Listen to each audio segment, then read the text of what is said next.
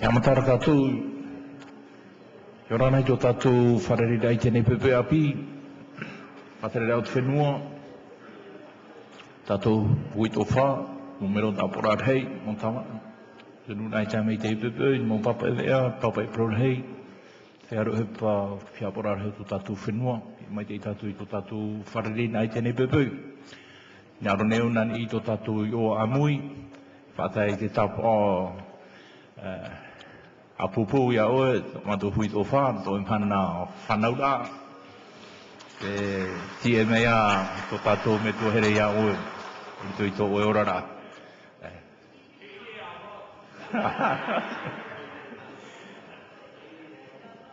Wani me ona e hara tātou pōru o hora horu mapiti tama. Nā,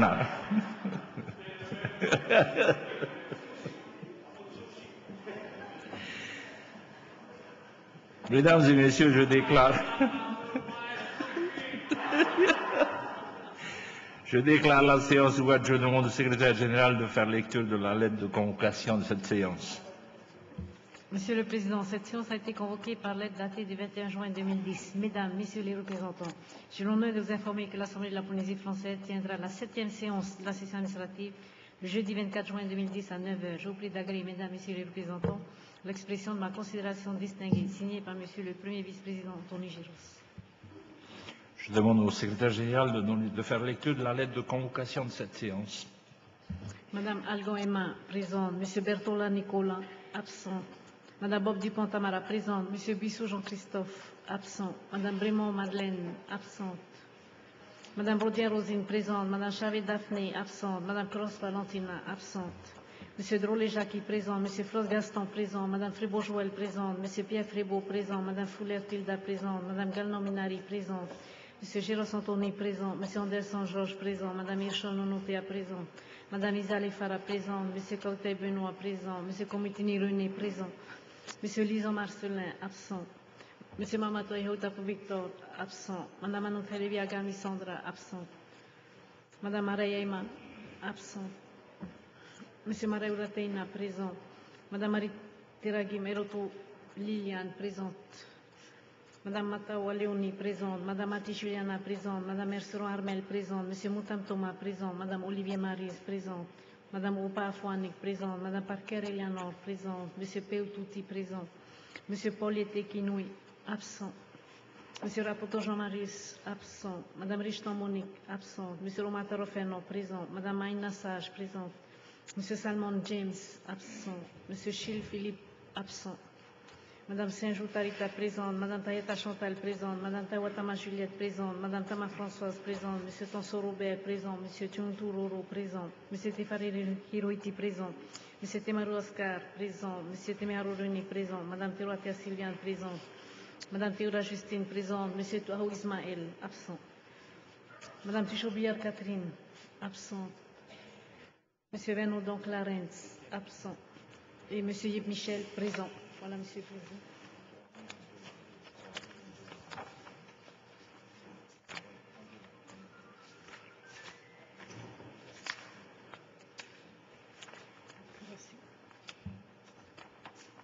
Je demande au secrétaire général de nous lecture des procurations déposées. Monsieur le Président, nous avons reçu les procurations de Madame Cross Valentina à Madame Juliana Mati, de Monsieur Rapoto Jean-Marie à Monsieur Pierre Frébeau, de Monsieur Salmon James à Madame Françoise Tama, de Monsieur Venodon Clarence à Monsieur Fernand Romatarua, de Monsieur Bertolon Nicolas Monsieur Robert Tonso, de Madame Chavet Daphné à Monsieur Tchuntururu, de Monsieur Lison Marcel à Monsieur Toutipeo, de Madame Araya Ima Madame Léonie Matawa, de Madame Brémond Madeleine, Madame Tarita Saint-Jou, de Madame Anouk Helevi Agami Sandra, Monsieur Benoît Cocktail, de Madame Richton Monique Madame Juliette Watama, de Monsieur Paul Yetekinoui à Madame Maïna Sage et de Madame Venodon Béatrice à Madame Algon Ima. Je demande au secrétaire général de donner lecture de l'ordre du jour. Monsieur le Président, la conférence des présidents propose l'ordre du jour suivant. Point 1, approbation de l'ordre du jour. Point 2, séance de questions orales. Point 3, examen des rapports, des projets et propositions de délibération et d'une commission d'enquête. Voilà les joints. Point 4, examen de la correspondance. Point 5, convocation de la prochaine séance. Et enfin, point 6, clôture de la séance.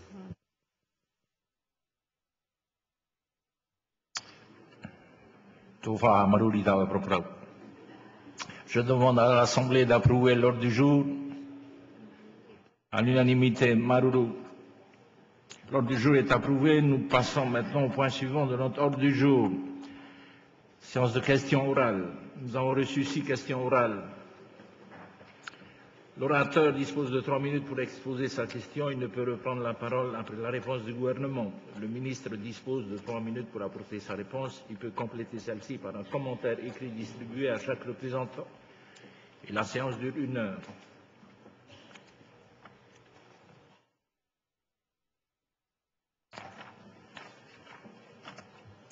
Je demande à Monsieur le représentant Jacques Hidrolet de poser sa question.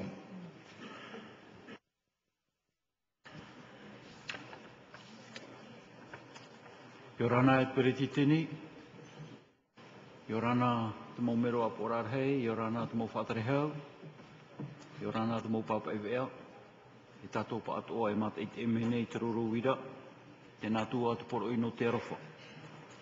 O ia e peretitini, e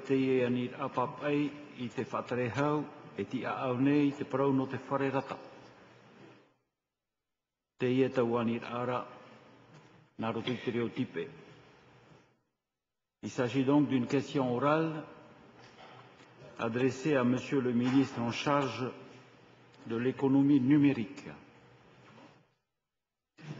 Monsieur le ministre, l'ordre du jour du prochain conseil d'administration de l'OPT prévoit un point numéro 5 intitulé opportunité d'un partenariat entre TNS et Canal Overseas, avec un renvoi écrit en rouge, entre guillemets, dossier remis sur table. Autrement dit, pas de dossier joint à la convocation, mais remis le jour de la réunion. Autant dire, pas de, possibilité pour les administrateurs, autres que vous et certains privilégiés, de connaître le fond du dossier, donc de prendre les décisions en toute connaissance de cause.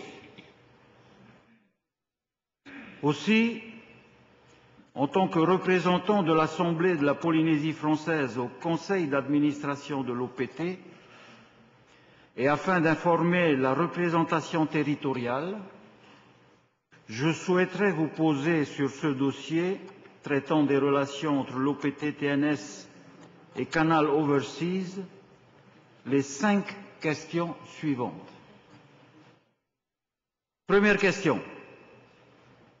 Le Haut Conseil ayant signalé récemment la fragilité juridique des filiales de l'OPT, notamment celle de TNS, qui est une filiale SAS de l'OPT. Souhaitez-vous faire évoluer ces statuts et dans l'affirmative, de quelle façon et selon quel calendrier? Avez-vous pris l'avis du tribunal administratif ou du Conseil d'État? Si oui, quand? Je rappelle à l'Assemblée que le Haut Conseil a basé son argumentation sur la précision de l'article 30 de notre statut et a même suggéré, compte tenu des travaux de l'Assemblée nationale, que notre statut soit révisé pour permettre à ces filiales d'engager ce type de relations. Dans le cadre de l'ouverture, deuxième question, des différents marchés à la concurrence, dans un environnement qui, à ma connaissance, n'est pas encore réglementé, car les travaux du comité consultatif des télécoms que j'avais initiés en 2009 ont été brutalement interrompus par vous en décembre de la même année. Dites-nous si vous souhaitez ou non assurer les obligations de l'OPT en faveur de la continuité du service public et créer les conditions d'une concurrence effective au bénéfice du consommateur comment et quand? Je me permettrai de vous rappeler, Monsieur le Ministre, que dans ce comité consultatif des télécoms siégeait l'ensemble des opérateurs du privé. J'ai cru comprendre que c'était les États généraux du numérique et notamment leurs conclusions, qui feraient office de réponse. Malheureusement pour nous, vous avez d'abord préféré NKM avant les élus, puisque c'est d'abord à Madame Kosciusko-Morizet que vous transmettrez les conclusions des États généraux, ensuite les élus que nous sommes. Je vous laisse apprécier l'ordre de priorité du ministre. Troisième question. Dans la perspective de l'arrivée durant le second semestre 2010 du premier multiplex de la télévision numérique terrestre, qui sera, je vous rappelle, géré par RFO, et devant les trois scénarios possibles d'évolution de la relation TNS Canal Overseas, en termes de modalités, en termes d'impact et d'avantages inconvénients, pouvez-vous nous dire, Monsieur le Ministre, lequel des trois scénarios ci-dessous emporte votre adhésion. Premier scénario, le statu quo, en termes d'hypothèse de revenus, pour quel coût de refonte des offres TNS et de recherche de chaînes de substitution, voire de remplacement? Deuxième hypothèse, si c'est la collaboration, quel partage des coûts globaux et des bénéfices.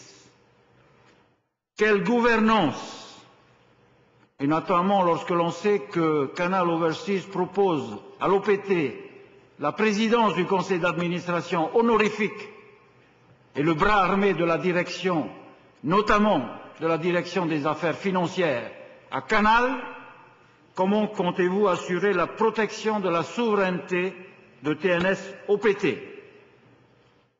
Du choix du futur sur tous les modes de diffusion, notamment la DSL, l'Internet mobile. Quelle décision définitive quant au repli de la tête de réseau de Paris vers Pop été? Déjà décidé lors d'un précédent conseil d'administration en 2009 Je rappelle aux représentants à l'Assemblée que ça coûte annuellement à l'OPT, cette tête de réseau à Paris, 210 millions par an. Et quels intérêts tirer des tarifs satellitaires de l'OPT plus attractifs que ceux de Canal Overseas? Et je rappelle à nouveau à l'Assemblée que l'OPT a d'ores et déjà payé 5 milliards pour six transpondeurs sur un satellite qui sera lancé en 2011, le satellite IS-18. Petit c, s'il s'agit enfin d'une confrontation, quelle évolution du cadre réglementaire audiovisuel pour offrir toutes les chaînes à tous les distributeurs Pour TNS, comment voyez-vous la nécessité de remplacer rapidement certaines chaînes dans la perspective d'un affrontement du concurrent Canal Overseas? Enfin, quel rôle comptez-vous faire jouer à l'OPT dans la gestion des deuxièmes multiplex qui nous arrivent en novembre 2011 et du troisième multiplex à une date inconnue pour le moment, notamment dans la diffusion hertzienne de la TNT par l'OPT, de la diffusion par satellite de la TNT par TNS et de la diffusion par répéteurs et fibres optiques pour Honotoa, et avec quel contenu pour les différentes vagues de déploiement. Quelle place pour Honotoa dans les projets en cours? Avec quel contenu? Et quels opérateurs concurrents sur quels services? Je rappelle à nouveau aux représentants que bien évidemment la presse a eu les honneurs d'une démonstration bien avant les représentants.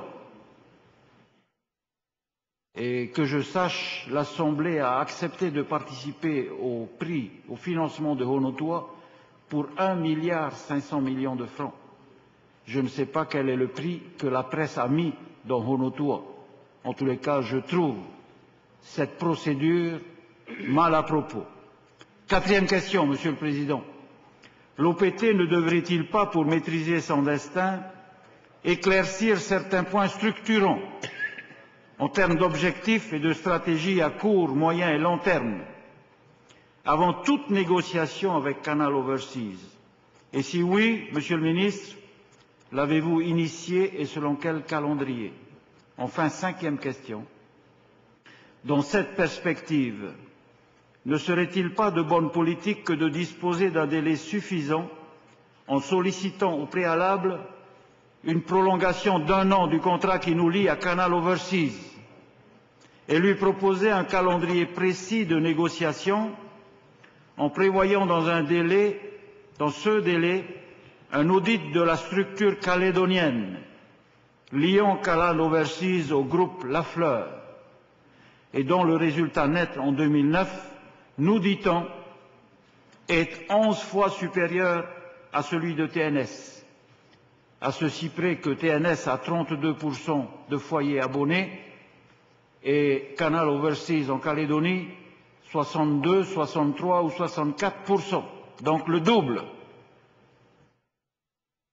Ne pensez-vous pas qu'au moment où Canal Overseas semble développer une stratégie de reprise du contrôle de sa distribution, je vous rappelle que Canal nous a quittés en 2004 et l'OPT a payé 200 millions pour reprendre les abonnés de Canal et Canal a imposé à l'OPT un minimum garanti de clients à atteindre. Et en 2009, Canal a exigé de l'OPT 83 millions de francs pacifiques. Il convient de protéger les intérêts de TNS, donc de l'OPT, donc du pays, Monsieur le Ministre, par des clauses de protection, notamment des clauses de sortie ou d'évolution du capital.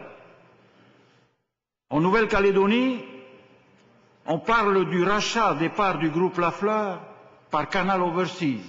On commence toujours par 50-50 et on finit ensuite par un monopole total. C'est ce qui est en train de se passer en Nouvelle-Calédonie. Des clauses de distribution de dividendes et de partage de bénéfices commerciaux. Autant de questions, Monsieur le Ministre, qui méritent des réponses claires et précises devant notre Assemblée, qui ne doivent pas, selon moi, être mises devant le fait accompli de décisions concoctées dans la pénombre de vos cabinets ministériels, mais qui doit au contraire avoir son mot à dire dès qu'il s'agit de l'avenir de notre pays et de ses habitants. Je vous remercie. Je demande au gouvernement de répondre à la question posée. Merci, Monsieur le Président. Mesdames, Messieurs les représentants, et Totato Faririra. Je voudrais aussi m'associer, Monsieur le Président, euh, à votre annonce de tout à l'heure et souhaiter un bon anniversaire à notre sénateur, Monsieur Gaston Floss, et, euh, le saluer euh, également humblement aujourd'hui. Monsieur le Président, j'ai écouté attentivement la question de mon, de mon ami Jacques Hidrolet. Je dis mon ami parce que lorsque nous partagions ensemble les mêmes bancs d'un gouvernement il n'y a pas si longtemps que ça, nous étions souvent complices dans nos analyses euh, sur différents dossiers qui étaient amenés à la table du gouvernement. Mais c'est vrai, pas toujours d'accord sur les conclusions.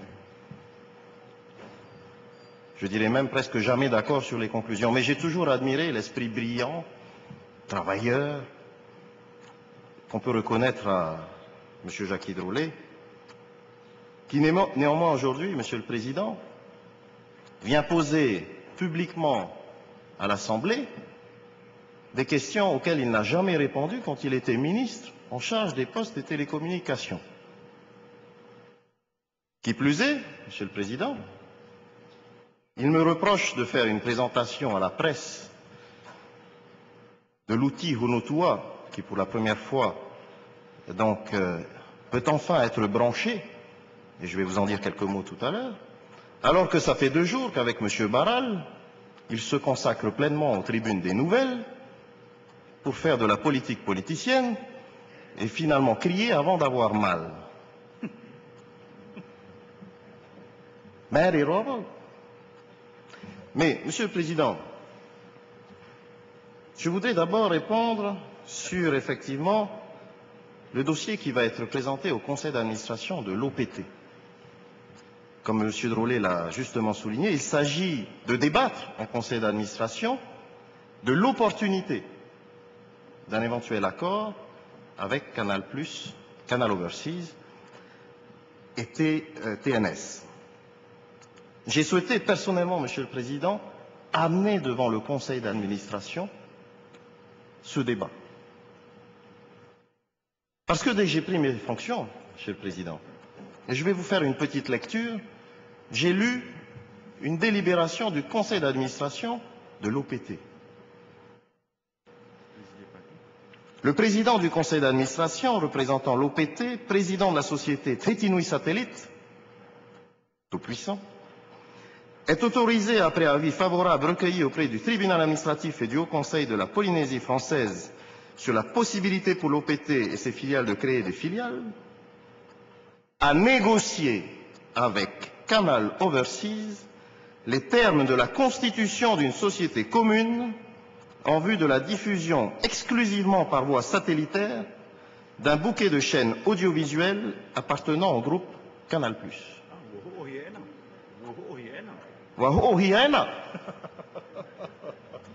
La création de cette nouvelle société ne devra pas aboutir à une exclusivité empêchant TNS de diffuser sur tout support de télévision des chaînes concurrentes au groupe Canal+. Mar, mar, maro.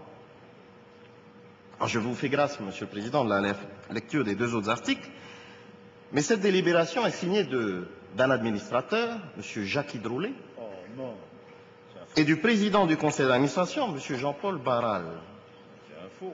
Alors quel est le procès qu'on me fait aujourd'hui, Monsieur le Président? L'opportunité a déjà été débattue puisqu'une décision a été prise. Cette décision, d'ailleurs, n'est pas très cohérente avec les actions, néanmoins, du duo qui était installé à la tête de l'OPT, puisqu'ils ont même fait venir Canal Overseas pour finalement ne pas vouloir les rencontrer. Alors je ne comprends pas, Monsieur le Président, et fort de ce constat, je ramène au Conseil d'administration le débat sur l'opportunité ou non de conclure un accord. Alors que vous en conviendrez, je pensais que M. Jacques Hidrolet allait me reprocher de ne pas rapidement mettre en application ce qu'il avait décidé. Parce que si je lis cette délibération, je dois appliquer ce que M. Drolet avait décidé. De créer une société avec Canal Overseas. Donc arrêtons de crier avant d'avoir mal et surtout soyons un peu transparents sur les décisions qu'on a pu prendre avant. Mais c'est vrai que nous n'avions jamais eu ce débat en Conseil des ministres, ni à l'Assemblée, avant que cette délibération ne soit prise par M. Jacques Hidrolet et M. Barral.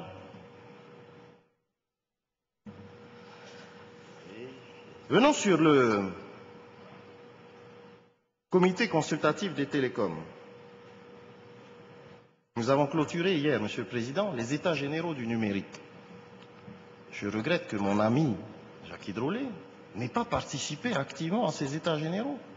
Plus de 1000 personnes se sont mobilisées 600 internautes ont suivi en direct, parce que tous les débats étaient en direct sur Internet, ces débats ont fait des propositions.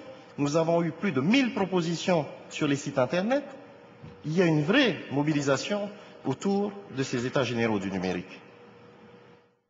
Ce n'est pas un petit club, comité consultatif, où on est cinq ou six autour d'une table à vouloir organiser le monde de demain. On a ramené ce débat au sein de la population. Alors c'est vrai que NKM n'est pas barbu, M. Jacques Hidrolet, mais ce n'est pas pourtant pour ça qu'elle aura la primeur de ses, de ses travaux. Bien entendu, avec tout le respect que j'ai pour l'Assemblée, nous aurons des débats sur ces sujets-là.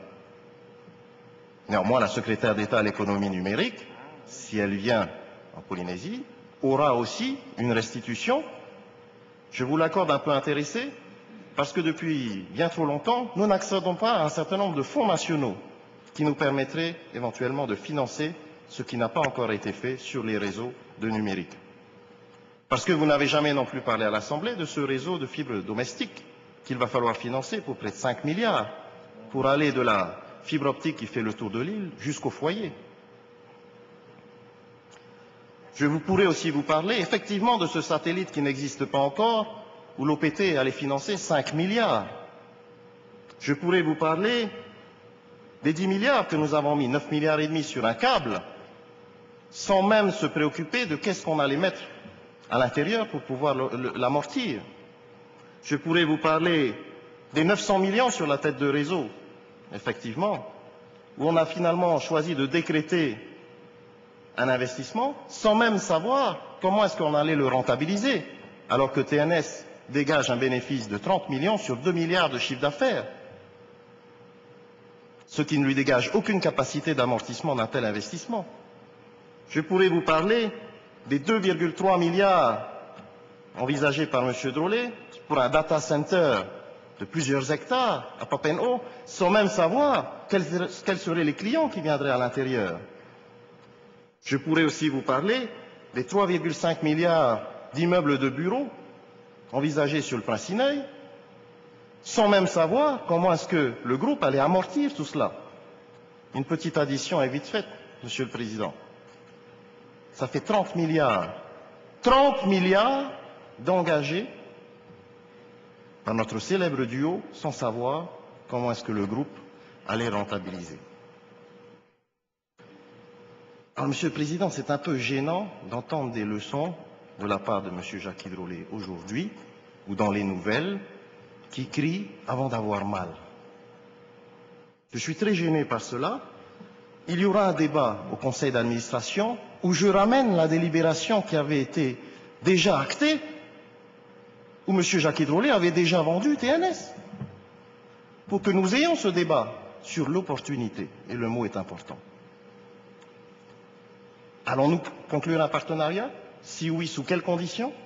Quelles sont les conditions que le Conseil de l'OPT va mettre pour préserver les intérêts à la fois de l'OPT et du pays et préserver les intérêts des emplois? Ce débat, il faut l'avoir au Conseil d'administration de l'OPT. Et j'espère que M. Droulet sera force de proposition plutôt que force de propagande auprès de la presse. Enfin, Monsieur le Président, parce que vous l'avez souligné, nous avons trois minutes pour répondre, même si la question faisait 15 minutes. Je voulais reparler du respect de l'Assemblée. Parce que M. Jacques Hidrolet me donne des leçons de respect de l'Assemblée. Je voudrais lire aussi une autre délibération prise dans notre Assemblée en 2007, qui en son article premier, adopté donc, L'Assemblée de la Polynésie française émet un avis favorable au projet de liaison par câble sous-marin Tahiti-Hawaii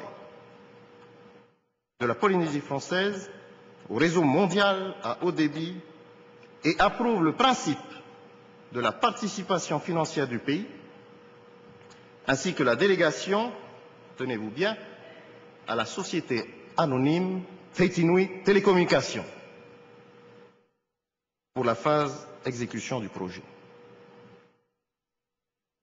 Qui a décidé ensuite de faire porter cet investissement de près de 10 milliards par la maison mère OPT Qui fait courir donc un risque financier énorme sur les 700 employés de la maison mère? Qui respecte les décisions de notre Assemblée? Quel est le coût de ce choix, Monsieur le Président? Les estimations en termes de défiscalisation dès lors que c'était la société anonyme TNT qui portait le câble, allait jusqu'à 4 milliards de défisc. Nous avons obtenu difficilement un milliard et demi en rétablissant les contacts avec Bercy depuis le mois de décembre. Ce choix, Monsieur le Président, a fait perdre près de 2 milliards de défiscalisation à l'entreprise et au groupe. Alors, de grâce, arrêtons les leçons de politique politicienne réunissons-nous au conseil d'administration, ayons un débat sur l'opportunité ou non. Je suis sûr que M. Jacques Hidrolet sera favorable à ce mariage avec Canal Plus Overseas s'il est cohérent avec la décision qu'il a prise. C'est regrettable, Monsieur le Président, qu'on ait ce genre de débat aujourd'hui, mais sachez que j'ai beaucoup de respect pour notre Assemblée, mais aussi beaucoup de respect pour le Conseil d'administration de l'OPT, et pour l'ensemble des employés de l'OPT. Et c'est pour ça que je propose que nous ayons un débat fourni, constructif, mais que chaque instance prenne ses responsabilités. Merci de votre attention. Merci, Monsieur le Ministre. Je demande à Madame Armel Merceron de poser sa question.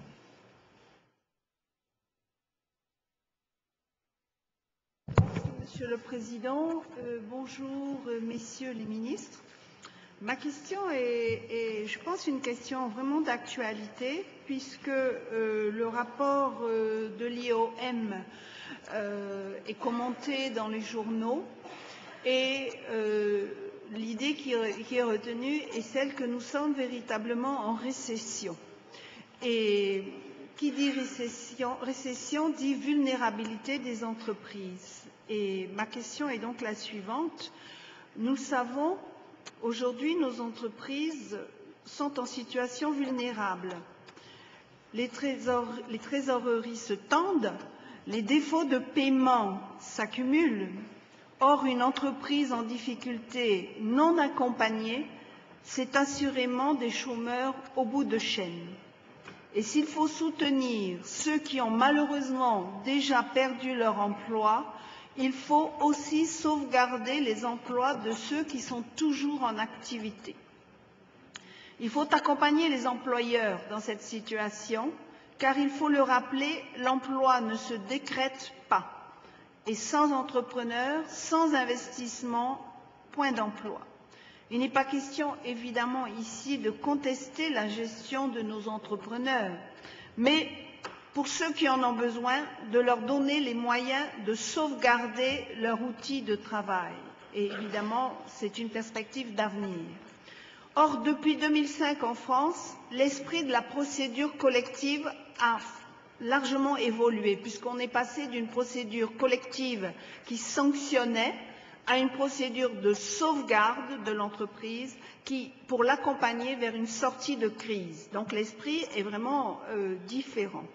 Et pourtant, les commerçants polynésiens aujourd'hui sont eux soumis à une loi qui me paraît dépassée et manquant de pragmatisme économique. En effet, aujourd'hui, dans notre pays, et pour la plupart des commerçants, et, je précise que le mot commerçant ici euh, n'est pas vu sous son angle purement en, commerçant dans le sens distribution, mais commerçant au sens de personne morale commerciale et personnes physiques commerciales également. Donc, passer par le tribunal de commerce sur demande des créanciers conduit à une mort quasi certaine de son activité dans les deux mois après l'ouverture de la procédure. Et je précise également qu'aujourd'hui, euh, la CPS, par exemple, est parmi ces créanciers qui, quelquefois, peuvent conduire à la, à la mort d'une entreprise, mais elle n'est pas la seule. En 2009, les radiations d'entreprises en Polynésie ont augmenté de 8%. Entre 2008 et 2009, près de 200 entreprises ont été liquidées selon les informations que j'ai. Or, le dispositif mis en place en métropole depuis 2006 vise à détecter et à répondre au plus tôt aux différents problèmes que peuvent rencontrer les commerçants pour sauvegarder en priorité les emplois et les créances salariales. Le dispositif met à disposition des chefs d'entreprise une sorte de boîte à outils pour leur permettre de répondre au mieux aux difficultés auxquelles ils doivent faire face. Et si vous permettez, je, je citerai un extrait du rapport qui a été euh, lu par les rapporteurs de l'Assemblée lorsque, en 2005, en 2006, pardon, en janvier 2006, l'Assemblée a adopté le dispositif actuel. Donc je précise que c'était un dispositif qui était calqué sur l'ancien système métropolitain qui, depuis une année, avait adopté un esprit différent. Et il était dit il serait donc opportun de laisser à l'administration et aux professionnels exerçant en Polynésie française un délai d'appréciation et d'observation préalable de l'expérience métropolitaine liée à la mise en œuvre d'un nouveau régime avant d'envisager une réforme complète de la procédure actuelle, euh, étant par ailleurs rappelé que la Polynésie française peut désormais édicter ses propres règles dans le domaine du droit commercial en vertu donc de la nouvelle loi statutaire. Donc, quatre ans plus tard, alors que nous sommes en situation de récession, c'est-à-dire donc de recul économique, je souhaiterais, Monsieur le ministre, que vous nous euh, disiez, puisque vous avez la charge de moderniser notre économie, envisagez-vous d'améliorer le dispositif actuel de procédure collective Dans l'affirmative, comptez-vous vous inspirer de la loi du 26 juillet 2005 sur la sauvegarde des entreprises qui est appliquée en métropole? Et dans l'affirmative, est-ce que vous pourriez nous donner un calendrier euh, de, de, ces modifications? Merci. Je demande au gouvernement de répondre à la question posée, Monsieur le ministre. Merci, Monsieur le Président. D'abord, je voudrais dire que c'est sans réserve, effectivement, que je partage euh, l'affirmation de Mme Merceron, sans entrepreneurs, sans investisseurs, point d'emploi. C'est la raison pour laquelle le gouvernement s'emploie à favoriser l'activité économique, source de création d'emplois. Trois leviers principaux sont à notre disposition aujourd'hui pour soutenir les entreprises. Les effets de défiscalisation, puisque la seule commande publique étant insuffisante pour redresser l'économie, nous l'avons vu hein, à travers les effets du plan de relance de l'année dernière, qu'il importe de redonner un élan à l'initiative privée. Trois commissions consultatives des agréments fiscaux se sont déjà tenues et ont agréé près de 18,5 milliards d'investissements, mais surtout 14 milliards dans le bâtiment et 3 milliards dans les énergies renouvelables.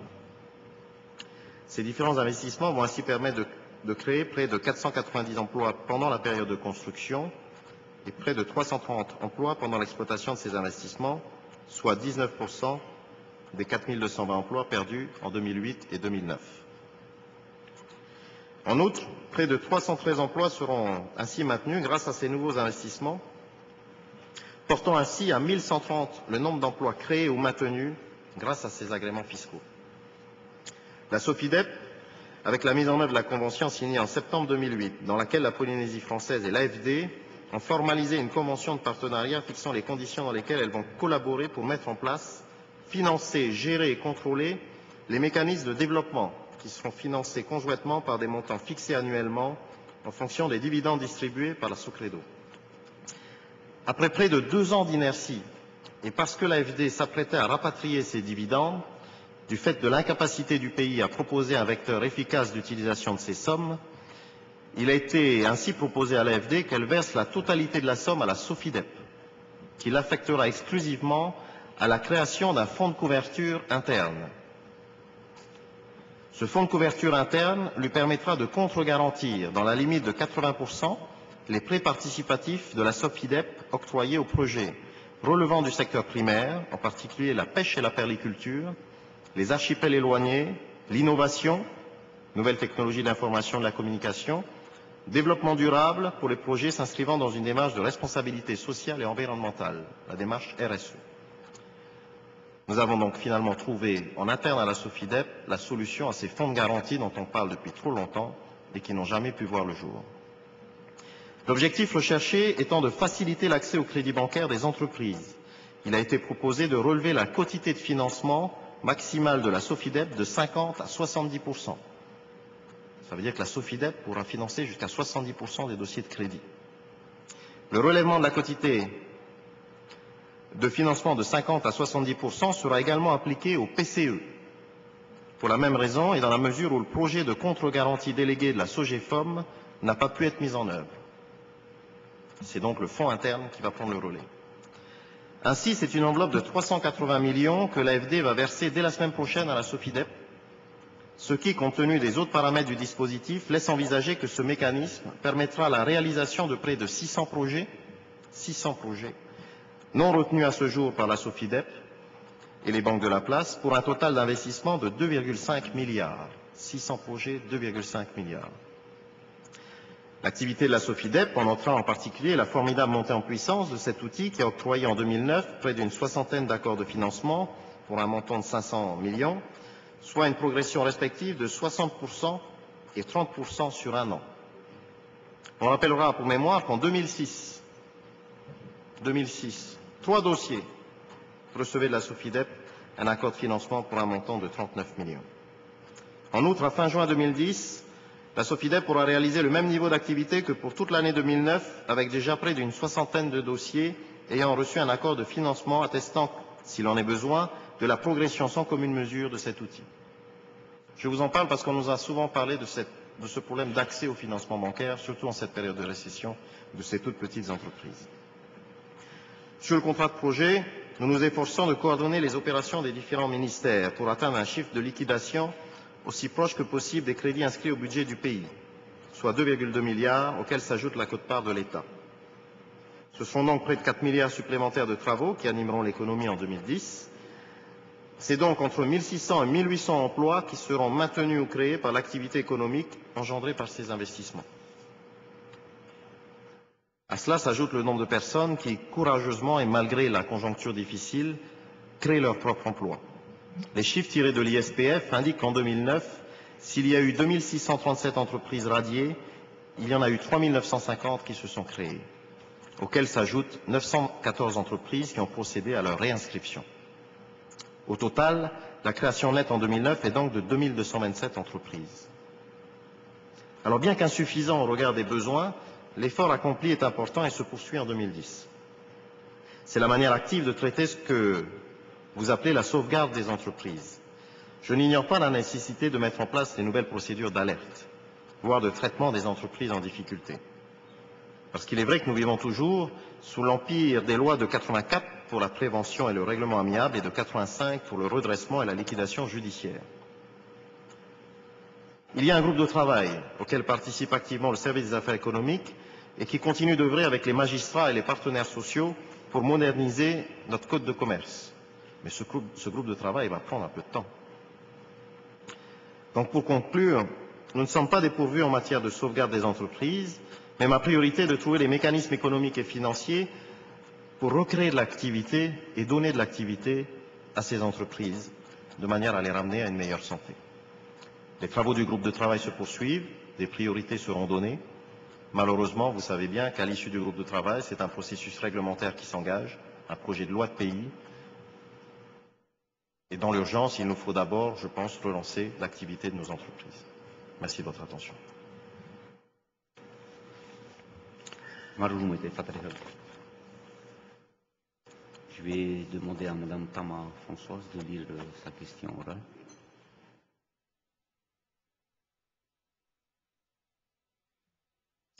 Merci, Monsieur le Président.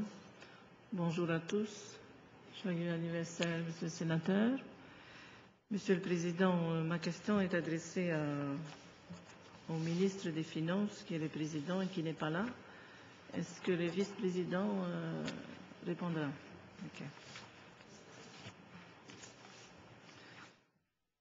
Alors, ma question euh, concerne les compléments de salaire attribués aux agents de la fonction publique. Monsieur le vice-président, l'arrêté de 291 du Conseil des ministres du 16 mars 92 prévoit le versement d'une indemnité de caisse représentative de la responsabilité pécuniaire et personnelle assumée par les agents manipulant des fonds publics. Cette disposition cible donc les personnels chargés de recueillir des fonds dans le cadre d'un travail de caisse. Nous avons eu connaissance que dans certains services publics, cette mesure avait été généralisée à l'ensemble d'un personnel qui ne manipule pas spécialement des fonds publics. C'est le cas de la direction des affaires foncières, du service des finances, du service des contributions et d'autres services. Monsieur le Président, pourquoi ajouter un deuxième salaire, surtout dans la fonction publique, à quelqu'un qui est déjà payé? Nous souhaitons être destinataires de la liste de l'ensemble des services et des établissements de l'administration de notre pays concernés par cette libéralité et précisant le nombre de bénéficiaires et les montants versés ces cinq dernières années. Nous vous sommes également obligés de nous donner des précisions quant au texte justifiant le versement de ces indemnités. Et par ces temps économiques très difficiles, et rappelant que nous venons à peine de voter le deuxième collectif du budget 2010, tant bien que mal afin de venir en aide ponctuelle aux privés ou aux réduits involontairement du pouvoir d'achat, envisagez-vous une remise en question de ces avantages dans la fonction publique qu'on ne comprend pas? Nous vous remercions de votre réponse orale et écrite à nous remettre. Merci, Président. Merci, Madame la représentante. ono Priteni? Ia ohe. He mararu mai te pritini o rana. Tato whararid a, tano atu i te mauti au tapu orarhe, tato whinua, mo tāne te mauhine i a mai te ei tu tato whararid ai te imana, tō te vea, tō tuir atira te ia mui mai, ia mai te ei, ia oa oa tato, tu tato whararid a. E wina aro te periteni ia pahonohia te ie, uh, ia ia pahonohia e te tano tera parau, no te mea e wira a papu, e wira a tumu tera, uh, no ni ei te ie mau tino, mo taa, mo tuahine, e whaan one, uh, i te ie mau prim, e re te moni awa, uh, te piti o te moni awa e prim rao, e nen he e tau o parau ni hoi tera parau mon o waiti e mum hanai hara mai nei. Uh, mi te peo hina aro tātou e ia tia au mai te hia ta tātou tāpura fufu a ia tia awha ahuto tātou whenua. Tera te te mo wahiri i o tā mātou e mon ora e. E nen he pā tātou e paraparau wa ahau. Ai tu e parau e tope noa e tope noa nen hera e paraparau ere? Tu atiri e te mono arira.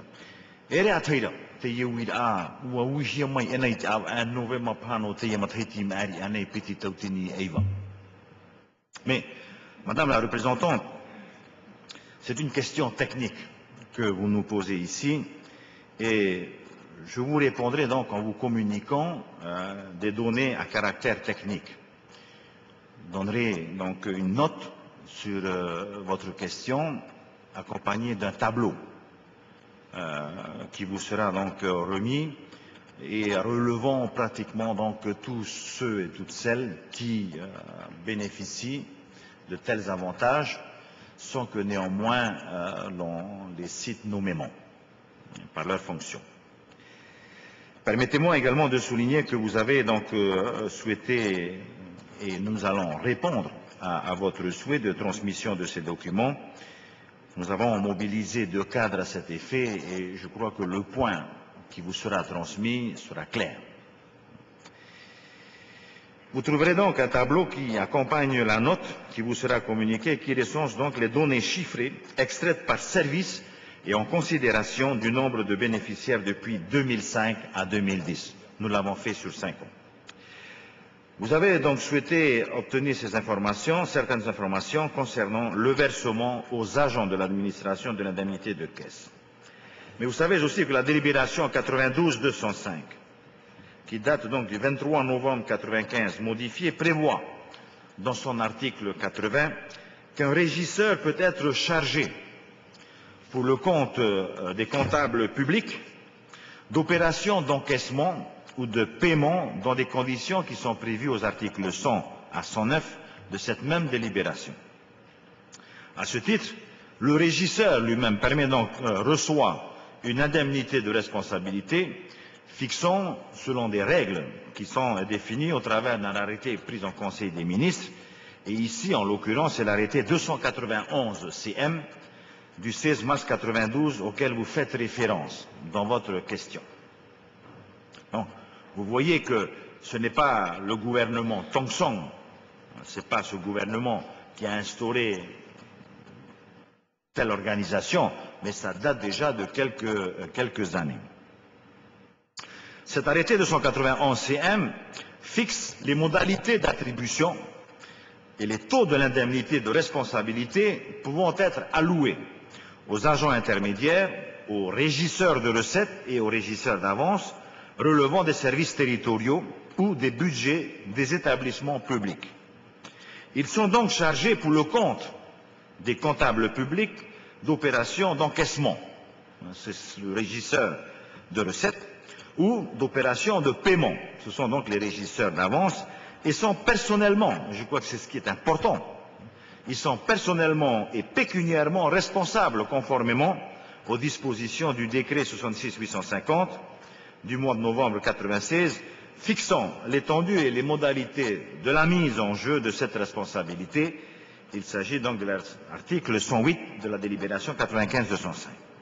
Tout régisseur de recettes ou d'avance est nommé par arrêté du ministre en charge des Finances après agrément du payeur de la Polynésie française. C'est l'application de l'article 107 de la délibération en question, 95-205. Il ne s'agit aucunement, comme vous le suggérez, Madame, de surajouter un deuxième salaire à un fonctionnaire, mais bien, comme le mentionne le texte, de compenser cette responsabilité que ce personnel endosse, de compenser la responsabilité pécuniaire et personnelle assumée par les agents manipulant des fonds publics. Ainsi, le plafond annuel pouvant être versé, le plafond annuel pouvant être versé aux bénéficiaires est fixé à 360 000 francs, d'ordre de 30 000 francs par mois. Enfin, faut-il préciser que ces derniers sont astreints à tenir une comptabilité? Vous conviendrez donc, Madame la représentante, je n'en doute pas, que la compensation de la responsabilité pécuniaire et personnelle assumée par ces agents ainsi que la tenue d'une comptabilité correspondant à l'exercice de ces missions doit naturellement, doit naturellement faire l'objet d'une indemnisation.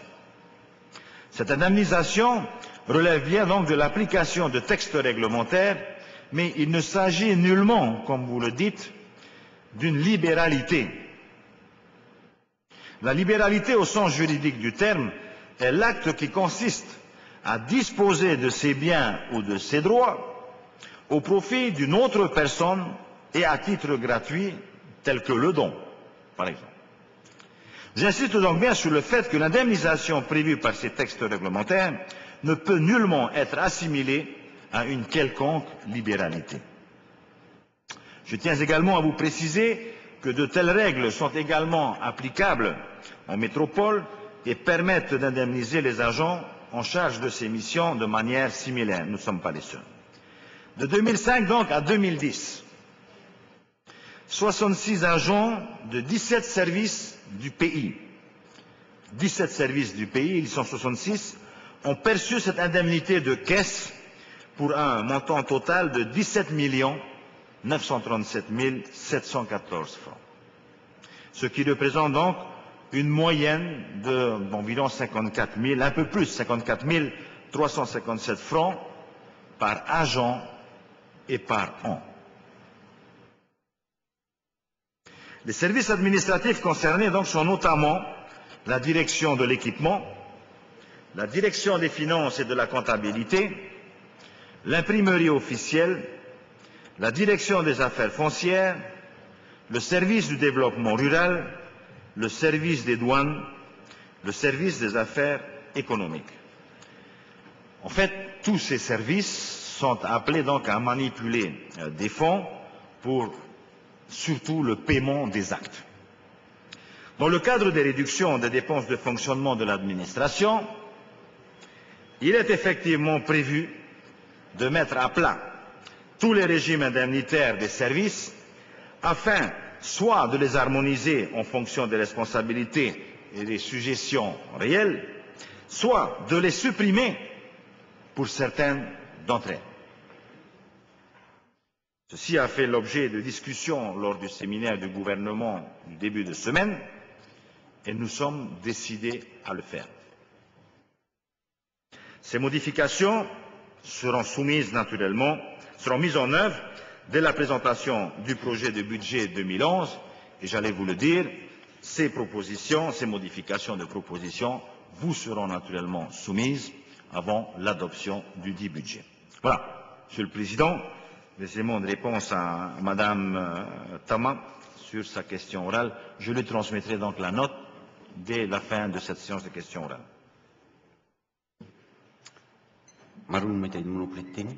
Je vais demander à Madame Juliette. Juliette Tama. Vous avez une question orale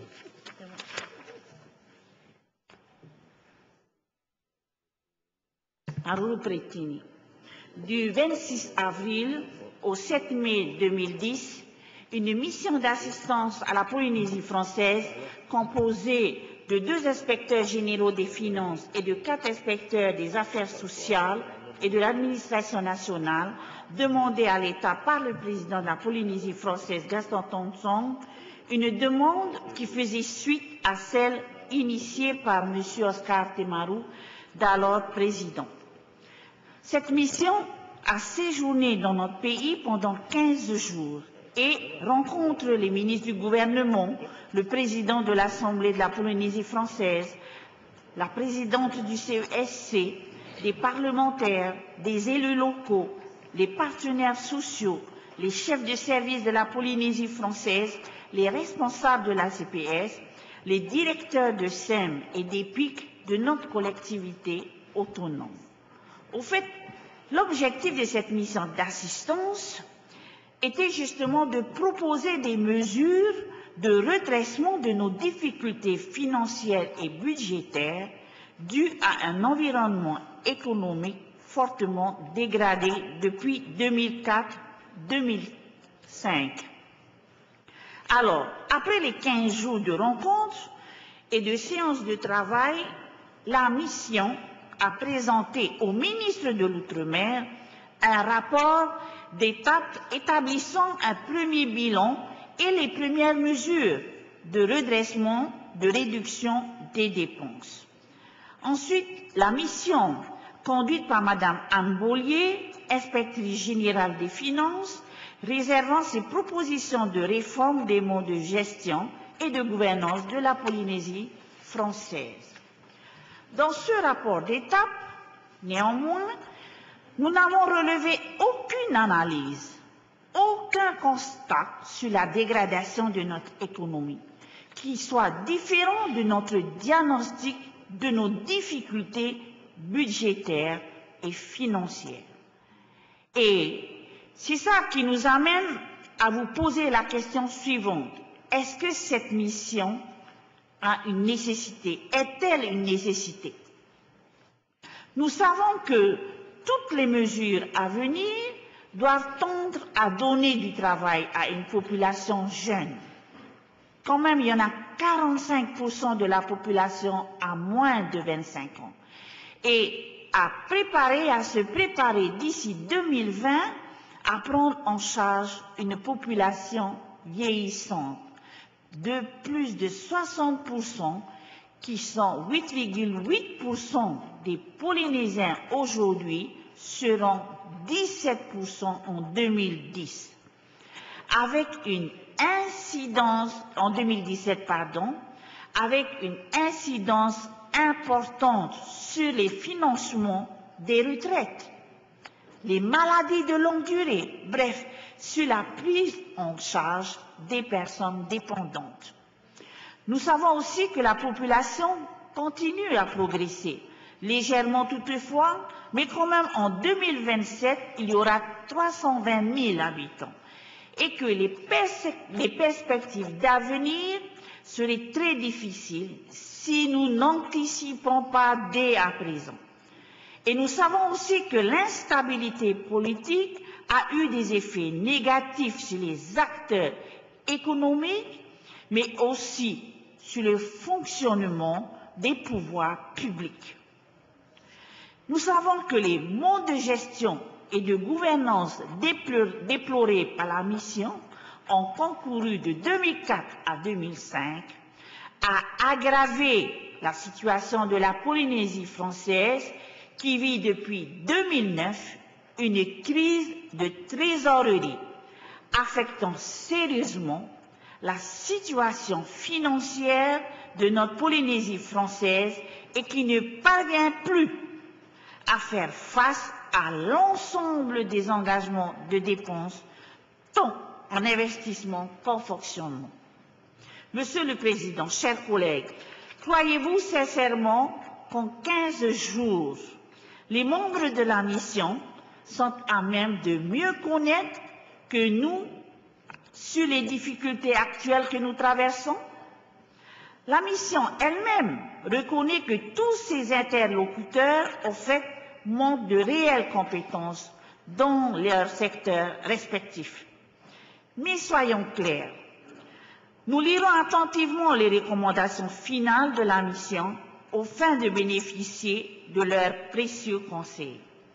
En vérité, ce qui nous inquiète et nous conduit à nous interroger aujourd'hui, c'est cette espèce de menace proférée de manière latente à l'encontre de la Polynésie qui pourrait se voir privée de l'aide financière de l'État et de la solidarité agissante de la nation si d'aventure nous ne suivons pas à la lettre les préconisations de la mission, parmi lesquelles la vente de notre patrimoine immobilier. Parce que cela a été clairement exprimé à plusieurs reprises par le haut commissaire Adolphe Conla dans les interviews quotidiens Les Nouvelles, journal préféré de l'État, édition du 26 avril 2010, du 10 mai 2010, du 14 juin 2010 et dans les radios, à la télé-Polynésie et à tout dire. Alors, il disait ceci. Nous devons faire chez nous le travail qui consiste à réduire les dépenses budgétaires, voir comment rationaliser la place publique, voir comment améliorer l'équité fiscale afin d'avoir de nouvelles marges de manœuvre, de définir une stratégie de réforme qui est indispensable. Lorsqu'on aura fait ce premier travail, à ce moment-là, on pourra se tourner vers l'État en évoquant la solidarité nationale. Monsieur le Président, c'est là que réside notre inquiétude. S'agit-il vraiment d'un marchandage Application de préconisation de la mission d'assistance contre l'aide financière de l'État? Dans cette perspective, n'avons-nous pas à craindre pour la pérennité de notre statut d'autonomie au détriment d'une reprise en main de l'État? Nous attendons donc à cet égard de réelles assurances de nature à gommer nos inquiétudes plutôt persistantes en ce moment. Voilà, Monsieur le Président. Merci, Madame la représentante.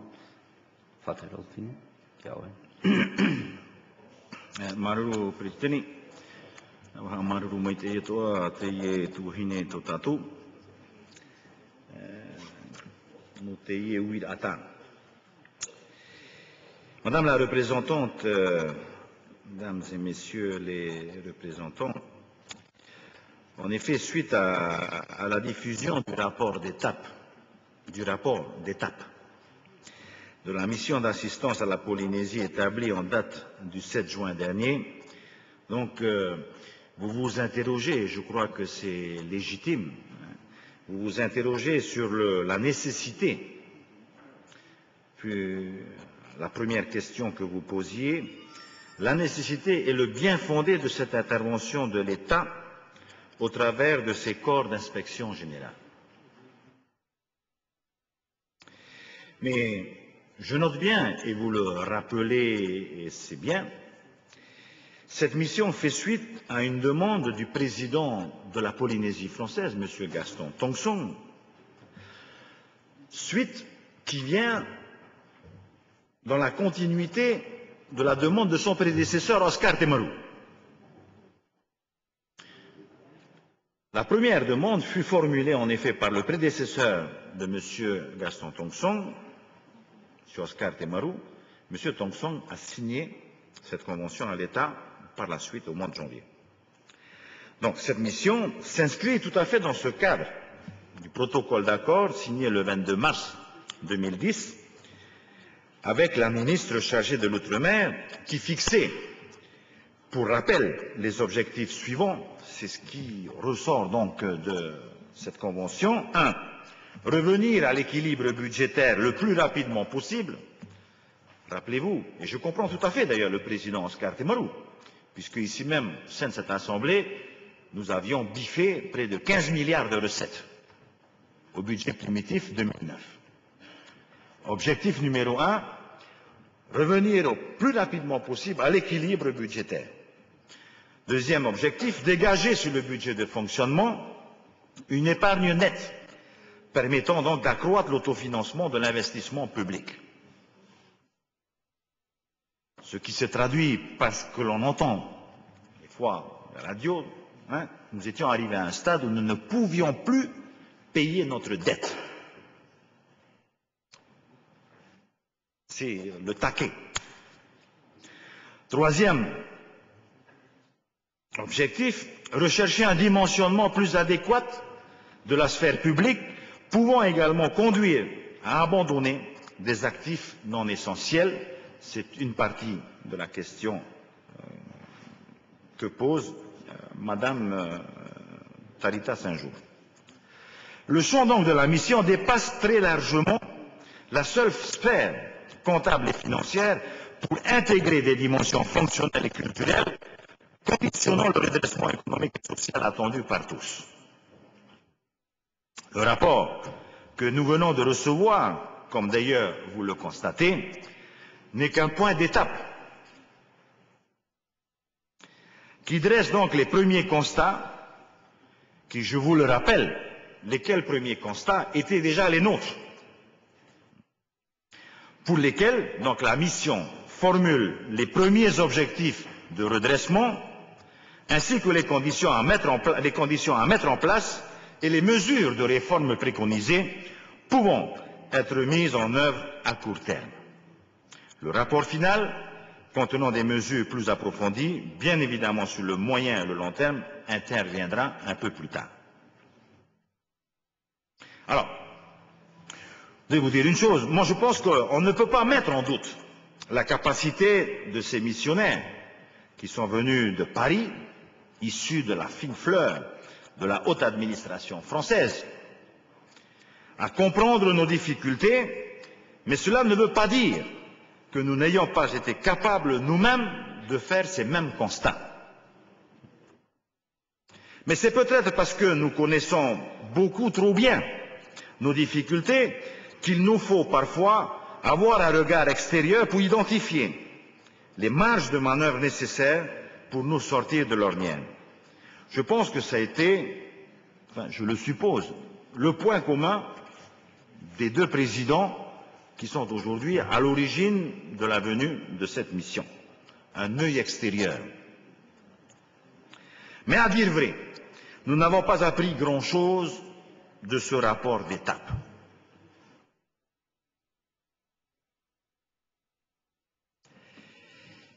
Nous n'avons pas appris grand-chose de ce rapport d'étape que nous avons, et je vous le rappelle, alimenté nous-mêmes. Ça répond un peu à la question des 15 jours. Ils se sont alimentés d'informations que nous avons fournies nous-mêmes, l'administration du pays, le gouvernement euh, du pays, et c'est là-dessus qu'ils ont fondé, je dirais, leur euh, premier rapport d'État. En conclusion de votre question, Madame Saint-Jour, vous citez les propos du haut-commissaire Adolphe Colra, évoquant notamment, en préalable à la solidarité nationale, l'impérative nécessité de réorganiser nos moyens publics et d'en rationaliser les dépenses vous considérez qu'il s'agit là d'un marchandage menaçant à terme notre statut d'autonomie. Personnellement, j'ai eu l'occasion de m'exprimer là-dessus, d'exprimer en effet la même préoccupation que vous, sans toutefois parler de marchandage. Mais néanmoins, on peut se poser la question, et j'ai envie de le dire clairement, je pense qu'il n'en est rien. En tous les cas, je l'espère fortement. Car, en fait, nous n'avons pas attendu le rapport de la mission d'assistance pour engager notre pays sur la voie de la réforme. De notre propre chef, l'Assemblée de Polynésie française a validé certaines options fortes allant dans ce sens et nous avons déjà, au niveau du gouvernement, mis en œuvre des mesures de redressement. Pour rappel, Donc vous avez voté un budget en 2010, un budget 2010 que nous avons présenté conformément à nos engagements, sans aucune augmentation de la pression fiscale, posant les bases d'un début d'assainissement de nos comptes, un budget de rigueur, mais une rigueur nécessaire, avec des effets concrets de rationalisation des dépenses publiques, partagés par tous, et une réduction du nombre de ministères. Cette rigueur s'est voulue cependant raisonnée pour nous permettre de continuer à assurer nos missions de service public. En d'autres termes, et je le rajoute à ce qu'on m'a écrit ici, vouloir mettre en place en Polynésie française un gouvernement de cinq ou six personnes en réduisant les cabinets à cinq ou six personnes, mieux vaut ne pas mettre de gouvernement en place. Et je n'ose pas espérer que tel fut l'objectif de cette mission. Mais il est vrai que de telles propositions sont, à mon sens, totalement, totalement irréalistes. Avec euh, l'étendue de ce pays, les compétences que nous avons héritées, je crois que ce n'est pas réaliste. Donc, le vote de ce budget a été pour nos partenaires publics et privés, je parle du budget 2010 naturellement, pour nos entreprises et pour nos familles, un signe fort marquant notre volonté concrète de nous réformer. Comme je l'ai dit plus haut, nous n'avons pas attendu pour réformer. Nous démontrons que oui, nous avons la volonté de stabiliser notre système politique, nous avons la volonté. Que oui, nous avons la volonté d'opérer la reconversion de notre économie. Que oui, nous avons la volonté de redonner à nos familles, à nos entreprises, l'envie de croire en une Polynésie équilibrée et résolument tournée vers son développement durable. Je ne pense pas qu'il soit question pour l'État de donner moins, mais je pense que c'est surtout pour l'État de donner mieux. L'État, comme vous le savez, connaît pour sa part de vrais problèmes financiers. Dans la période difficile que nous vivons, mes chers amis, je crois qu'il est vain de se confronter autour de débats stériles. Je crois qu'il faut arrêter de se poser des questions inutiles qui font rire certains qui s'amusent à nous voir se taper dessus. À mon avis, rien ne sert de dire qui a trouvé la meilleure réforme ou qui l'a trouvée en premier, l'État, le pays. Ces questions-là ne constituent pas les priorités de nos concitoyens. Certes, l'État nous fait des recommandations, mais ce sont les bailleurs de fonds et les réalités de la situation qui nous imposent de mettre en œuvre des réformes qui certainement ne seront pas toutes populaires. Pour autant, je l'ai déjà dit, il n'est pas question de suivre au pied de la lettre toutes les mesures préconisées. Il n'est pas question de suivre au pied de la lettre toutes les mesures préconisées dont certaines tiennent plus de l'air du temps que de l'efficacité réelle. Je pense notamment donc à cette fameuse proposition de réduction du format du gouvernement. Cela ne me paraît donc pas réaliste pour certaines de ces mesures et l'économie, en fin de compte, ne serait que marginale au regard de la perte d'efficacité. D'autant que nos ministres n'ont pas de cave à cigares ou de sous-ponte de fonction pour loger leurs enfants. Il faut parfois que la République sache faire son autocritique avant de distribuer les bons et les mauvais points. Pour conclure, je rappelle donc à nouveau que ce rapport n'est qu'un point d'étape et qu'il faut attendre le rapport final, à mon avis, pour qu'on en parle ici, puisque le président, comme pour le rapport d'étape, s'est engagé à vous le transmettre immédiatement. Donc il faut attendre ce rapport final pour avoir une expertise qui corroborera très certainement nos propres constats et nos propres préoccupations. Voilà, Madame Saint-Jou, ce que l'on peut dire et ce que je peux vous dire au sujet de ce pré-rapport. Monopreteni, je vais demander à Madame Galnon de poser sa question. Maruru pretitini far imeti tap onot uwarufa ya ofa far imeti tap onot uwarufa o mono pretitini e utout hau maruru to uto harir amet emhana. À vous aussi, chers amis journalistes, merci d'être là aujourd'hui, le public et tous les internautes qui nous regardent, et vous aussi, chers collègues représentants Yorana.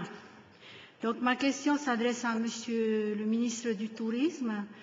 Euh, en préambule, Monsieur le ministre, ceci n'est pas, une critique contre vous, mais seulement une force de proposition si, si vous la concevez comme telle.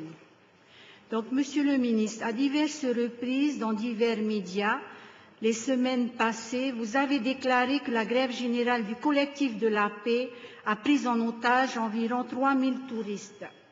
Ceux-ci ont dû, à leurs propres frais, assumer le coût imprévu de leur séjour prolongé. Certains, à bout de ressources financières, ont vécu un quasi-drame. Lorsque ces touristes ont pu enfin regagner leur pays respectif, certains d'entre eux, surtout des Nord-Américains, ont évoqué des futures procédures judiciaires, d'autres ont juré de ne plus jamais remettre les pieds ici. Au cours des 12 à 18 derniers mois, le GIE Traité Tourisme a dépensé près d'un demi-milliard de francs CFP dans une opération promotionnelle dénommée Invest in Your Love, dont nous attendons encore le bilan exact et précis. Lequel bilan, selon certains observatoires et professionnels avertis, s'avérerait pour le moins médiocre. Nous en jugerons sur pièce si toutefois un séjour vous nous le faites parvenir. En fait, Monsieur le ministre, à la fois pour des raisons humanitaires, mais aussi dans un but promotionnel de haute qualité, n'aurait-il pas été possible pour le GIE Traité Tourisme de dégager des fonds nécessaires à la prise en charge de ces 3000 malheureux touristes pendant 4 à 5 jours pour leur logement et leur repas, après accord bien sûr de prix passés avec les hôteliers et les restaurateurs? Ainsi, Monsieur le ministre, ces 3000 touristes auraient regagné leur pays d'origine en pensant que les grèves polynésiennes sont embêtantes, mais vu la qualité de l'accueil et de la prise en charge des frais par le GIE Traité Tourisme, donc par le Finnois, eh bien, après tout, on y retournera et nous en reparlerons positivement à nos amis. Au lieu, Monsieur le ministre, d'entendre proférer des menaces, des menaces de procédures judiciaires et autres amabilités, ou de constituer des associations, des collectifs, non pas de paix, mais de la colère contre la Polynésie française. Si toutefois, Monsieur le, ministre, vous avez agi dans ce sens, mais sans que personne parmi les élus de notre Assemblée, ou moi-même en particulier, en était informé, je vous prie d'accepter mes excuses anticipées. Voilà, merci, Monsieur le Président. Merci, Madame Galnon. Monsieur le Président, merci. Monsieur le Président, euh, Mesdames et Messieurs les membres du gouvernement, Mesdames et Messieurs les représentants, chers amis auditeurs et internautes, chers médias, Yaurana. Madame Galland, je vous remercie pour votre question. Comme vous le savez, durant le conflit de la grève, notre gouvernement n'a pas ménagé ses efforts pour mener une conciliation avec le représentant du collectif dit de la paix et trouver une issue aussi rapide que possible. Malheureusement, l'échec provisoire des négociations ont conduit à l'interruption du trafic aérien international, comme vous le savez, en raison d'un nombre insuffisant de pompiers et du non-respect des réquisitions prises par le commissaire de la République. Afin de répondre aux besoins d'information et d'assistance aux passagers bloqués, le pays et l'État ont joint leurs moyens pour activer un numéro vert et pour installer une cellule opérationnelle d'accueil et de soutien aux passagers bloqués. Cette cellule a fonctionné de manière continue du samedi 12 juin au jeudi 17 juin avec le concours de personnel bénévole du ministère du Tourisme, du Haut Commissariat, du GIE Tahiti Tourisme et du service du tourisme auquel je veux rendre un hommage particulier. Plus de 3000 appels téléphoniques ont été comptabilisés. Outre l'aspect purement informatif et de soutien aux personnes éprouvées, la cellule du numéro vert a permis de relayer des informations utiles et prioritaires entre le public, les professionnels du tourisme et les compagnies aériennes. Les cas urgents de passagers confrontés à des situations difficiles ont été reliés par le biais de fiches d'appel aux compagnies aériennes concernées. Au total, plus de 200 urgences ont été traitées, principalement médicales. Un autre point d'information et d'accompagnement a été monté à l'aéroport lors du redémarrage des vols. La générosité des Polynésiens s'est illustrée par un nombre important d'offres d'hébergement spontanées pour accueillir les touristes bloqués. Au travers de, cette intervention, je souhaite également les en remercier. La cellule a recueilli les appels des 200 familles polynésiennes qui, par élan de solidarité, ont souhaité apporter un hébergement gracieux aux passagers en difficulté financière ou aux personnes qui ne trouvaient plus de place disponible dans les établissements hôteliers de Tahiti. Au total, la cinquantaine de touristes restés bloqués ou dans l'impossibilité de financer un séjour plus lent dans nos îles ont été relogés. Cette solidarité spontanée rend honneur à la tradition d'accueil et d'hospitalité polynésienne et je suis sûr que cela contribuera à atténuer l'impression négative laissée par le conflit. Ainsi, je crois comme vous que le pays doit travailler en partenariat avec l'État, la Société aéroport de Tahiti et les organisations représentatives des personnels pour élaborer un protocole social préventif qui permette d'éviter une issue finale aussi malheureuse. Cette démarche s'appuiera bien évidemment sur un dispositif juridique, l'article 166 de la loi organique portant statut de la Polynésie, qui permet, en cas d'échec de toutes les voies de la concertation, aux autorités de l'État et du pays de prendre toutes les dispositions utiles pour mettre en œuvre un véritable service minimum des transports aériens. Ce service minimum, destiné à préserver les intérêts vitaux de la Polynésie, s'appuiera d'une part sur la définition d'un programme minimum de vol et d'autre part sur des réquisitions individuelles. En attendant les résultats de ces travaux, qui garantiront, je l'espère, le retour de la confiance de nos distributeurs, tour opérateurs et agences de voyage. Nous élaborons actuellement et en concertation avec les professionnels du tourisme la campagne promotionnelle de la prochaine basse saison qui démarrera en septembre, ciblant principalement les marchés américains et européens. Madame Galnon, vous comprendrez que nous, ne pouvons difficilement envisager engager des fonds supplémentaires en communication à l'étranger sans être assurés et nos distributeurs aussi, qu'une telle prise d'otage est définitivement bannie. Un fonds de compensation pour regagner l'affection de 2500 touristes a été évalué à 200 millions pacifiques. Professionnels et pays n'ont pas favorisé cette voie s'agissant de 10% de notre budget annuel de promotion et n'ayant pas la garantie d'effacer véritablement les traces des désagréments causés. Certes, cet événement aura des répercussions très pénalisantes sur l'image de notre destination et vient frapper un secteur déjà bien secoué par la crise mondiale.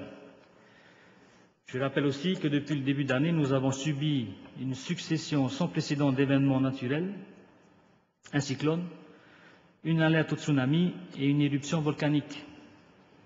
Là aussi, notre action a été coordonnée pour garantir la sécurité de nos populations de nos visiteurs et leur information. Mais vous conviendrez que les caprices de la nature sont excusables. Les actions irresponsables de certains d'entre nous le sont beaucoup moins. Le droit de grève doit être respecté, tout autant que le droit de libre circulation.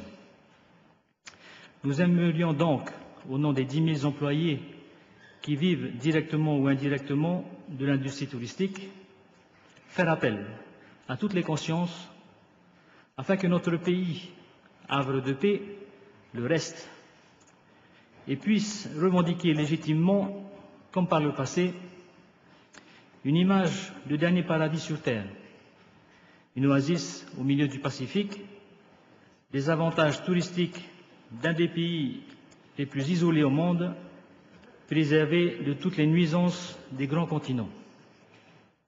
Madame Galnon, pour ce qui concerne les résultats de la campagne Invest in Your Love de mon prédécesseur, sachez que le rapport d'activité 2009 du GIE Tahiti Tourisme a été remis à chacun de ses administrateurs. Monsieur Drolet en a donc une copie et je lui laisserai le soin de défendre les 513 millions qu'il a investis. Plutôt que d'évoquer le passé, je préfère vous parler d'avenir. Notre attention porte également aujourd'hui sur une mise à niveau de la qualité de notre produit touristique, à la hauteur de son coût. Tout en gérant les urgences du secteur, j'ai donc souhaité miser sur la forme participative et collégiale des États généraux, en invitant les professionnels Tabana et agents du service public à constituer le Conseil du tourisme, le COST. Celui-ci suscite l'engouement de ses 60 membres répartis aujourd'hui au sein de 13 commissions qui vont dans les prochains mois garantir l'élaboration et la mise en œuvre d'une véritable stratégie de développement touristique de la Polynésie française, à moyen et à long terme, en la préservant de nos alternances politiques. Voilà, madame, j'espère avoir répondu à vos questions. Marou. Marou. Je vais demander à madame Théa Hichon de lire sa question. Maruru Prechitene, Tatou Paurua Te Imhana Yorana. Bonjour à tous. Euh, ma question s'adresse au ministre de l'Éducation.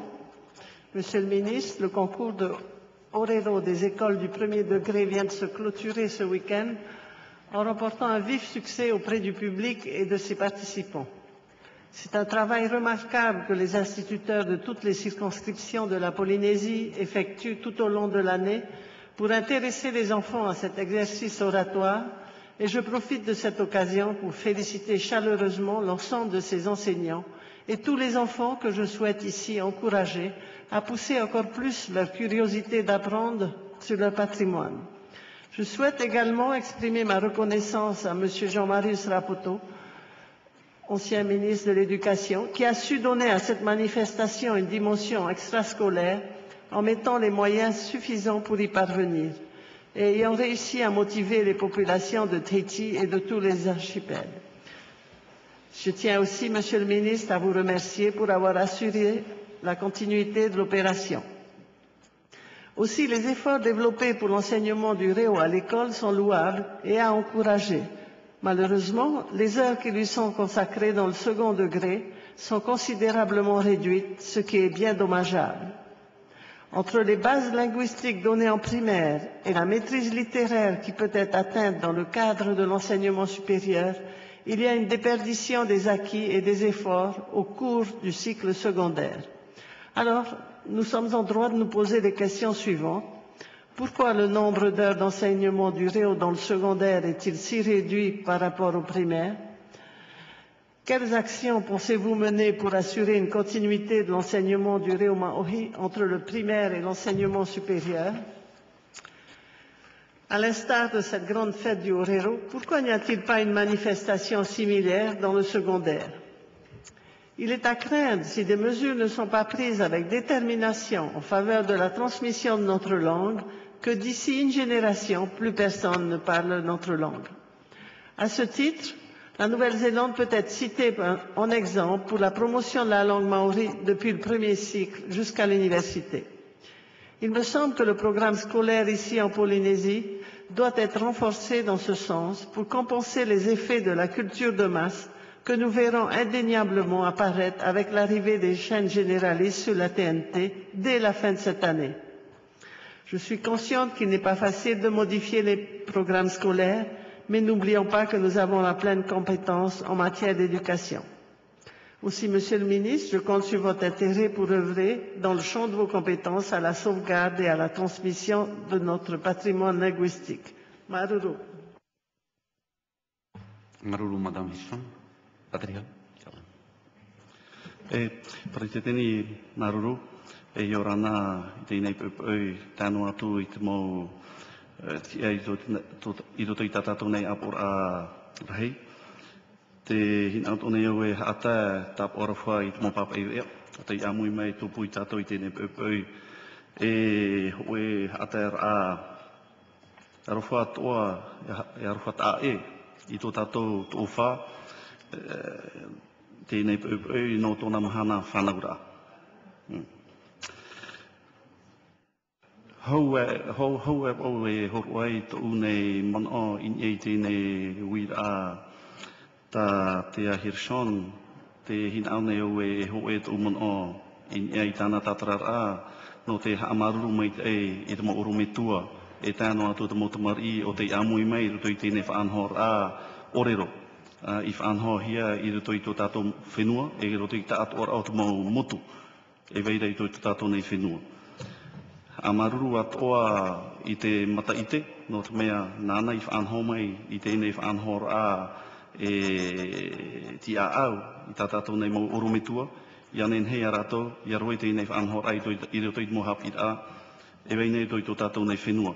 E tāno atu te inei pū porohi ara LCP, Longue Culture Polinesian, no te mea nā rātou tō eif anhora te inei prau, i a tūr e i tō mō orometua, i a pāpū te inei tāpura uhipa, i anen hei tā tātou mō tamar i, i a pāpū i tō parau nā toi tō tātou reo.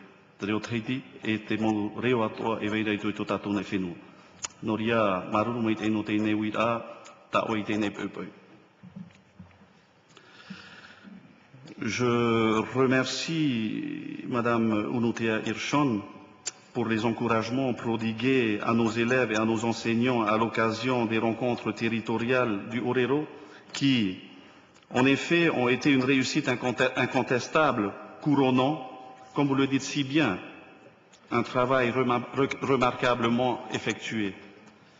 Je n'ai que modestement poursuivi une manifestation mise en place par M.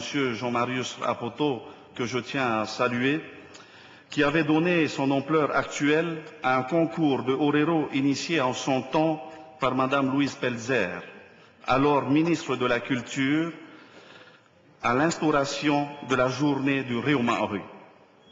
Il va de soi, compte tenu des résultats et surtout au vu des enjeux que cela sous-entend, ces rencontres doivent être institutionnalisées et s'inscrire dans notre calendrier annuel de manifestations culturelles.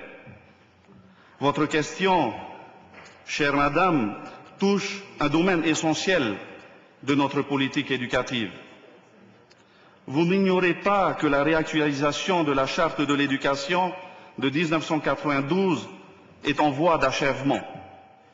Fort des recommandations des États généraux de l'outre-mer en Polynésie française, cette réactualisation a inscrit comme finalité de l'éducation en Polynésie française la réussite de tous les élèves.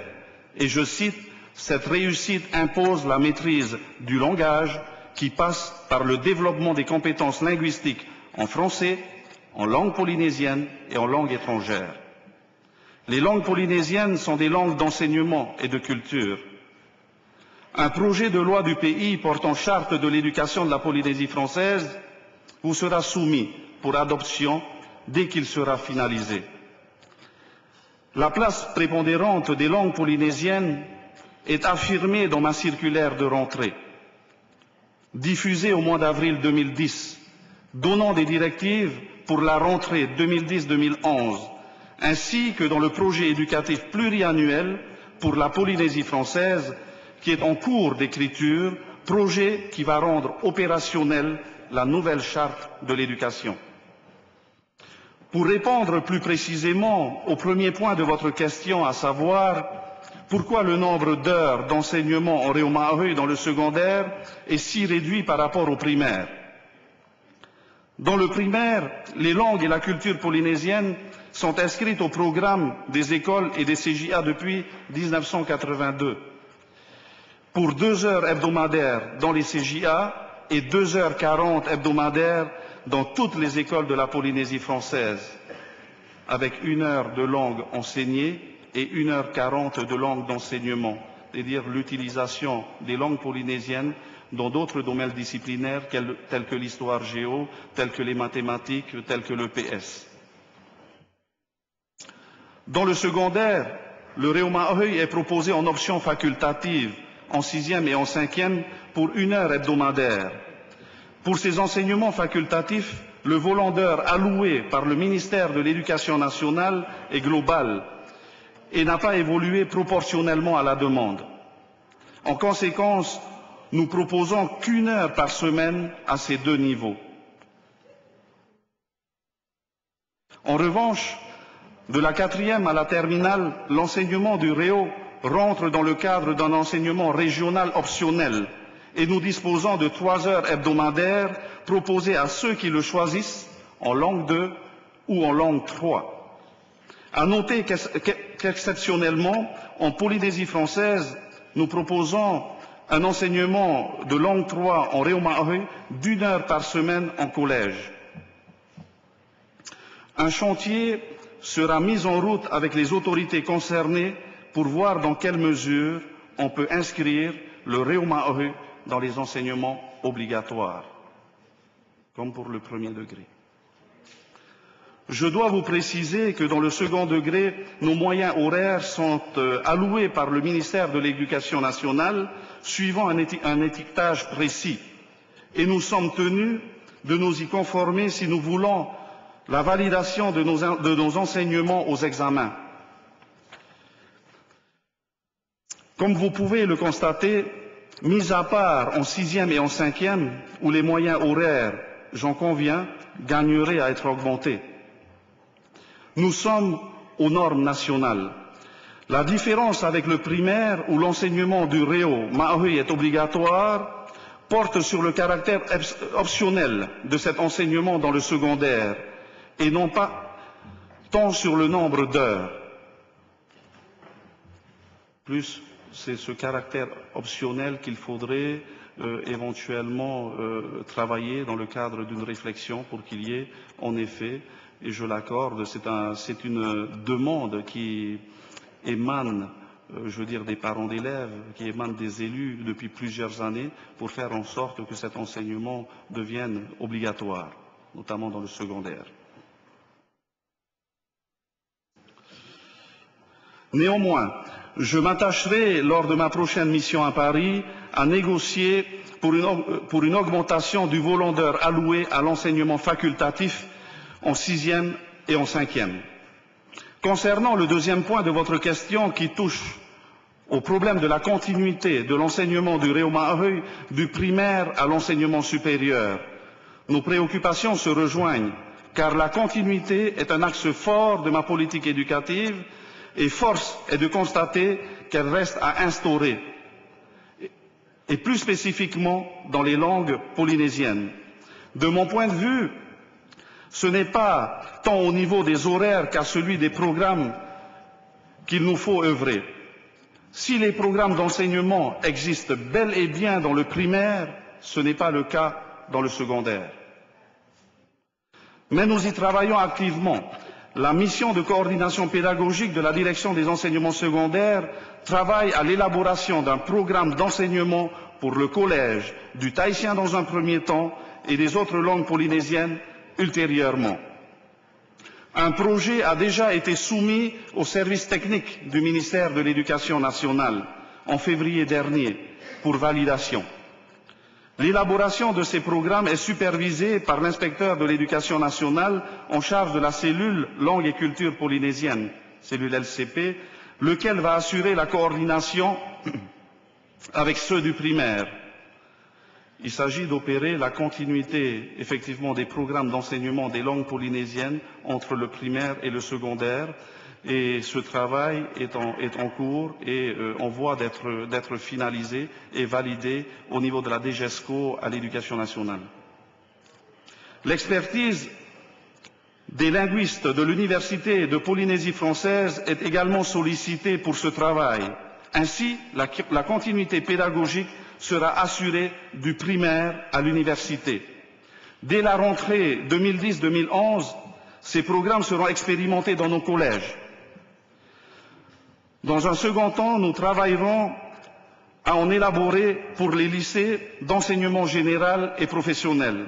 Certes, nous avons une large compétence en matière d'éducation, mais nous voulons aussi que nos diplômes soient reconnus sur le plan national et international. Nous devons donc bâtir nos programmes en conformité avec le cadre européen et former nos enseignants à l'instar de ceux de la nation. D'ores et déjà, une certification en langue polynésienne pourra être délivrée aux élèves de troisième dans le cadre du DNB. J'ai obtenu que le poids du Réoma soit accentué dans le concours de professeurs des écoles avec un coefficient 2 au lieu de, au lieu de 1 et une note éliminatoire à 5 sur 20. Et ce, dès 2011. Par ailleurs, un diplôme de compétences linguistiques, DCL, en langue polynésienne sera préparé dès la rentrée 2012 à l'Université de la Polynésie française, diplôme qui sera exigé des candidats au concours de professeurs des écoles à partir de 2013. J'ai demandé que davantage de postes soient mis au concours du CAPES lettres tahitien pour que plus de contractuels accèdent à la titularisation. Le seul poste mis au concours cette année est loin d'être suffisant. Enfin, pour répondre au dernier point de votre question, il y a effectivement des manifestations dans le second degré les collèges, essentiellement sous forme de concours de Orero intercollège à l'occasion de, la journée du Réomaoré. Un établissement différent chaque année se charge d'organiser ce concours et accueille les participants.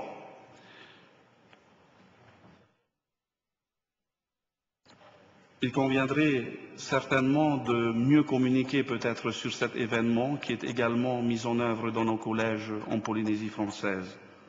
De plus, des journées polynésiennes sont inscrites dans les projets d'établissement de quasiment tous les collèges et lycées avec des activités traditionnelles variées. J'ai demandé à un chargé de mission de la direction des enseignements secondaires de piloter un groupe de travail et de me proposer une organisation annuelle avec des thèmes sur la culture polynésienne, fédérant tous les établissements du second degré dans l'esprit d'un festival des langues et cultures polynésiennes. J'espère ainsi faire émerger des talents qui porteraient haut nos valeurs traditionnelles et notre culture polynésienne. Madame la représentante, Mesdames et Messieurs, vous ne pouvez trouver en moi qu'un fervent défenseur de notre, patrimoine culturel. Vous pouvez compter sur mon ardeur à mettre tout en œuvre pour promouvoir nos langues polynésiennes et veiller à préserver leur héritage pour nos jeunes générations. J'espère, Madame, avoir répondu à votre question et je remercie l'Assemblée de m'avoir prêté attention.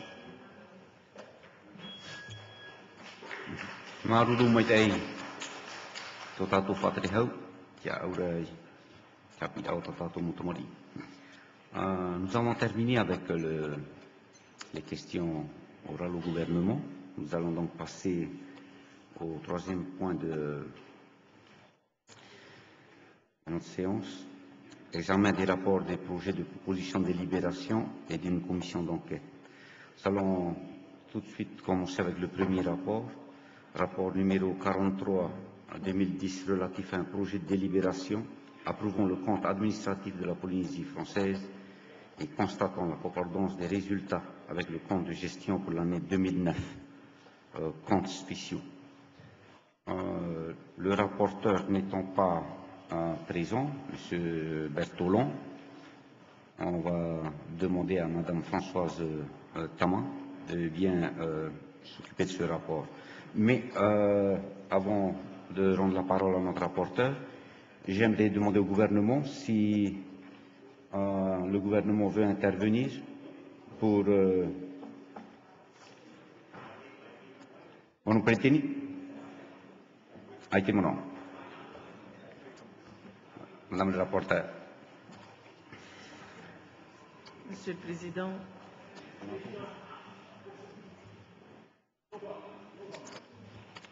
Tofa. Merci, Monsieur le Président. Excusez-moi, euh, le téléphone. Euh, ce matin, euh, notre collègue, le représentant Jacques Drolet, a posé une question orale importante au gouvernement et c'est une question euh, qui a dû nous interpeller tous. Bien sûr, sur le dossier dont il s'agit, à savoir l'intervention de Canal Plus à travers sa filiale Canal Overseas, qui, comme il nous a expliqué, était venu s'installer, avait acheté, je crois, des parts dans TNS, et quand cette société a considéré que l'affaire n'était pas suffisamment juteuse, elle s'est retirée. Et puis depuis, ce secteur a progressé, s'est développé, rapporte beaucoup d'argent et nous voyons Canal Plus revenir à la charge, vouloir même s'accaparer de 62% des parts de, TNS. Allons-nous laisser ces sociétés étrangères, excusez-moi, étrangères à la Polynésie française, venir ici ramasser des milliards sans investir un sou et puis repartir chez eux. c'est le cas des quotidiens, c'est le cas d'autres groupes qui n'investissent pas un centime dans notre pays et qui viennent ici pour écumer certaines de nos sociétés. Malheureusement, la procédure que nous utilisons, à savoir la question orale, n'autorise pas un, débat. notre règlement intérieur stipule bien que le représentant peut poser la question au, ministre et lorsque le ministre a, répondu, il ne peut plus prendre la parole.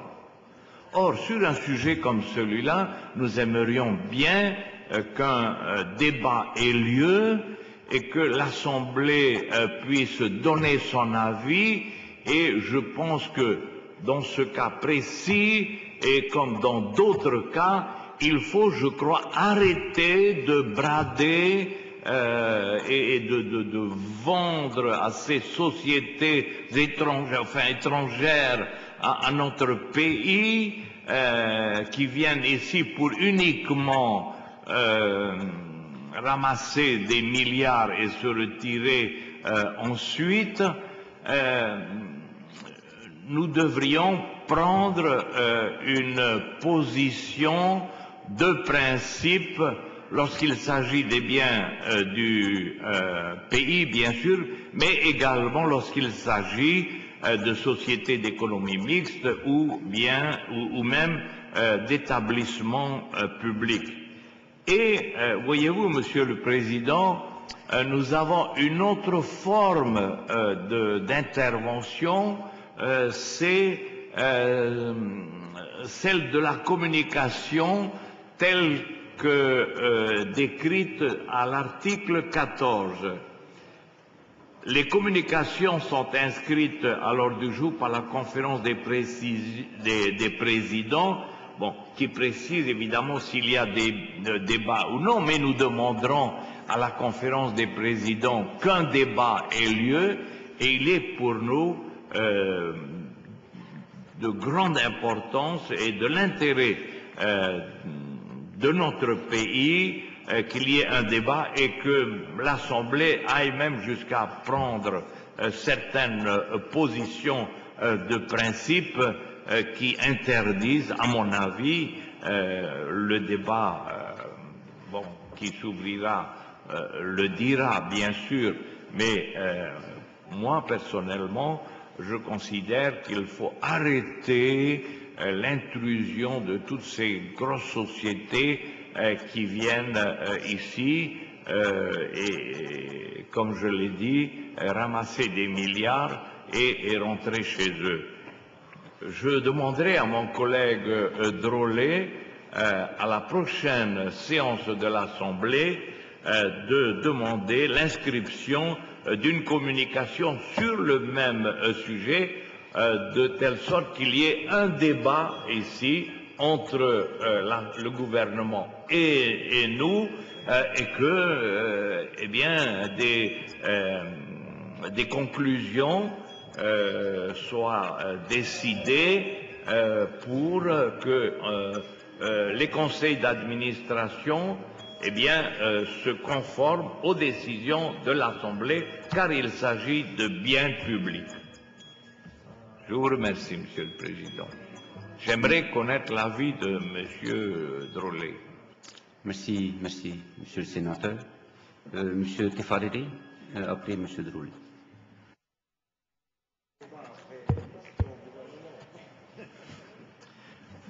Eh, maruru brektini. C'est bien parce que c'est l'anniversaire du sénateur. C'est l'anniversaire du sénateur, on dit rien. preteni te ruhe rei, to te ruhe rei, o o o i te mhana o o. Te ruhe rei, mono Reteni, whatrehau, tatuhuru. Arone au e amaruru i te tohua, tōna amai ki rā mon o tōna. In ia i te ha, fauwhāra te mau eimaro a praurutu i tatoi unei. I muri e hoara i te e mau wiwi rā e te uhi ara e te mau tia o te apora rei i te mau mero o te hau whenu in e te mo tumu parau atu. Mai te pau, in aro mau tātou e hare reira. Te ani he hawa hone o i tātou, hare a mai te mau ruru a ohupara a te tomite e tia au nei te parau o te hamai rā i te papature roto o te aporarhei. Tā ue ti a au nei, no tātou. O te mea he peto mai meri anei, ua hamui e ho e whare rei nā, maro a parau, na whea e hamai te, i te e papature roto. Kin ia no mātou i te irawa piti ahoru mamha, E ua ti aturi au e te pauro mai, i kera ho mahana, hope. Te e he petoma whaanu tu ai, e te e he peto mai muri, tu me unei, o ture kai a te ana. Ano te e rātu e rāpoporo tu i awhata te ata. Tapu i au. Ore e tata tamui. Ai kio e tata, harame ne ue o erto. Ma ua François. Ma ua Riana.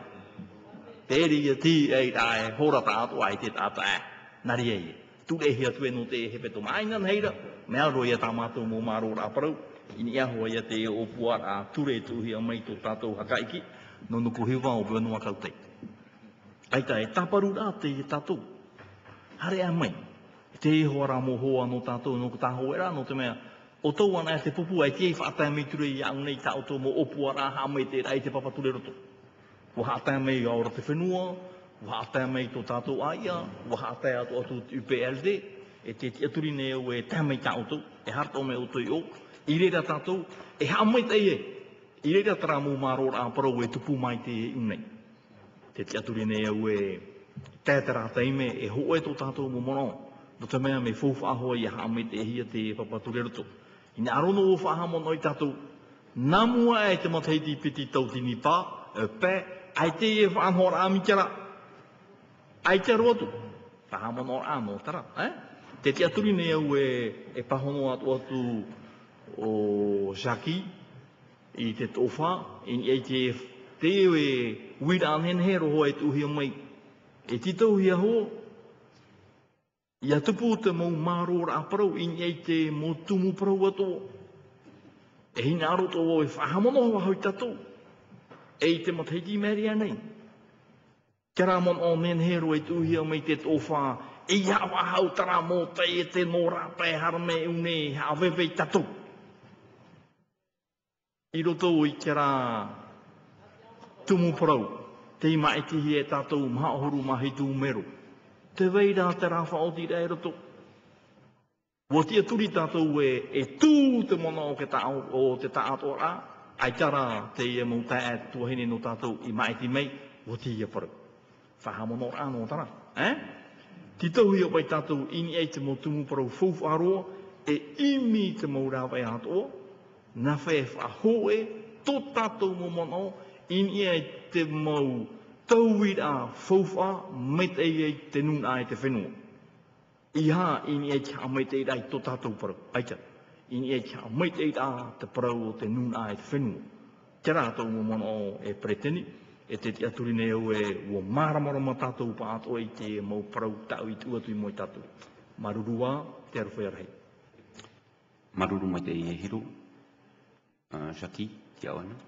Monsieur le Président, euh, dans un premier temps, je voudrais m'excuser de ma petite absence. Donc, je n'ai pas saisi euh, euh, le début de l'intervention du sénateur Floss, à qui je n'ai pas souhaité un bon anniversaire, parce qu'en fait, à partir d'un certain âge, c'est un peu comme pour les jeunes filles. On ne demande pas l'âge de ces personnes. Je rassure Monsieur Floss, je suis pas loin de ce seuil, moi aussi. Ceci étant dit, ceci étant dit, et pour revenir sur le sujet dont on parle, j'ai apprécié au préalable les contorsions linguistiques de M. Fritsch dans sa réponse à Mme Juliette Tahuhuatama. Et ces contorsions linguistiques euh, me semblent être dignes de la troupe des moines de Shaolin. Il pourrait être dans ce cadre-là. Il est vrai, Monsieur le Président, il est vrai que nous devons très rapidement modifier notre règlement intérieur. Un peu par assimilation avec ce qui se passe à l'Assemblée nationale, je ne sais pas si M. Floss a, évoqué ce point, certaines fois, l'Assemblée nationale, la- l'auteur de la question orale, peut revenir sur la réponse du ministre. Je l'ai vu euh, sur la chaîne parlementaire. Donc, moi, je suis tout à fait d'avis à euh, encadrer et permettre à l'Assemblée de jouer son véritable rôle de législateur. Ceci étant dit, Monsieur le Président, malgré que nous soyons tous plus ou moins représentés dans les différents conseils d'administration, il me semble, que sur des sujets aussi importants que ceux dont on a parlé ce matin, il n'est pas possible de laisser simplement à un conseil d'administration ou à un ministre le soin de décider pour le pays. Il n'est pas possible, il n'est pas possible de laisser à un conseil d'administration et à un ministre décider pour le pays.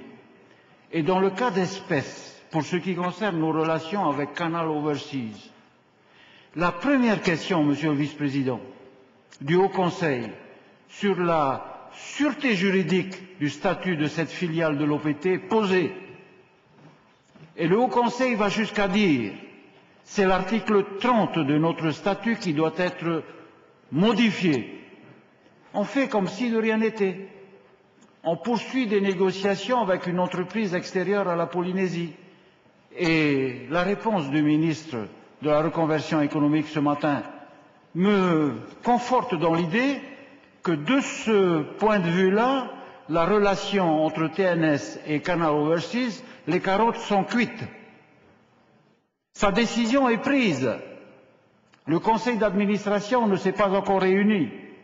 Mais la façon dont il a rédigé sa réponse nous fait dire que sa décision est déjà prise.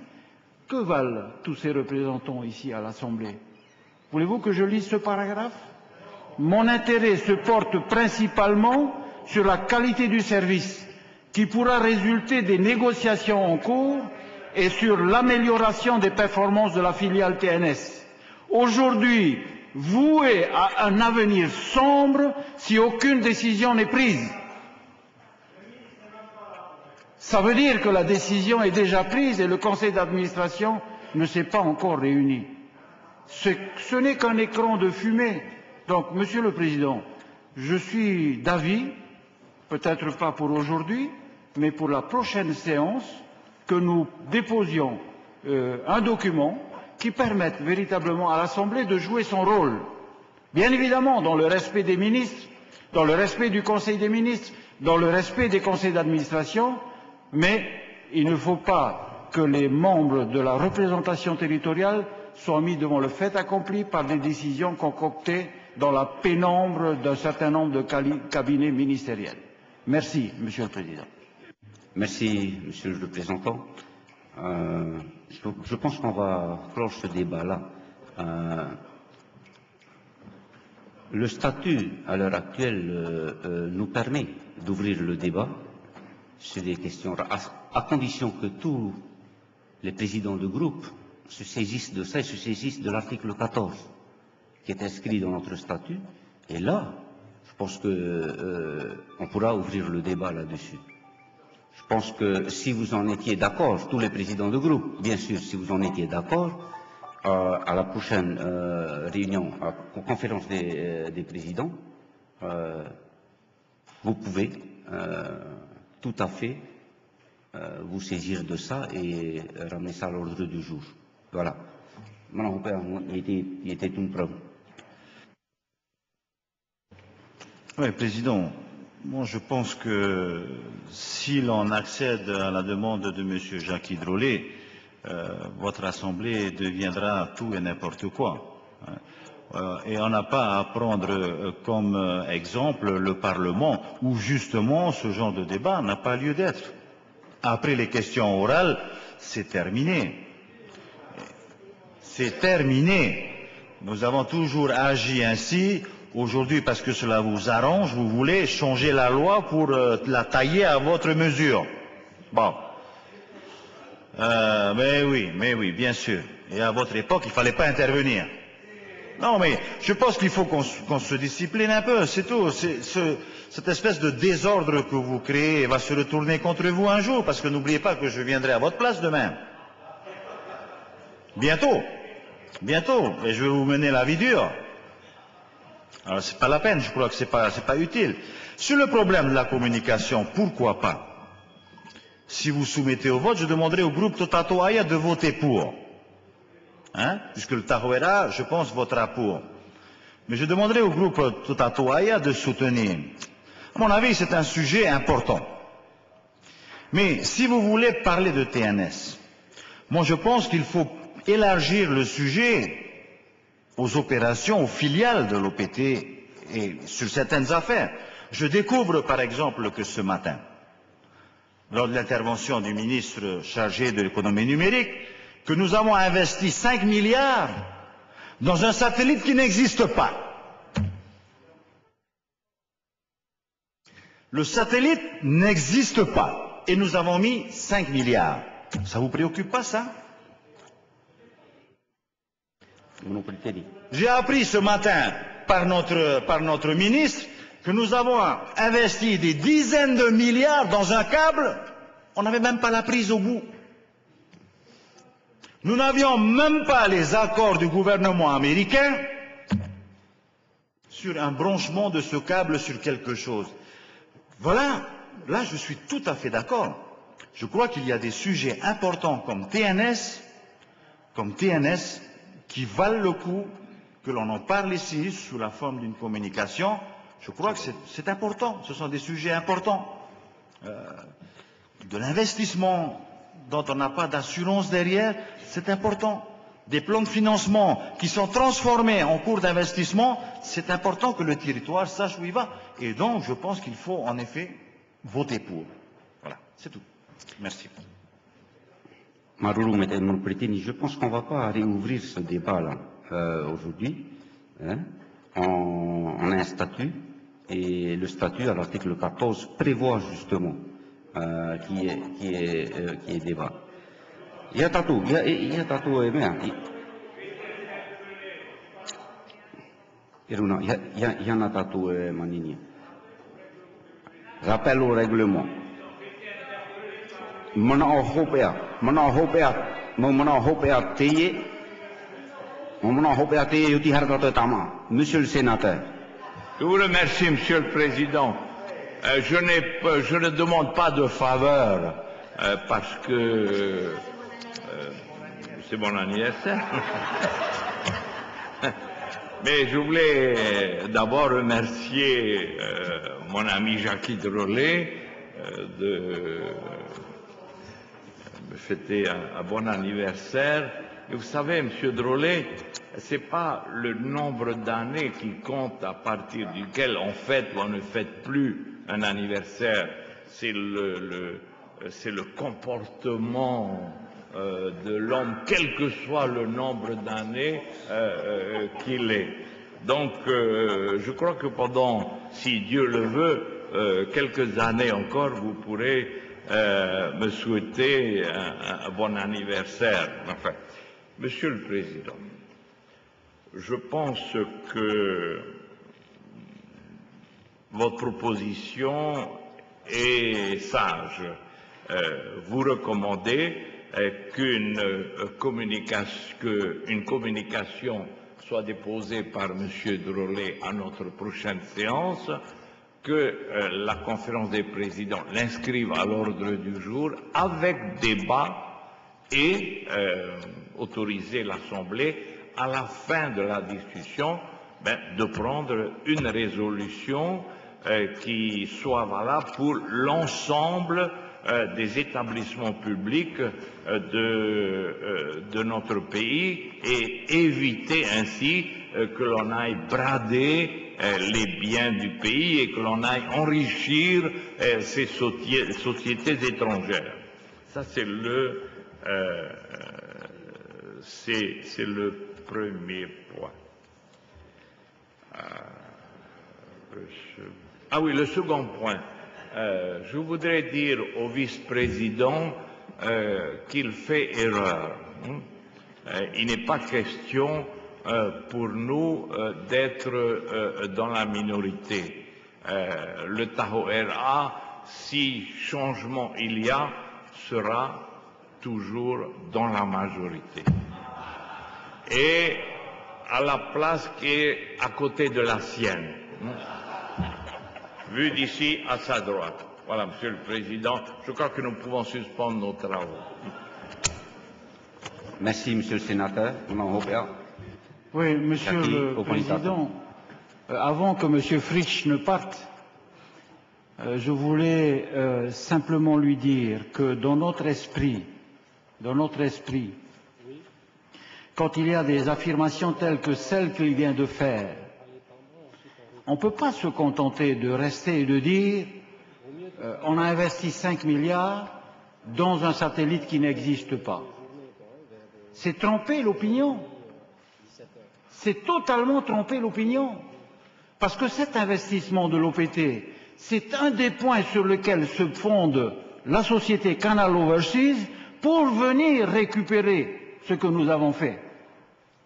Parce que la tarification qui a été proposée à l'OPT, Monsieur le Président, à cette époque, je suis fier d'avoir participé à cet investissement, permet maintenant, permet maintenant à l'OPT de négocier ces tarifs qu'elle a obtenus.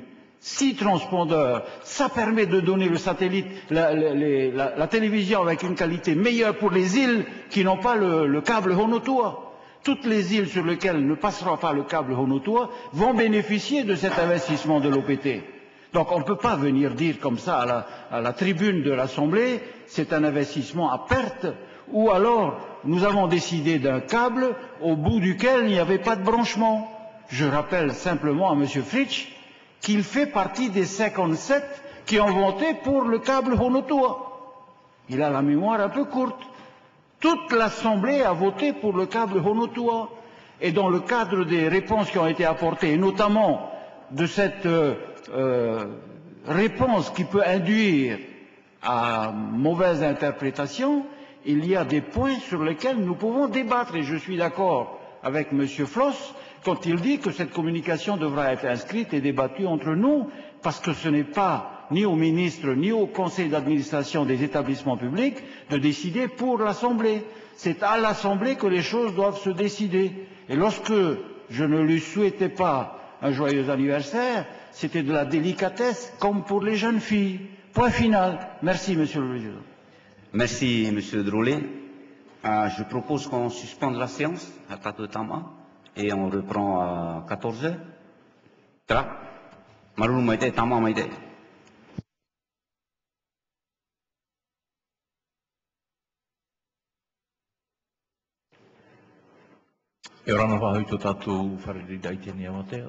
whahura tātou. Nous reprenons le travaux et je demande à Madame le co-rapporteur de nous donner lecture du rapport numéro 43 2010. Madame Françoise. Oui, Monsieur le Président. Euh,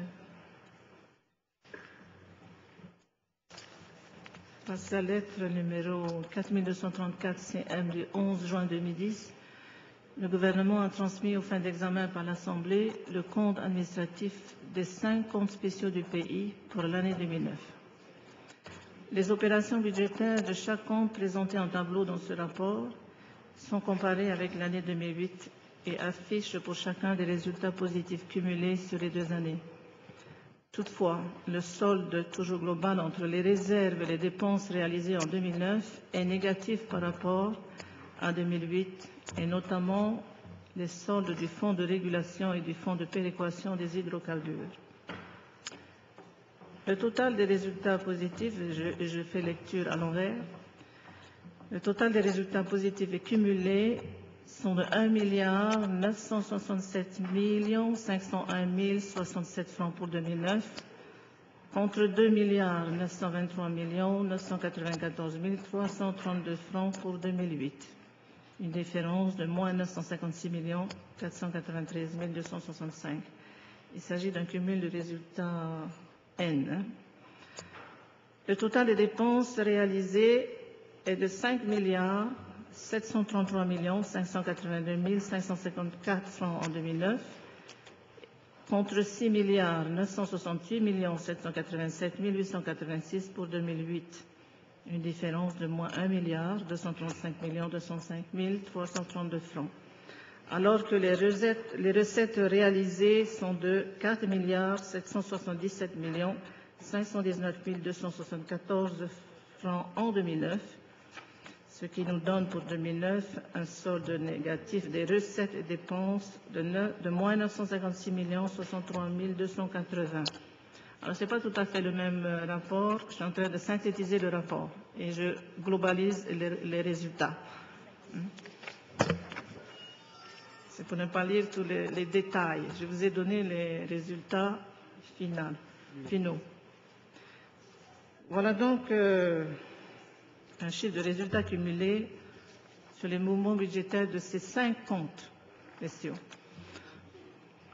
Qu'est-ce que j'ai fait Il s'agit de- des résultats N, le cumul. Je vous ai dit un résultat d'abord, et ensuite les dépenses et les recettes. Tous les chiffres viennent des tableaux là. hein. En mouvement, la, deuxième partie de ce, dossier, est, euh, ça en mouvement économique. S'agissant du premier compte, du fonds des prix des produits de première nécessité, le pays a soutenu pour 323 milliards- millions 695 302 francs en 2009 contre 385 millions en 2008.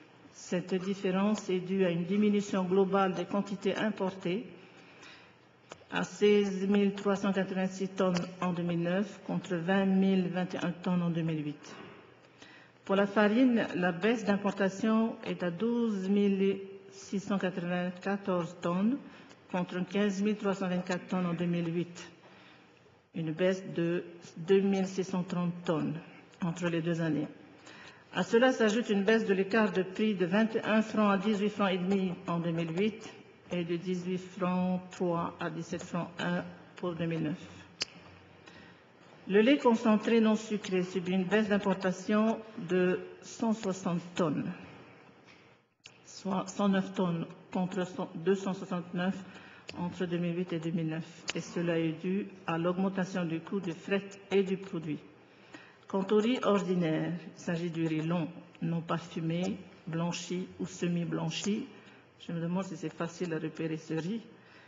Alors, euh, la baisse d'importation est de moins 848 tonnes, 3581 en 2009 contre 4427 tonnes en 2008. Cependant, les dépenses sont supérieures en 2009 au lieu d'être inférieures par rapport à 2008. Le deuxième compte, le Fonds de régulation des prix des hydrocarbures. Globalement, les recettes n'ont pas suffi à couvrir les dépenses de stabilisation en 2009. Le solde déficitaire est de moins 145 millions 467 371 qui résulte de la baisse de la valeur CAF des produits hydrocarbures et du gaz butane. des montants de stabilisation en 2009 du pétrole lampant, du gazole pour les goélettes, les trucks, les boulangers, les pêcheurs, les centrales d'énergie électrique dans les îles, l'EDT, le fuel EDT et le gaz butane ont été fixés en dessous de ceux de 2008. Le fonds de péréquation des prix des hydrocarbures. Ici aussi, les recettes n'ont pas suffi à couvrir les dépenses de stabilisation en 2009. Le solde déficitaire est de moins 89 815 081 francs et qui résulte de la hausse d'environ 6% des tarifs de frais depuis 2008 et du fait de l'augmentation d'hydrocarbures acheminés vers les archipels. Le fonds de l'insertion professionnelle des travailleurs handicapés. Les recettes réalisées sont de 142 523 926 pour 2009 contre 97 297 367 pour 2008. Les dépenses réalisées sont de 102 603 241 pour 2009 contre 114 808 382 en 2008, qui nous donne un solde en réalisation de 39 920 685 francs pour 2009 contre moins 17 511 015 en 2008.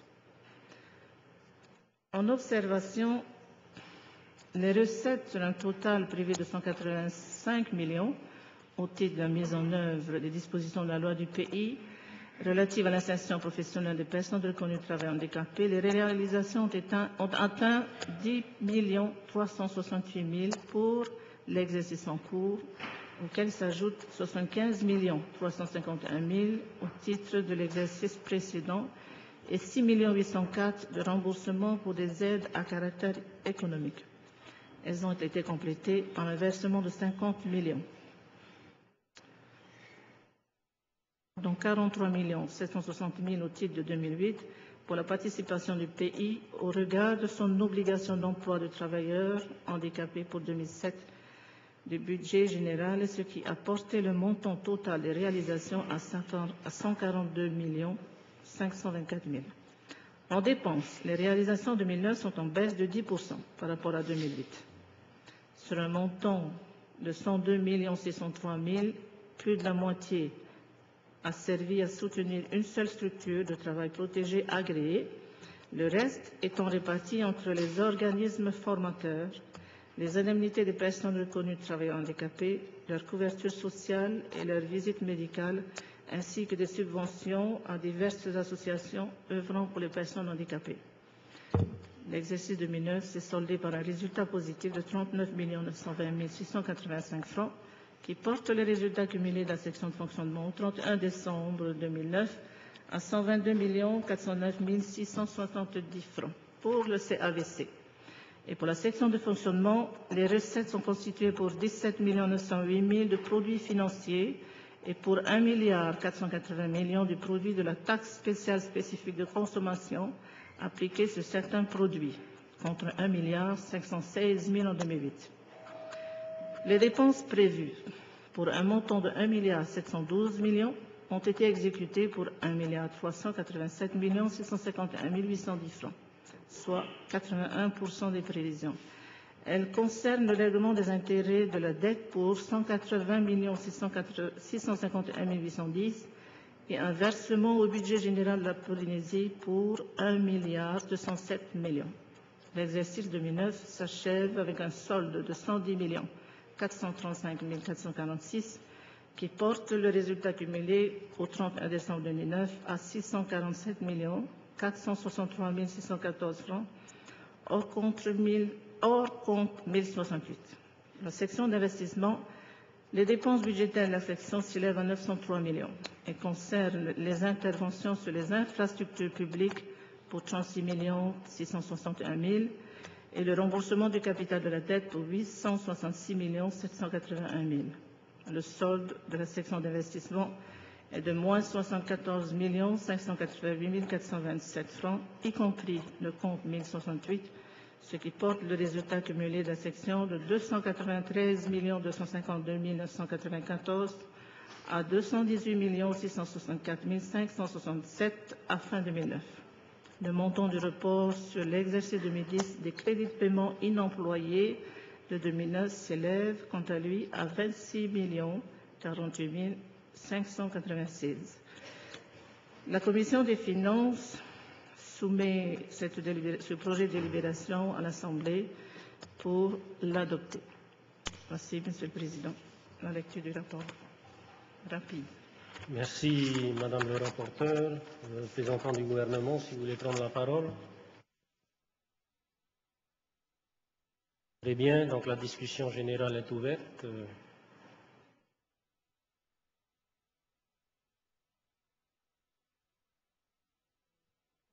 Très bien, donc euh, demande à l'intervenant de l'UPLD. Pas d'intervenant, donc on poursuit. Intervenant de Totato Aya. Euh, euh, bonjour Monsieur le Président, bonjour Messieurs les ministres et les collègues élus de l'Assemblée. Effectivement, nous sommes tous solidaires pour avancer au plus vite compte tenu d'un calendrier chargé du Président et de nous tous, donc je suis solidaire. Pour un dossier, nous tous, nous avons effectivement, tous les groupes ont participé en 2009 à la gestion de ces différents comptes. Euh, il n'y a pas de rapport particulier, donc euh, je, je, vais laisser la place à un autre intervenant si besoin. Euh, Idem pour le Tahuera. Merci. Non inscrit. Pas d'intervenant. On peut passer à la délibération là.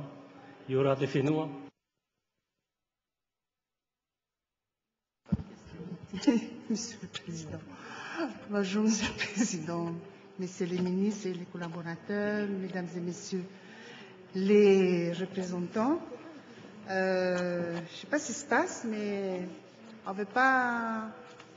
Vous voulez vraiment activer les dossiers euh... bon, Ça y est, vous avez la parole. Vous pouvez oui, oui. M. Yorat Fenoua s'est préparé pour euh, la discussion générale, tout en sachant que tout le monde y a participé euh, au cours de l'exercice 2009. Bien, alors, euh, notre Assemblée est donc saisie, comme chaque année, euh, pour approuver le compte administratif relatif aux comptes spéciaux de l'exercice 2009. Pour ce qui concerne le FSPPN, ce dispositif qui est donc alimenté par le budget général du pays vise à soutenir le pouvoir d'achat alimentaire des Polynésiens pour ce qui concerne notamment certains produits de consommation de base.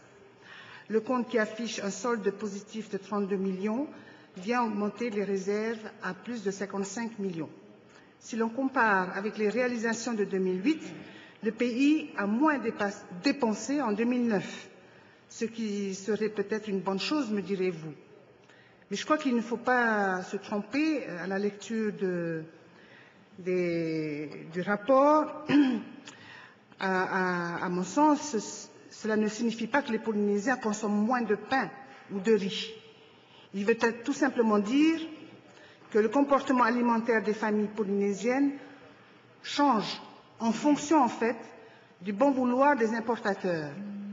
Donc, vers des produits de substitution beaucoup plus chers, euh, à la place du riz ordinaire, ils vont, trouver dans les commerces le riz parfumé. Et, et bien sûr, ces produits qui sont effectivement disponibles dans les commerces. L'exposé des motifs est d'ailleurs très explicite. Les quantités importées ont baissé de 20 000 tonnes en, 2008 à 16 000 tonnes en 2009, ce qui représente une réduction de 18 à laquelle s'ajoute une variation des prix des produits concernés. Ce constat, à mon sens, n'est pas en faveur du consommateur polynésien. Il est clair que son intérêt n'est pas celui de l'importateur ou des importateurs. Au regard de ces observations, je souhaite connaître la position du gouvernement sur une révision éventuelle de la liste des produits PPN, non pas pour intégrer ce que les importateurs souhaiteraient, mais orienter le soutien du pays vers plus de produits alimentaires locaux. Enfin, je souhaite me faire le porte-parole de la première assemblée des juniors qui s'est tenue le 31 mars dernier, en m'adressant surtout à Monsieur le ministre de l'Éducation, et je pense que le ministre de l'économie euh, est également concerné. Cette euh, Assemblée des juniors considère que le livre, le livre participe aussi, au même titre que le riz ou le pain, à nourrir les jeunes générations. Donc l'Assemblée des juniors a adopté une délibération visant à inclure les livres dans la liste des PPN, avec d'ailleurs un soutien très appuyé de Monsieur le ministre de l'Éducation présent euh, au cours de cette journée-là. Donc j'aurais souhaité savoir si, euh, au sein du gouvernement, vous avez pu évoquer cette question. Euh, ce matin, le ministre de l'Éducation m'a annoncé qu'il a fait une communication au Conseil des ministres à la suite de cette Assemblée générale des juniors. Donc, pour ce qui concerne, je poursuis, Monsieur le, Président, pour ce qui concerne le, FRPPH, le FFPH, les observations qui ont été faites par euh, ma collègue Maïna Sage l'année dernière et concernant les réalisations 2008 de ce fonds, à mon sens, sont toujours d'actualité à savoir que les réserves s'amenuisent avec un solde négatif de 145 millions fin 2009, c'est autant de réserves en moins, et qui tombe d'ailleurs à 603 millions en 2009 contre 748 millions en 2008. Les recettes de stabilisation en 2009, dit le rapport, n'ont pas suffi à couvrir les dépenses. Il faut donc s'interroger sur les actions à mener pour assurer l'équilibre de ce compte en attendant la pleine application des projets de substitution de l'énergie fossile au travers, par exemple, du programme ADEME, d'ailleurs le pays a renouvelé la convention, du projet ETM et bien d'autres projets en cours d'étude. Pour terminer sur ce point, je rappelle que le pays, à cause de décisions politiques préjudiciables, est tenu de verser à l'EDT la somme de 1 milliard 900 millions, je crois, et qui est considérée comme une dépense obligatoire que le président lui-même dernièrement a proposerait à inscrire dans le prochain collectif de la Polynésie. Pour ce qui concerne le CAVC, je vais encore citer ma collègue Maïna Sage, qui, dans le cadre de l'examen de ce même compte pour l'exercice 2008, mettait déjà en garde sur les risques à effectuer des prélèvements pour rapatrier ces fonds vers le budget général du pays, soit pour 1,2 milliard au cours de l'exercice 2009. Euh, Cette mise en garde était finalement à prendre au sérieux, car, comme elle a dit, Mère Nature s'est effectivement réveillée en début d'année 2010, euh, mettant en très grande difficulté une importante partie de nos populations, en particulier celles des archipels éloignés. Et les réserves financières n'étaient pas au rendez-vous, Malgré l'opération de reprise anticipée du résultat de fonctionnement cumulé provisoire et autorisé par notre Assemblée en mars 2010. Heureusement que d'autres possibilités ou mécanismes financiers comme l'emprunt et l'aide de l'État ont atténué un peu l'inquiétude des populations touchées durement par ces phénomènes climatiques. Mais l'impasse des finances publiques est, elle, bien présente. Il faut donc euh, ainsi aussi se méfier de l'eau qui dort. Il faut que ça nous serve de leçon. Cette expérience difficile que vient de vivre le pays, à laquelle s'ajoute un rendement fiscal amoindri, commande la plus grande prudence pour l'avenir lorsque les mouvements comptables et budgétaires sont envisagés dans le CAVC. Enfin, je terminerai par le FIPTH, le Fonds pour l'insertion professionnelle des travailleurs handicapés. Donc, au regard de l'évolution des recettes et dépenses réalisées en 2009, qui, euh, qui sont d'ailleurs divisées par deux par rapport au compte de 2008, il apparaît que le texte fondateur d'avril 2007, qui visait à obliger l'insertion professionnelle des travailleurs handicapés, présente de sérieuses inquiétudes dans son application. Des modifications réglementaires sont pourtant intervenues, dès 2008 par la diminution du niveau de pénalité imposable aux employeurs de 2500 fois le SMIG à 1000 fois le SMIG, bien sûr des employeurs qui ne remplissent pas le taux d'obligation de 2% de personnes reconnues travailleurs handicapés insérées dans le monde du travail. La baisse de 10% 102 millions des dépenses réalisées en 2009 contre 114 millions en 2008 nous interpelle. Et parce que la situation économique de notre pays est catastrophique, il y a lieu de douter de l'impact positif de ce fonds, tant sur le plan purement comptable et budgétaire que sur le plan qualitatif pour les années à venir. Car il est prévu, comme en 2010, de maintenir le taux d'obligation à 4 de ramener les pénalités au niveau initial de 2500 fois le SMIC et d'élargir le dispositif à toutes les entreprises de plus de 25 salariés installées sur l'ensemble du pays. Si la catastrophe économique perdurait, de nombreuses entreprises ne pourront pas honorer leurs obligations. Au-delà des considérations budgétaires du dispositif, on relève une insuffisance des demandeurs travailleurs handicapés à l'insertion professionnelle alors que le, nombre de RTH avoisinerait, ça ce serait bien que vous nous confirmiez le chiffre, de 3 000 personnes. Diverses raisons expliqueraient cela. Il nous a été dit que les travailleurs handicapés ne sont pas obligés de se faire connaître auprès de leurs employeurs. D'autres se contenteraient d'une allocation aussi faible soit-elle que de reprendre une activité professionnelle. La faible qualification des bénéficiaires du dispositif euh, FIPTH.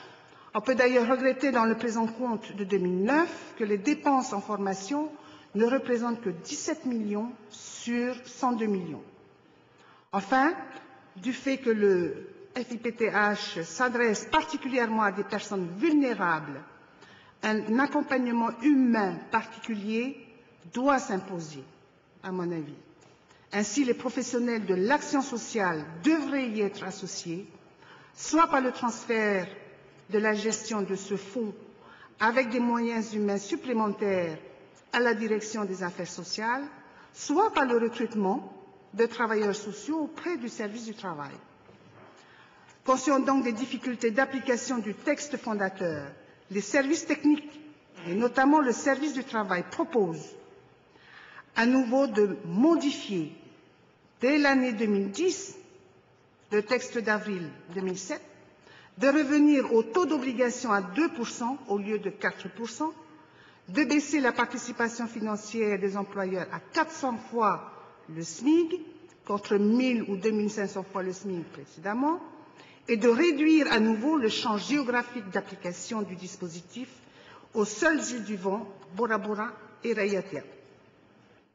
Donc, pour terminer sur ce chapitre, je souhaite bien sûr connaître la position du gouvernement sur les ajustements préconisés par les services techniques sur le fonds FIPTH. Et pour conclure mon intervention, je dirais que la pérennité des comptes spéciaux destinés à soutenir certains secteurs d'activité et les plus vulnérables de notre population interpelle sérieusement. Là aussi, des réformes semble s'imposer et requiert une volonté politique forte et déterminée. C'est bien ce que reflètent aujourd'hui ces comptes spéciaux de l'exercice 2009. Un besoin à la fois de prévision, de réactivité, ainsi que de l'audace de la réforme. Voilà, Monsieur le Président, et je vous remercie tous euh, de m'avoir écouté. Merci beaucoup. Euh, est-ce que le ministre veut intervenir? Pas d'intervention. On peut passer à la délibération. Madame le rapporteur, pour l'article premier. Euh, monsieur le ministre, vous voulez quand même intervenir? Vous avez la parole. Oui, excusez-moi, Monsieur le Président, je pensais qu'il y avait encore une intervention, Monsieur Tefarere qui souhaitait intervenir.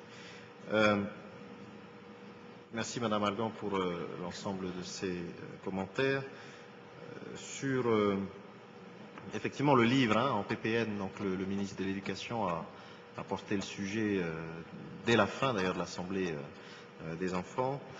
Et donc nos services sont en train de, travailler sur le sujet. Je ne suis pas certain que le système PPN soit bien adapté à l'objectif. Par contre, nous pourrions envisager une détaxe pour faciliter, on va dire, enfin surtout faire baisser le coût du livre et, en faciliter l'accès au, plus grand nombre. Et je ne vous cache pas aussi que euh, j'essaye de, travailler sur la notion de livre numérique en favorisant aussi, euh, avec le projet de cyberbase, un accès dans chaque commune, en particulier des îles les plus éloignées, donc à, l'Internet et donc à la consultation d'un maximum d'ouvrages avec les outils les plus modernes, puisque avec la Caisse des dépôts et donc un apport du pays, nous pourrions par ce biais-là équiper la plupart des communes qui, souhaiteraient monter ce type de projet. Et donc j'ai dédié également une cellule pour monter les projets avec les maires et avec la priorité donnée aux, mairies les plus éloignées de Tahiti. Voilà sur ce, sujet-là. Et effectivement, nous allons entamer des, négociations euh, sur la révision de la liste des produits de première nécessité. Alors je ne vous cache pas qu'il y a aussi, euh, euh, on va dire, un autre lobby qui, se fait connaître, qui est celui des, commerçants des îles les plus éloignées, qui eux pestent un peu contre cette liste des PPN qui est de plus en plus large, en affirmant que finalement ils ne devenaient plus que des commerces de PPN et, donc estimer que leur charge, euh, on va dire récurrente, euh, s'accroissait hein, de, manière inéluctable, tandis qu'avec le système de PPN, ils ont des, marges fixées en valeur absolue et qu'ils n'arrivaient plus du coup à équilibrer leurs activités. Donc nous sommes en train d'étudier tout de même les deux, les deux aspects. C'est-à-dire que la révision peut aussi passer par la sortie de certains produits de cette liste qui ne sont plus forcément consommés aujourd'hui et consacré à de nouveaux produits qui, par contre, euh, mériteraient euh, euh, eh le soutien du pays avec cette détaxe et, je le rappelle, la prise en charge du fret pour les îles. Donc voilà, ces travaux sont en cours et bien entendu, je viendrai vers l'Assemblée pour informer l'Assemblée de, de, la suite de ces travaux. Pour le, pour effectivement la consommation de, pain, de riz blanc, et, euh, on a constaté, nous, une baisse hein, effectivement de consommation. Je crois que vous avez raison d'estimer qu'il y a certainement un changement aussi de, euh, comportement hein, euh, sur un certain nombre de produits. Il y a un débat aujourd'hui sur le riz blanc non parfumé. Je ne cache pas que les, les importateurs donc, sont venus me voir hein, pour ce qui est une évolution des cours mondiales et des, des taux de change. Courantes. Donc, eux estiment que le système qui a été mis en place ne les satisfait plus. Donc, nous sommes en train de faire le point sur le sujet avec les affaires économiques. Notre objectif est tout de même que ce soit d'abord le consommateur polynésien qui soit privilégié. Donc voilà, c'est la réponse que j'ai faite euh, à, ces importateurs qui, aujourd'hui eh frappent à la porte et, se plaignent d'un système qu'ils estiment ne plus trop répondre à leurs besoins à eux. Voilà. Mais sachant que nous avons bien identifié, et je crois que l'Assemblée est d'accord sur le sujet, que la lutte contre la vie chère et la préservation, en tout cas en ces temps difficiles, du niveau de consommation des Polynésiens est notre priorité. Sur les autres questions, je vais laisser le vice-président peut-être euh, donner quelques éclairages.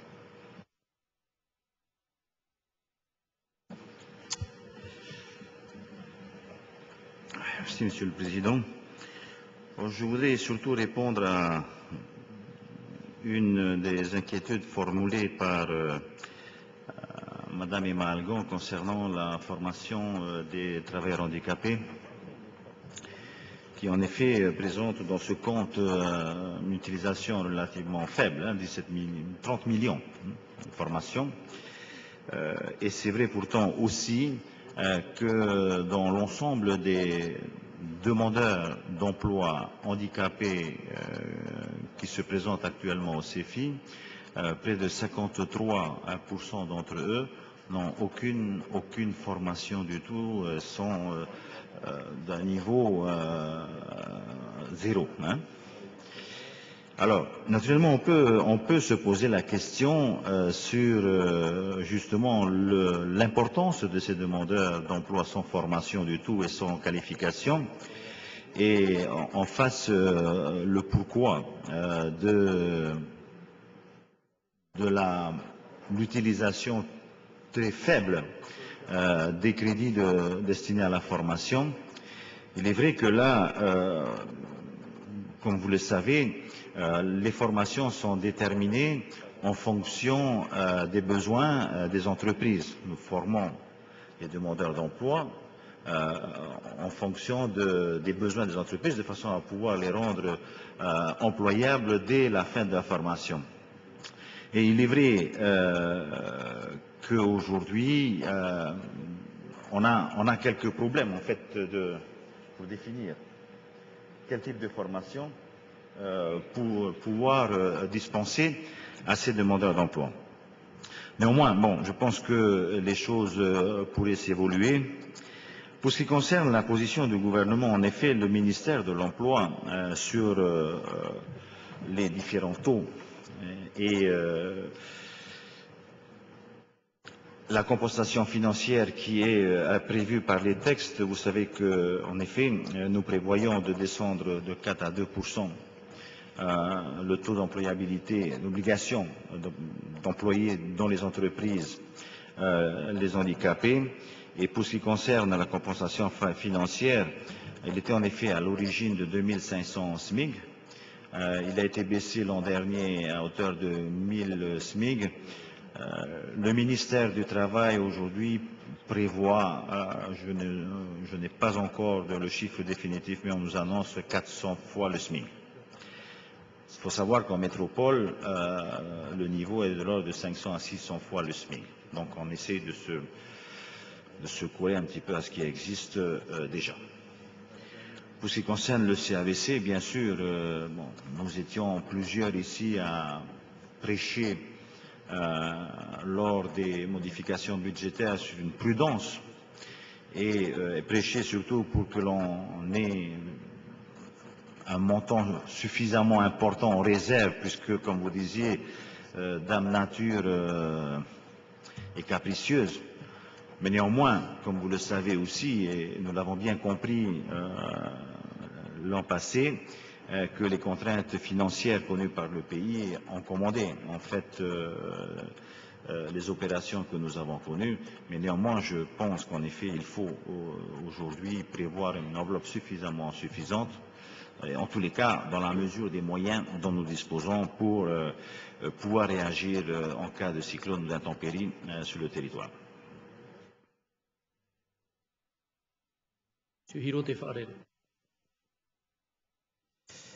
E maruru pre teni.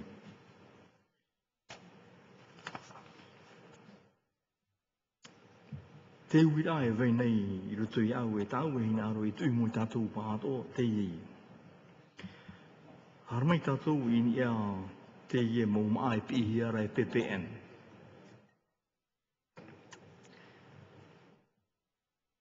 Ni aro o whahamon o tātou pāto. O tātou, Ta tōan e pā te nūn a ati e te mō nūn a tō no te neo. E amurhei e treiti te nūn a tinto. Ta tōan e te nūn a ati e te mō nūn a tō te neo. E inu reiro e te iu puno te mō nūn a tō no te neo. Ta e te amurheiro e i te chota, te mohuna o no tēnei o, i rohi e tātou te e mumai i te pē a tātou i ofau. I te pē a tātou i ofau ananhei. Nuatu tātou e whātia wahau te PSG, te CPS, haro me o tō taraparau i te pē a tātou. I o te oru e ahau e tupu e te e whinu. A whahua noa e tātou i tātou i unei te emhana. Ai tā ane tā te tau, e tau. Me ino roto tātou wheruri nā. I te mateiki ho e tau tini e i wahanere ono hitu ahoru māno. Wo te mei te tei ei wana ati no te whenua whrāne, hau tōna i te te e mo utupapa i harmeina i te, te e mo mhana i anei. Ia o tau we, me ata, si mō nōra ere o i utupapa te e mo tata i harmei.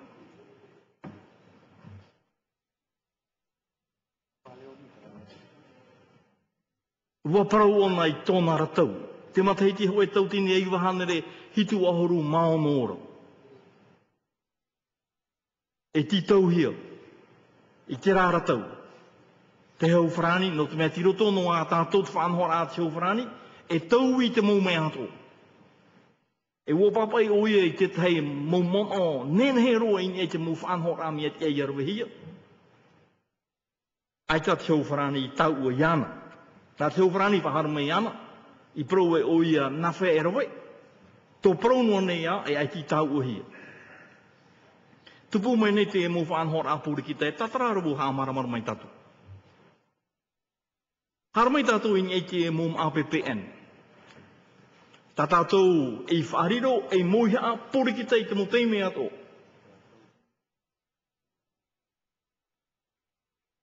Te o nei tātou, te whenua i te e mu whanhora. E papu i muriso, e mai tō muriso. E oi e te taparhei noara tātou i tātou. Ai ta tātou wehi nāro anan hei e, e amu ta tātou mo tamari te taro, te whei, te umara, te uru, te ia. Me hu ana tātou e tāpea, i te rā whanora. E hawa u whahiti e te rā mono. Te weinei ho e ona i tino te whenua nei. Ti rowe te tei whanora, whai te rā, i te tātua rā e nenhe. E rowe, i roto no ai hoe whai, e ho o ia te e mo PPN, ma te ori, ma te ori e rowe te moni api. E wariri te tei mo ona e tapiho ora te e PPN niana. E mon oia atra no te PPN. Haramai tātou i ni ai te paro o te moni arahu. Te moni o te moni arahu e te wea tura. O tātou ana e te whenua, i whari na te whenua e amo i te e mauhamau ara, o whone te e pū e dete, ta tātou te moni wira, moni roa no tēneo, e o tātou tra e o whaura i te e te ete, te e e whaapine i tāna so mou, oma i roto i tāna te e tāna so mōrawa e hupa. Māramarama tātou. Ua māramarama tātou. E te whaite nei tu e ona, promo no te pūwei o tāna muhan hora, e nene o ia no te hoe mōru rā, hoe au e, e whātupa, e piti e tāra, o horu tōata, i te moni o te ritara. E wariri hei te teimo ona i ana. E te te pūnei te mō māro rārtu i rātou i tēnei. Ua wharere au ke i e mau mhana i meri ane, ki tāto rau te e mo ona, nori au e parau e. Mi te pau nen he rātou, i roto ho e tau poto e rawe. Tātou pa e whaterera, i te whenua, tātou roto i te aporar hei, Seu whenua tono pēr. E i te tātou nen he e rawe te tei whanhora papu, no te whaapira i te mo whanhora ato, Ore rā whari no ane tātou e amu a tātou i te e mōreiti. A ho ano ano hea aore ho ano ano hea. E inu no tātou i te i e u tā tiota. E amuno tātou te e mō mahinu. A PPN. E tā tātou iso nā wera mai e emu. No te mea, te o mo ara tātou, i tā tātou, mō whiwhi, Nā tātou noho e o i kira apo e whiwhino e tātou. Kira te ui rā preteni. o pro i kira mon o roto i te ruru a, te tomi te roto. Ui ke o. Rā mau mahana tātou i maro pro i. Te mea raho i ore whaatere hau i tamai i o. No atu e ua taparu mei o e matone i he whaareheru atu mono. o, hina aro rau e whahamono i kira mo mono i tuhi e rutu i te tōmi te rutu. Mā te i rā i te mō whaatare hau, ai tāne tā te tau. Nō tu mea, ai te fōwha, ai te e fōwha nā tātou, e tuatapo pā te tei mō reini te tei mō awe i a titohu i erowe, no te amamar a te moni o te ora rā. No te imi rā nawhe e opere maite, te mō maite e ato roto i te nun ā. Nawhe e ha mauho e whanhora imi rā a nā roto i te patura, ia e whai to te taat ora i mua i te tupe, me te pau in ei te e nā whanhora, e i te tātou e rawa, i te tātou hopo ia, ai te fuwha. No rea marurua pare teni tō e horo rāma i te rā teimi i rutu i au ki horo ora i te e mono. Tā tātou i parau amu i roto i te rurura te tomi te roto. Te arwhai arhei. Maruru, donc on poursuit avec l'article 1er, Madame le rapporteur. Article 1er. les recettes budgétaires totales réalisées pendant la gestion 2009 au titre du Fonds de stabilisation des prix des produits de première nécessité et figurant dans le compte administratif de l'ordonnateur du budget de ce compte s'élèvent à la somme de 356 millions. La discussion est ouverte sur l'article 1er concernant le FSPPN. Pas d'intervention. Madame Emma Algon. Merci, Président.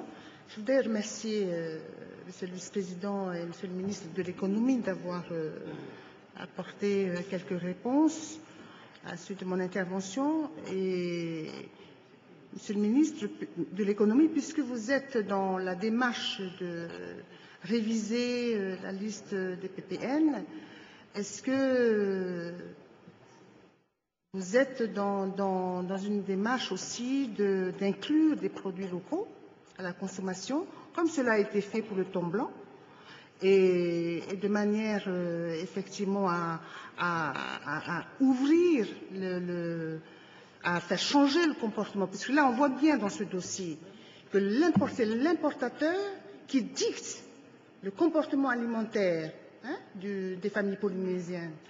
Et je pense que le pays, par son intervention dans le cadre du PPN, peut effectivement euh, faire changer le comportement alimentaire des Polynésiens, mais vers des produits beaucoup plus sains et, et des produits locaux. Voilà. Puisque les importateurs ont réussi, dans le cadre de l'exercice 2009, à faire manger du riz parfumé, parce qu'il n'y a plus sur les étals le, riz ordinaire. Donc, c'est, mon- avis, on devrait tendre vers ça. Il est peut-être temps aussi d'y arriver et je sens que aujourd'hui la Fédération des agriculteurs, elle est, elle est très active hein, euh, en ce moment et il y a une bonne dynamique. Et peut-être que nous aurons beaucoup plus à gagner dans ce secteur-là que à soutenir le riz, par exemple. Merci. Voilà, merci. Plus d'intervenants. Monsieur le ministre, il y a une réponse. Monsieur le Président, merci. Comme Madame Algon vient de le dire, je pense que le ministre de la reconversion économique viendra en effet devant, devant vous pour que l'on discute de cette fameuse liste des PPN. Mais j'entends des choses aujourd'hui qui ne me laissent pas sans réaction. Euh, les habitudes alimentaires et euh, le fait que le Polynésien aujourd'hui mange beaucoup de riz, mange beaucoup certains produits, euh, je crois que ce n'est pas, ce n'est pas, il ne faut pas rejeter la faute ou rejeter la cause sur les importateurs. Cette liste des PPN, ce sont nos différents gouvernements qui l'ont arrêtée, et je crois que vous avez raison. Euh, il faut euh, bien accueillir le fait que euh, Tevaro Fritsch a commencé à inclure certains produits locaux dans la liste des PPN, mais comme vous le savez, les habitudes alimentaires dans ce pays sont ce qu'elles sont aujourd'hui.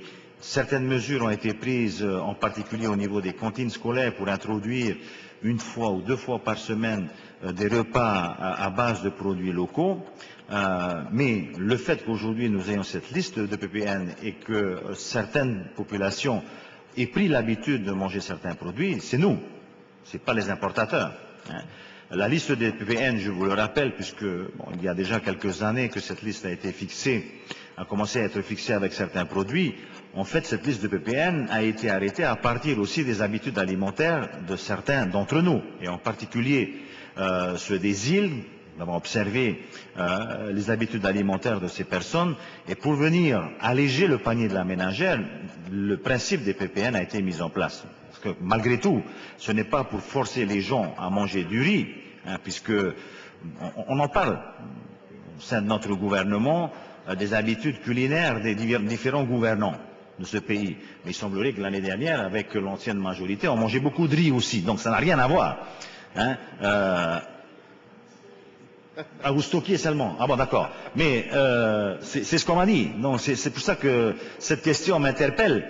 Euh, mais c'est vrai qu'il faut faire quelque chose et orienter de plus en plus nos enfants, parce que je crois que vous en avez, Madame Algon, euh, leur demander, demander de manger du taro tous les jours à la place du pain, c'est un peu compliqué. Donc il faut arriver, il faut qu'il y ait, que nous changions, euh, que nous non, je ne veux pas vous réveiller, continuez à dormir. Hein.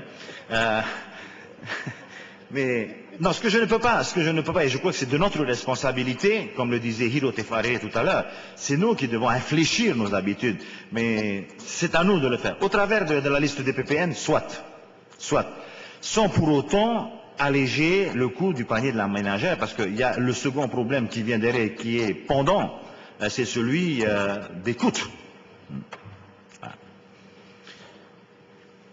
Voilà, c'est ce que je voulais simplement apporter comme précision à cette déclaration qui me fait réagir. Merci. Bien, donc on va poursuivre la discussion après la lecture de l'article 2. D'abord, je mets au voie l'article 1. Article 1 qui est pour, donc à l'unanimité, on passe à l'article 2. Article 2. Les dépenses budgétaires totales réalisées pendant la gestion 2009 au titre du Fonds de stabilisation des prix des produits de première nécessité et figurant dans le compte administratif de l'ordonnateur du budget de ce compte s'élèvent à la somme de 323 695 332 francs. Voilà, Maruru Vito Mamatua. Maru me te pritini, mono potoro, mono potoro, whararatu i mono to tato mono pritini, e, e wahapapa i awai. Nana no ha mono i tatu, houpa i te tamatamatara atumi, te mea tu i tu tatu whenu, e, on produisait 80% de la consommation. E hatu he pei tupu, te amaura hea te mo tamatamatara haere iri o tatu, ua tatarahia, uhare, narutu i te mumutu, on a débauché les agriculteurs, les pêcheurs et tout le monde là pour, pour aller là-bas. L'argent facile. Et aujourd'hui, nous dépendons, nous importons 80% de la consommation. E pero pai tātou i promo. Me nā rira mai, tara whiwhiti harera ameritu i tō tātou whenu. E, me arhira o te i tāpoi te mata. Tāpiri te mata. Purehu mei te miria, nā ratu i te hiu, nā ratu i te taria. Nā ratu i te waha, piriro o te waha. I te e mana, te tauhia, te tua ti neo. E tira mana atatara he mene mono pritini, ti, tātou pauro, e tua tapapa hohonu. Tua tapapa hohonu tātou e nawhea tātou i prauno ananhai. Tu atiro te he hiro. E te pehara no tātou i o, e i te pe e tātou i ofui te mau taute. E topa tari, i te pe i ofui. Nā o, nā o tu atito tātou mono i o, e, e te e hi o tātou nohia mai te tumu te whiwhi, e nā whai tata i an. Trano, mano, mono perteni maruru. Maruru, Armel. Moi, je voudrais apporter une note positive. Euh, hier, euh, il y avait cette assemblée générale de, la Fédération des agriculteurs. Et j'ai un peu l'impression que dans ce domaine, tout le monde s'attend et qu'il y a un manque de coordination. D'un côté, le ministre de l'Agriculture n'était pas là. Il y avait une signature d'une convention entre la Fédération des agriculteurs, qui, reflète à peu près la palette de toutes les productions locales, une convention entre cette fédération et le CIPOF. Ils ont évoqué également une collaboration avec un- une association de chefs cuisiniers qui œuvrent dans les collectivités locales. Et on sent bien que tous ont envie de promouvoir, de développer, euh, notamment dans les collectivités scolaires, mais aussi par exemple à l'hôpital ou ailleurs, la consommation de produits locaux. Donc il faut absolument que et le ministre chargé de l'économie, le ministre de l'Agriculture travaillent avec ces entités de façon transversale. On a l'impression que chacun est dans son coin. Mais il y a une volonté et je pense qu'il faut en profiter. Voilà. Merci, Hiro Tefarere.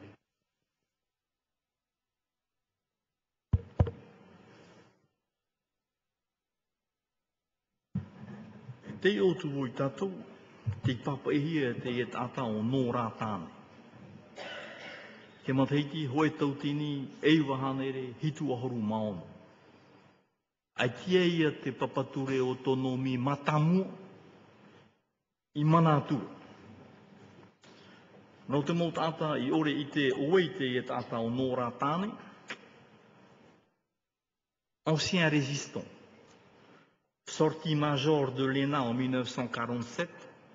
inspecteur général des finances, proche de Pierre Mendès France, directeur de cabinet de Chabon Delmas, qui était Premier ministre en 69, directeur général du groupe Hachette en 71 et qui lança le point en 72, et qui est venu ici en 76 étudier les remèdes à apporter à l'économie artificielle engendrée par le CEP.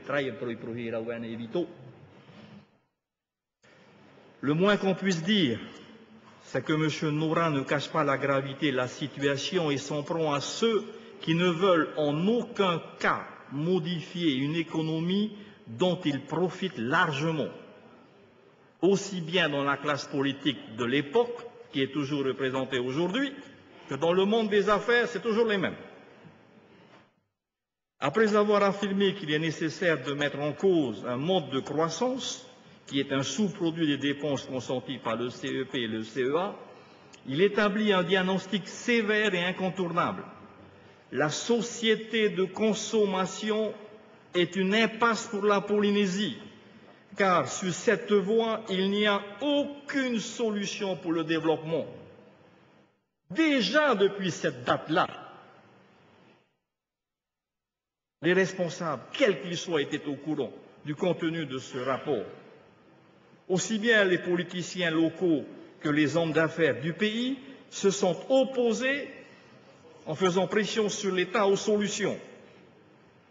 La première partie de son rapport a un titre sans embâche, La fuite en avant sur un chemin sans issue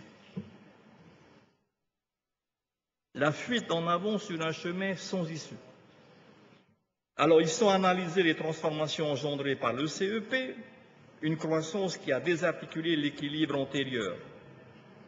Des fortunes considérables, mal cernées à l'époque, identifiées aujourd'hui notamment dans le rapport de 2008-2009, mais qu'on ne veut pas, dont les recommandations effraient tout le monde et qu'il suffit de mettre en place.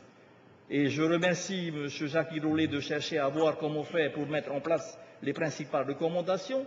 Et c'est là où il y a une opposition forte entre l'Assemblée et le gouvernement. Parce que nous, nous allons faire en sorte à ce que ces recommandations deviennent demain des réalités. Et on va voir comment la majorité au sein de l'Assemblée va se positionner. Quand on voit tout ce qui est écrit ici. Et c'est même pas un débat qu'il faut. Les rapports ont été élaborés par des personnes expertes. L'Assemblée, au niveau des élus que nous sommes, nous avons assumé également nos fonctions. Maintenant, c'est des initiatives, des actions qui doivent être prises par le gouvernement Aujourd'hui, nous étudions les comptes spéciaux.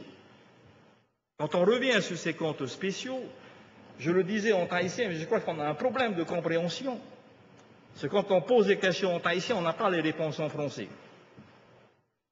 Alors, soit,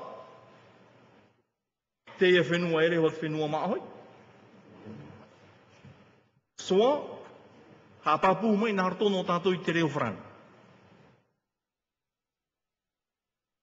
Patreuma, fai te tu me pei taho no mai. I he paro no mai e maruru, wa tano te momono, me me te iroa. A paro me nara, na whea o tau e nene e rawe no te whaatupura i a tau i moho ana. E ria rā, hare i a tātou i mua. Mi te pau e mai ati tātou, ai te whiwhi, no te mea, warawe kōro tātou i te mo wāno rai te mataiti ho e piti tau tini eiva te uit a rā, no anan hai. I tu e ui tara wit a mui tātou. Mei te pēpa i tara ona. No shell o matou o tō iana. Tato boru o matou iana. Wanen he iana e rawa i tara whanhora. Promou, wei te poro tato no te pūwai o tāna pū, o ia te whatu mau hoa, e nen he o i e rawa. Te ui ara, mobil, total te ap e nei te emhana, te hini aro tōna e rawa i tara, te ura i o te e prau. I nanheira, i roto i te hau whenua, wo whaoti o i te au e no tiurei i te te muni. Mōri arau e mara. Au e ate te rā e mara. Te parau me ne rātou, e nen e whaatopo.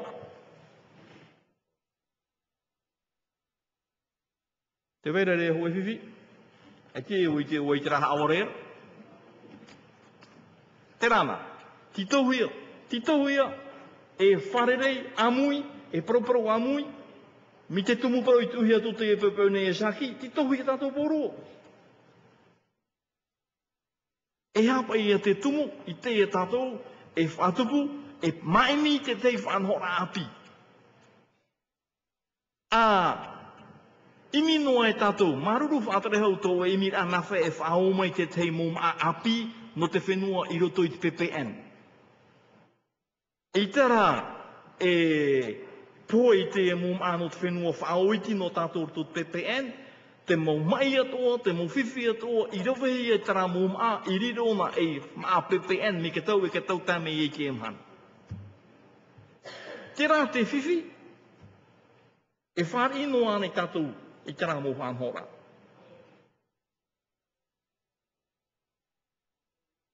Te rā te whiwhi, mi te puparo me o tau e tape anō, nārire no tātou. I roto ho e area ahoru mataiti, te mo tamari e parohi ara e ahoru ma ono mataiti, pē ahoru ni e tānere, war ohi atam e puria, anan hei, tātapa ari rātou, i te pēho ahau CPS yo ho. I te pēho ahau yo ohou. Ah, i mino e tātou te mōrawe a nawha e whao mai te muni. Nā rato ane te atu te ahau rā, i te tātoa rā, i roto i te awhata mai at CPS, i te pe o fau mea mā. Ti tauhia, te i rā hoa, mi te emhana nā mua e tōp e amateiti, e ha mau te te harata i rā api, i ni e te whanho rā o te tere rā, o tō rā i te mā i te whenua nei, i reira, e me te e te nuna. I o ana. Te rā te momon o tāhui nā i tui mo i tātou, whai tui tō rai tātou. I he, whaino rā, whai tui tō rai tātou, e te wei nei, api priteni, maruru. Tra, maruru au e mai ti tātou, article 2, article 2, même vote, même vote adopté, article 3, Article 3.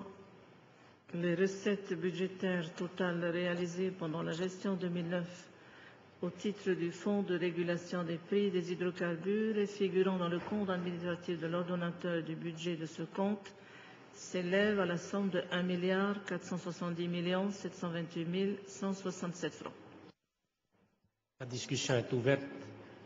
Pas d'intervenant. Je mets au voie l'article 3 du FRPH. Article 3, même vote, même vote adopté. Article 4. Article 4. Les dépenses budgétaires totales réalisées pendant 2009 au titre du fonds du FRPH et figurant dans le compte administratif de leur donateur s'élèvent à la somme de 1 milliard 616 millions 195 538 francs. Discussion est ouverte. Monsieur Vito Mamadou. Maru Pertini, mano, mano potoro. Uh, aro e nui whatera tō tātou whinu, e, e hapa i tō tātou mana, ni i tā tātou hinunga ari. Te mea, ere no tēnei tātou i tua tapapa i te tūmparau. Wani nā wau, me te matahiti pitita tini e ono mai a tua tapapahia e hia tane hinu. Whaohi mai ratu i tō tātou whinua no te whatama i tō tātou nuna. Tai mei te mhana nei, ai taho e pahanora. E hara tātou i o araka, 2000 francs ho e mohina hinu mi te i, vierge. 2000 francs. Te hia tātou i tuai a, ai ti tahi. Roto i te ruru a, a ta tātou whare tawari, tawari e mtirura te matara maira, mi te peu e tawari tātou i ta tātou hinu, kini ai whaito hitu milioni ritera. E matara mai. Te mataiti hoe. E hi o hia, te heu te uira o i rātou, te pai hitu, han, hitu milioni ritera. Tenu e matara mai, nene ane wha hupai ana, no te whaatere ra ai te mōma matini e horo ara i te uira. Te pahono ra e. E hapa i tumu e te tātou e whaahipa. Te pahono ra ai te pau e te te tu ati mai. No te rawe i te hinu ta tātou. Te pruru i tātou, whatera o tō tātou whenua, te vene i te mō pere o e utane i ta tātou mō tamari. Nā tātou tera, te vene i te mō pahi, 60 francs le litre i pei. Bateau de commerce. Rā tātou tō tera, te vene i tō tātou mō pahi tai, tōni e ane, puti marara ane, 35 francs le litre te rira. Nā tātou tō te rira. Ai tāne i tātui ora e tua tapapa hohunu i tī tumpura, e mama mai e tātātou FFPH, e marar ia, e topati i tō mai, tātātou muni turu ai te whia e rau ere i te hupa puharu te tātou whinu. Mō muna o tera, ere, ere te whahapara. Mō muna o tera, a, pene e ua tua tapapa o tō, ti roto te ria mei whirurira. Te veira rā, tera mō rāwe anō, te whaaiti mai, tātātou muha maura. Maruru pretin. Je mets au voie l'article 4. Article 4, même vote. Même vote adopté. A été par Honora. Mon nom est Titani. Britani, ai tahi naro naro wau e, e, e prau vito Mon nom e mamuana on or a amui tarana tātou pa ato i unei. Re? Uh, mitra e whahitihi e na ua nei, uh, te hamatara tātou i te mana on oi te i e uh, te muni e pau nei uh, no te turu ai te ritara mori e nā te arapia te rirei tō tātou nei whenua. Are? E mi trai prohiara ai tatu o tātou i te ahu e oi tarai haawarera ha no te meinan hero fa i te mai uh, te whātere hau uh, ia hi ohia te whaito te hoi te au nei te mara anu atu rei hoa ha te ritara uh, mori arhau e amui hia mai te mara ara o te tāra marite norira taparu mato yana i he hamara ai te ene e whaarara te veira te whiwhi muri mai te veira te whiwhi muri mai, e te tātou enen he e apeno. no. Te mea, mi te pū e te tātou e hāmara ai o, i hoi tātou i te FRP as maui mai tai ei.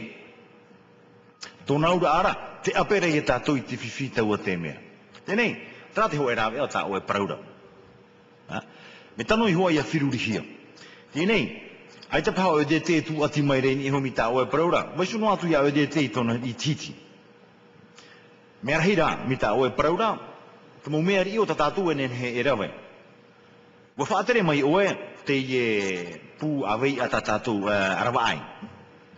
I rira, mana o te veira ho e whaotira e tano e rawe he tatu. Mo te mea, e ita te whia rawa ai te imhana te mo whatu poti, e ita rātou e amoi tā mai warano te taui te huru o tō rātou matini, ianen he rātou e whaohipa i te mori, noro tō mai te puha, mi tā oe praura.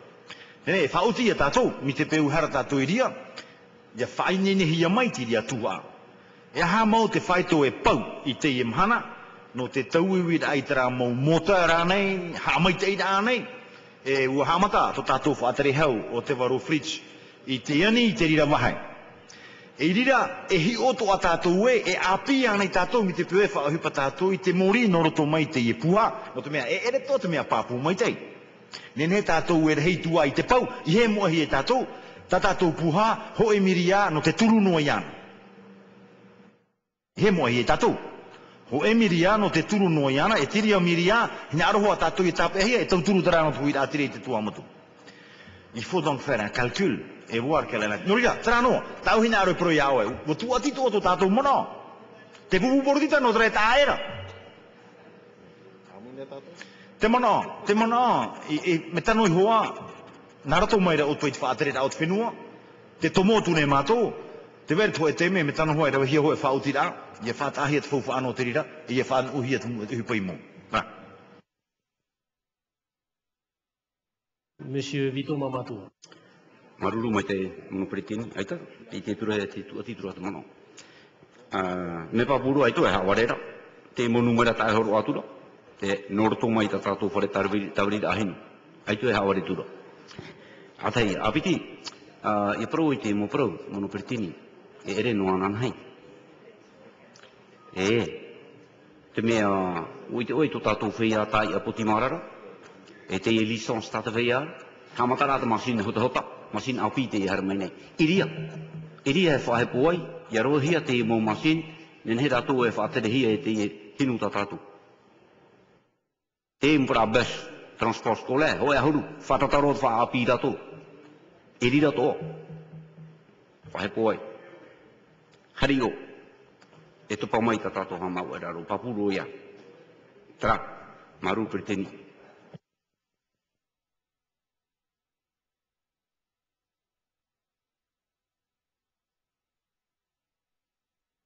Merci, Monsieur le Vice-président. Pas d'intervention, on passe à l'article 5.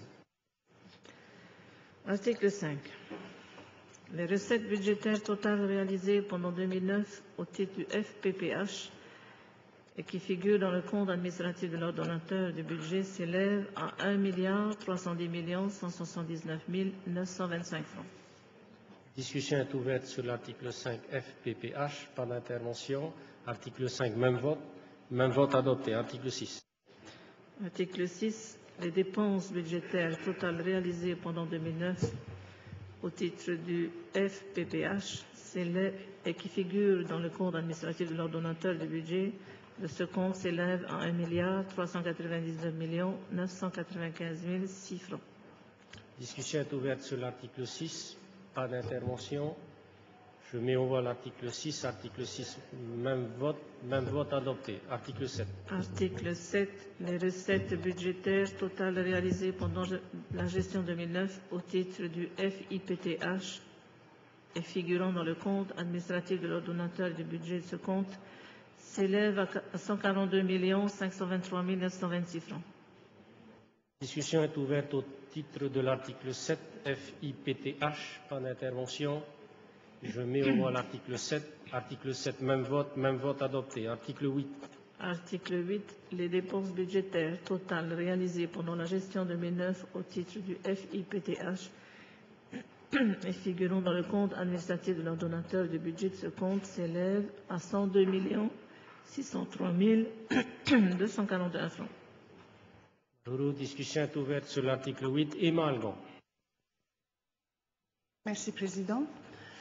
Euh, de mon intervention, j'avais parlé d'accompagnement de, cette population, hein, des personnes donc reconnues travailleurs handicapés, euh, d'accompagner ces personnes vulnérables. Déjà, elles ont, beaucoup de difficultés en termes de qualification et il y ils présentent en même temps un taux euh, de handicap qui leur permet tout de même de rentrer dans le monde du travail. Et je pense que le gérer euh, uniquement par le service technique, euh, donc le service du travail, à mon sens, il manque un pan hein, pour que le dispositif soit véritablement efficace, puisqu'on recherche tous, tous à ce qu'il y ait un maximum de personnes euh, euh, RTH euh, intègrent le, monde du travail. Donc moi je, parlais plutôt de, cette possibilité d'associer les professionnels de la- de l'action sociale, donc ils sont professionnels dans l'accompagnement des personnes vulnérables. Est-ce qu'il y a un travail euh, de coordination qui existe déjà ou est-ce que c'est dans les perspectives euh, de mise en place euh, soit au service du travail, soit par convention avec la direction des affaires sociales? Je crois qu'il ne faut pas oublier cet aspect-là de, si on veut vra- vraiment que le dispositif euh, arrive euh, aux objectifs souhaités. Merci. Donc je mets au voie l'article 8. Article 8, euh, même vote. Même vote adopté. Donc il va intervenir après. hein. Donc je poursuis avec le compte CAVC. Madame le rapporteur, article 9. Article 9. Les recettes budgétaires totales réalisées pendant la gestion 2009 au titre du CAVC et figurant dans le compte administratif de l'ordonnateur du budget de ce compte s'élèvent à 2 333 56 268 francs. Merci. Donc la discussion est ouverte sur l'article 9. Peut-être Monsieur le vice-président sur l'article 8. Monsieur le Président, je, pense que Emma Algon connaît bien le problème et elle a mis le doigt en effet sur un- une préoccupation. En tous les cas, de, notre part des élus, euh, puisqu'il est vrai, et on me le confirme en effet, euh, les services sociaux interviennent en amont euh, de, cette rencontre qui se fait ensuite, dans un deuxième temps, avec le service du travail. Et naturellement, il y a une déconnexion, il n'y a pas, a pas un travail en commun, et là vous avez raison. Seulement, seulement si le service du travail a en effet un besoin sur le dossier de la personne en question, oui, les contacts sont établis, mais il n'y a pas nécessairement, et aujourd'hui, il n'y a il n'y a pas de travail en transversal à ce niveau-là. Il faut peut-être en effet puiser plus dans ce sens, mais je, crois que c'est vraiment deux, deux, procédures différentes et c'est deux, comment dire, euh, c'est deux tâches complètement déconnectées l'une de l'autre.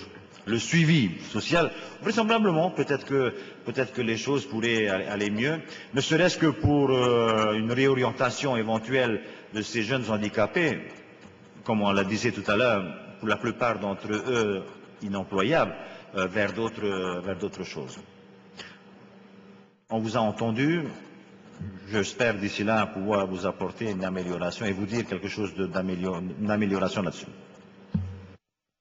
Merci, Monsieur Hiro de Farere. E mararu pre tēni, tini au i te irawa, irawa iwa. Mono pre tēni, o i te mātou kōrua, te tuito i rawahia e tatou pāto e ke teime e tupu e te matai oli. I haa amui na tātou, i maiti amui na. I te tapura o, tapura o hupa, tapura ha mau ara, no te tauturu rā i te nuna tō tātou, i te mauta amutu e i tupu e hoara. Te mano anō rā e vei nei tui au. Te iei.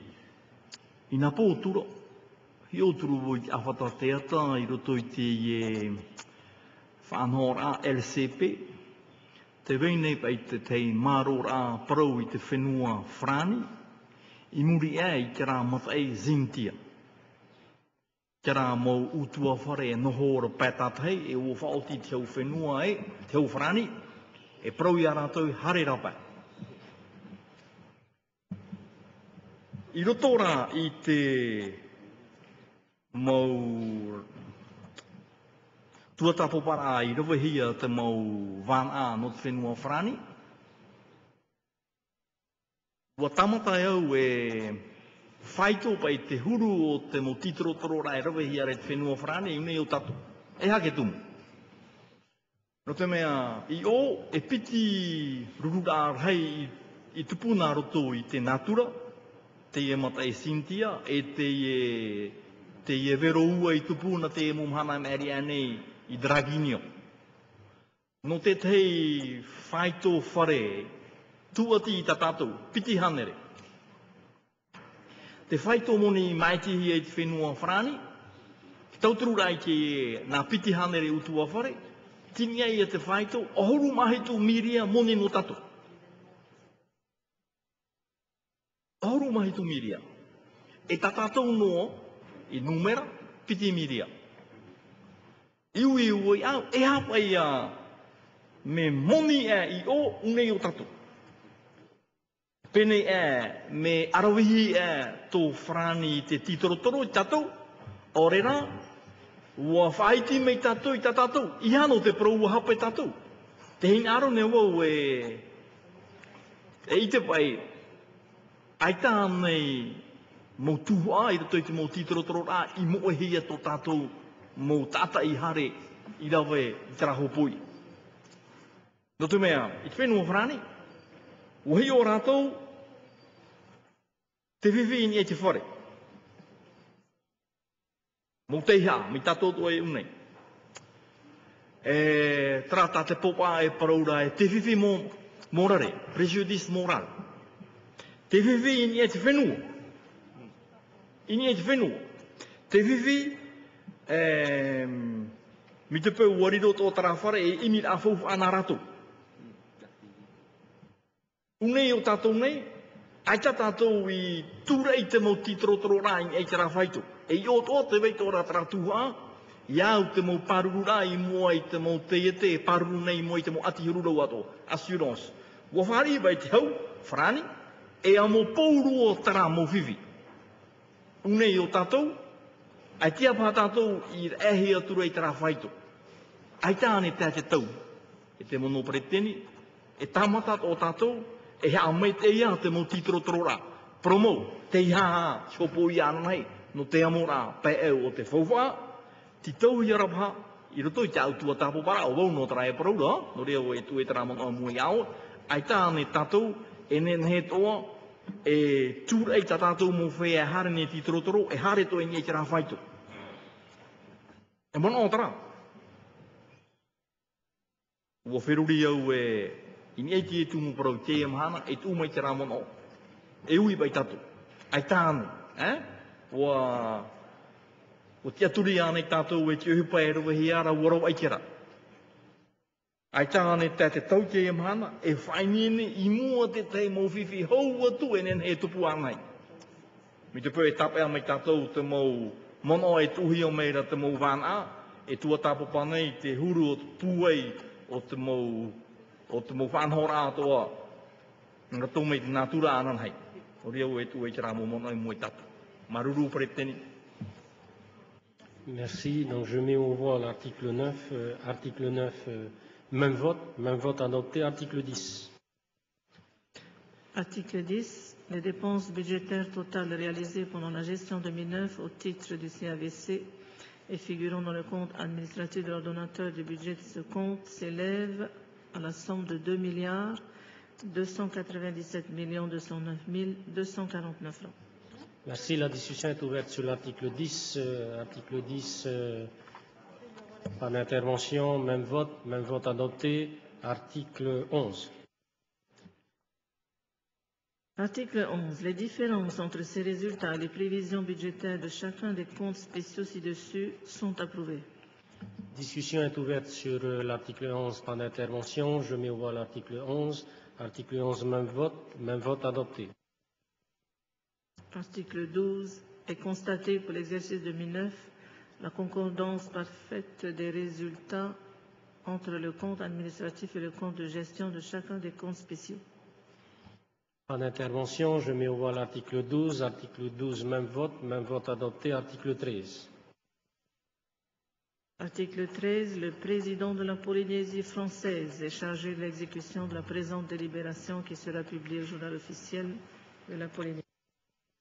Je mets au voie l'article 13 et l'ensemble de la délibération. Même vote, même vote adopté. On passe au rapport suivant.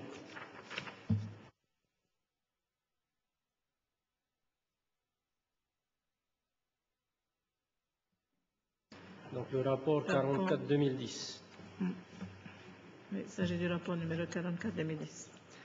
Par lettre numéro 4236, CM du 11 juin 2010, le président du pays a transmis aux fins d'examen par l'Assemblée un projet de délibération portant affectation et reprise du résultat de fonctionnement 2009 des comptes spéciaux. En application de l'instruction comptable du pays, le virement de la section de fonctionnement vers la section d'investissement ne donne lieu à aucune écriture de sorte que l'excédent de la section de fonctionnement à la clôture de l'exercice N doit faire l'objet d'une décision d'affectation formelle par l'Assemblée. En priorité, pour garantir la couverture du besoin de financement dégagé par la section d'investissement à la clôture de l'exercice N et pour le solde, soit en excédent de fonctionnement reporté, soit en dotation complémentaire de la section d'investissement. Cette décision d'affectation est adoptée dès la plus prochaine délibération suivant le vote du compte administratif de l'année N qui doit intervenir avant le 30 juin N plus 1. De même, lorsqu'une affectation et une reprise anticipée du résultat de fonctionnement ont été effectuées avant le vote du compte administratif, la délibération d'affectation définitive du résultat doit intervenir comme pour la reprise classique après le vote du compte administratif qu'il y ait ou pas différence avec la reprise anticipée. Par délibération numéro 2018 APR du 10 mars 2010, l'Assemblée de la Polynésie a approuvé l'affectation et la reprise anticipée du résultat de fonctionnement cumulé provisoire au 31 décembre 2009 du compte CAVC. Le compte administratif du CAVC a été voté et convient désormais de régulariser les montants repris par anticipation. En conséquence, le résultat de fonctionnement cumulé d'un montant de 647 463 614 francs est affecté en totalité au résultat de fonctionnement reporté, compte tenu que le report des crédits de paiement est financé par l'excédent de la section d'investissement. Le résultat de fonctionnement cumulé de chaque compte spécial s'établit comme suit. Pour le FSPPPN, le montant d'affectation est de 55 285 185 francs. Pour le FRPH, le montant d'affectation est de 603 29 160 francs. Pour le FPPH, le montant d'affectation est de 320 648 871 francs et pour le FIPTH, le montant d'affectation est de 122 409 670 francs. La Commission des finances demande à l'Assemblée d'adopter le, le projet de délibération. Merci. Est-ce qu'il y a des volontaires pour la discussion générale? Pas d'intervention, donc on passe à la délibération. Article 1er. Article 1. Le résultat définitif au 31 décembre 2009 de la section de fonctionnement du FSPPPN, soit 32 304 668 francs, est affecté au résultat de fonctionnement reporté. La discussion est ouverte. Pas d'intervention. Je mets voir l'article 1er qui est pour.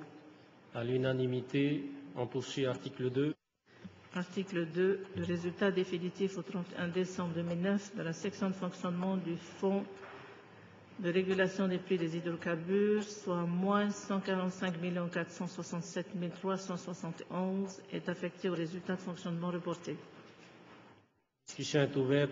Pas d'intervention au titre de l'article 2. Article 2, même vote. Article 3.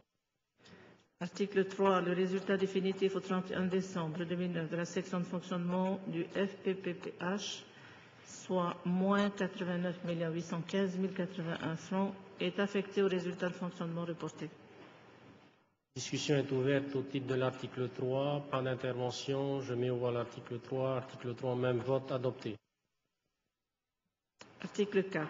Le résultat définitif au 31 décembre de la section de fonctionnement du FIPTH, soit 39 920 685 francs, est affecté au résultat de fonctionnement reporté. Discussion est ouverte au titre de l'article 4, pas d'intervention. Article 4, même vote, adopté. Article 5. Article 5. Le résultat définitif au 31 décembre 2009 de la section de fonctionnement du CAVC, soit 647 463 614 francs, est affecté au résultat de fonctionnement reporté. Discussion est ouverte au titre de l'article 5. Pas d'intervention. Monsieur Hirote Farel. Oui, maruru preteni e, e wira no te mono preteni, eh? no te to tau whenua tupu ai. ne ane o e paraume e te mana e whea mau whare woti hamoni rohi. E te atuturu pai te te parau e i, i roto i te mau te i te patura i te whare te wei nei hoa me arawhi me i te maite i te roe. E te wei nei hoa ai ti rehi e te whai to e tanu. E rawe anei i roto i o tau no te hamei te i te patura. Ia whanau pa i te nun a e ti einuara. No te mea, iau te mōporo api no reo au e ti ei e te e tu. Iau te mōporo api tā mei ratu i tō mātou tario. E tēnā o mai ra te tei mō hoa tō tātou e mi te pau e taraho e tēreo o ahau ai te parau o te patura ki ta atua rā o te mō whare te te tūrehia e te miti anei o re rā te tu e te matai. O tamo ane te e mō parongen he ane o e, e tamaru mai te e a auti e pro pro atu nei. Maruru. Merci. Plus d'intervention au titre de l'article 5. Monsieur le vice-président. Oui, Président, je voulais de toute façon vous demander la parole pour euh, euh, rassurer notre ami Hirote Farere sur sa première intervention concernant euh, nos, les recensements qui sont faits à la suite des cyclones et surtout, et surtout euh, le niveau d'intervention du pays.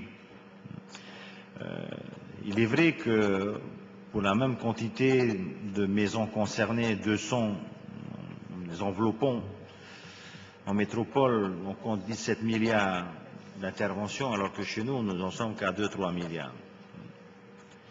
Mais là aussi, je crois qu'il faut euh, bien nous dire qu'il y a deux choses qui nous commandent aujourd'hui dans cette affaire-là. La première, c'est en effet le mode d'intervention qui a été défini par le gouvernement, les différents gouvernements, c'est-à-dire que nous reconstruisons le clos et le couvert, dans la mesure du possible, nous dédommageons une partie du mobilier, le reste,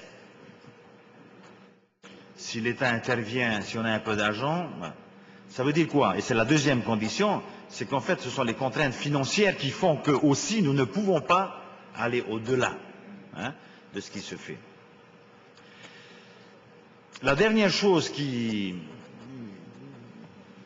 qui est une contrainte pour nous aussi, c'est la mauvaise connaissance des activités commerciales ou autres dont nous avons aujourd'hui dans ces archipels éloignés.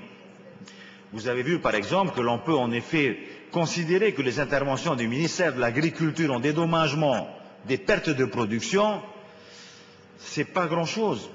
On est, on est intervenu au plus bas pour 40 000 francs, au plus haut pour 200 000 francs. Est-ce le vrai prix? Est-ce le prix réel qu'il faudrait payer? Je n'en sais rien. Mais ce qui est certain, ce qui est certain, c'est qu'aujourd'hui, nous ajustons nos interventions en fonction des moyens financiers dont nous disposons. Voilà. Demain, vraisemblablement, ce sera un coût beaucoup plus important parce qu'avec l'installation des PPR, il va falloir en effet que l'on dégage des zones entières, comme il se passe euh, du côté de la Charente, je crois, en métropole. Euh, là, en effet, où les familles, c'est ce qui s'est produit à Touboué, peuvent produire un foncier en remplacement, auquel cas, je dirais entre guillemets d'une façon amiable, nous reconstruisons leur maison, non plus à Tatry, mais du côté montagne. Mais si ces personnes n'ont réellement pas d'autres possibilités, la question qui se pose et qu'il faudra que l'on se pose tous ensemble, le territoire, nous allons, est-ce que nous sommes prêts, nous, à ce moment-là, à leur fournir l'assiette foncière nécessaire à la reconstruction?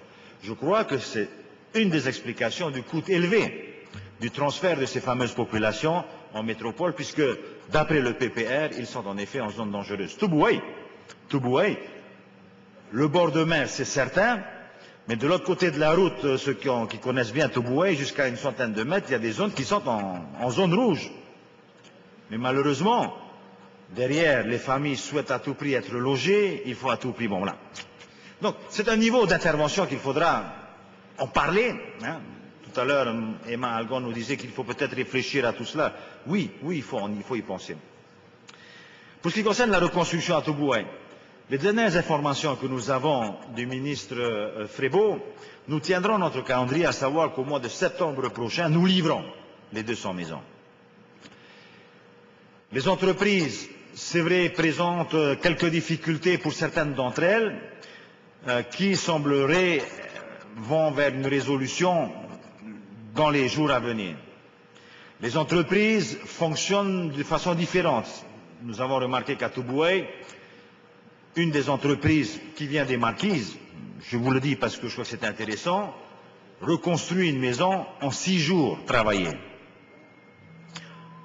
Socotec, qui a été saisi, vérifiera si les contraintes sont respectées, Mais on en, est à des records aujourd'hui. Six jours pour construire un frais MTR, c'est extraordinaire.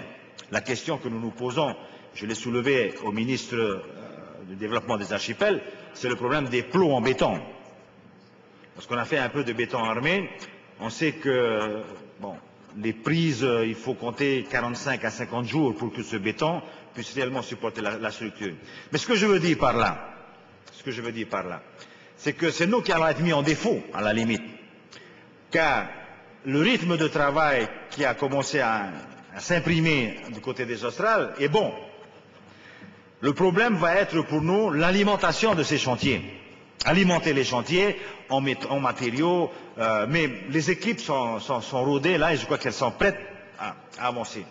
Et la deuxième difficulté, c'est la même, vous la connaissez, c'est le problème foncier. Pas de limite, on sait qu'on est propriétaire, on essaie de s'arranger, je ne sais pas. Je pense que euh, les autorités sur place se trouveront des solutions. Mais, a priori, euh, Monsieur Tefarere, je pense qu'on peut dire que les choses avancent bien du côté de Touboué. J'espère d'ailleurs euh, qu'on refasse, une tournée ensemble dans les jours à venir avec l'État, puisque maintenant l'État est partout présent, donc ce sera un plaisir d'avoir une majorité, une opposition, l'État, enfin, puis les autorités. En tous les cas, il serait important, à mon avis, et c'est vrai, vous avez participé au vote du CAVC et vous avez soutenu l'opération OLI, il serait intéressant qu'à mi-parcours, nous puissions repartir sur le terrain et revoir. Je proposerai vraisemblablement dans les jours à venir, lorsque les travaux euh, sur les infrastructures commenceront, parce que là aussi, vous savez que nous nous sommes déplacés à Toboué avec euh, les bailleurs de fonds pour trouver les financements de la route à reconstruire et de l'enterrement des, lignes, des lignes aériennes euh, d'électricité. Donc je pense que dès que les travaux reprendront, nous pourrons y aller. Voilà, Monsieur le Président. Merci. Donc, euh, plus d'intervention. Je mets au vote l'article 5. Article 5, même vote. Même vote adopté. Article 6. Article 6. Le président de la Polynésie française est chargé de l'exécution de la présente délibération qui sera publiée au journal officiel de la Polynésie. La discussion est ouverte sur l'article 6 par d'intervention. Donc, l'article 6 et l'ensemble de la délibération, même vote. Même vote adopté. On passe au rapport 42-2010.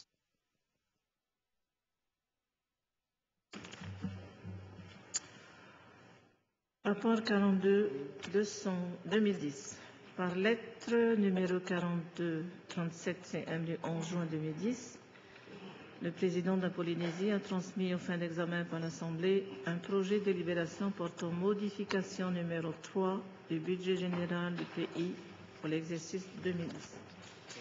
Conformément à l'article 21 de la délibération 95-205 le 23 novembre 1995 modifié portant adoption de la réglementation budgétaire, comptable et financière et de ses établissements publics, le présent projet de délibération vise à formaliser au plan budgétaire le report des reliquats de crédit de paiement 2009 prononcé par l'ordonnateur du budget de la Polynésie le 21 janvier 2010 après le nécessaire pointage des écritures de la gestion 2009 avec le payeur de la Polynésie.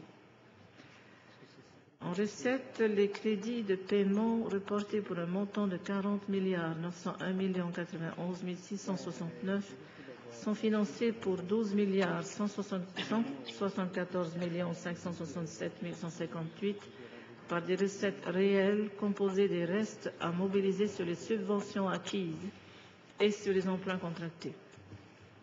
S'y ajoutent des écritures d'ordre pour 23 milliards 232 millions 645 431 francs. Le solde de 5 milliards 493 millions 879 080 est couvert par un prélèvement prioritaire sur l'excédent de fonctionnement cumulé au 31 décembre 2009. Et ces recettes sont ventilées dans le tableau ci-dessous que nous lisons silencieusement. En dépenses, les opérations visées par le report se distribuent, telles présentées dans le tableau ci-dessous, que nous lisons silencieusement. Le montant des crédits de paiement reportés sur l'exercice 2010 hors écriture d'ordre s'élève à 17 milliards 668 millions Hors écriture d'ordre et hors dette, le report est en diminution de 31% 74 par rapport à l'exercice 2009, soit de 25 milliards 509 millions. Ce report de 2009 vient augmenter les crédits de paiement votés au budget primitif de 2010, l'ensemble constituant désormais une enveloppe prévisionnelle de 49 milliards 534 millions hors écriture d'ordre et dette à la date du 31 mai 2010. La Commission des finances demande à l'Assemblée d'adopter le projet de délibération. Merci, Madame le rapporteur. Y a-t-il des volontaires pour la discussion générale? Pas d'intervention, donc je propose directement de passer à l'article premier. Madame le rapporteur, article premier. Article 1er. Les recettes extraordinaires du budget général de la Polynésie française pour l'exercice 2010 sont modifiées comme suit.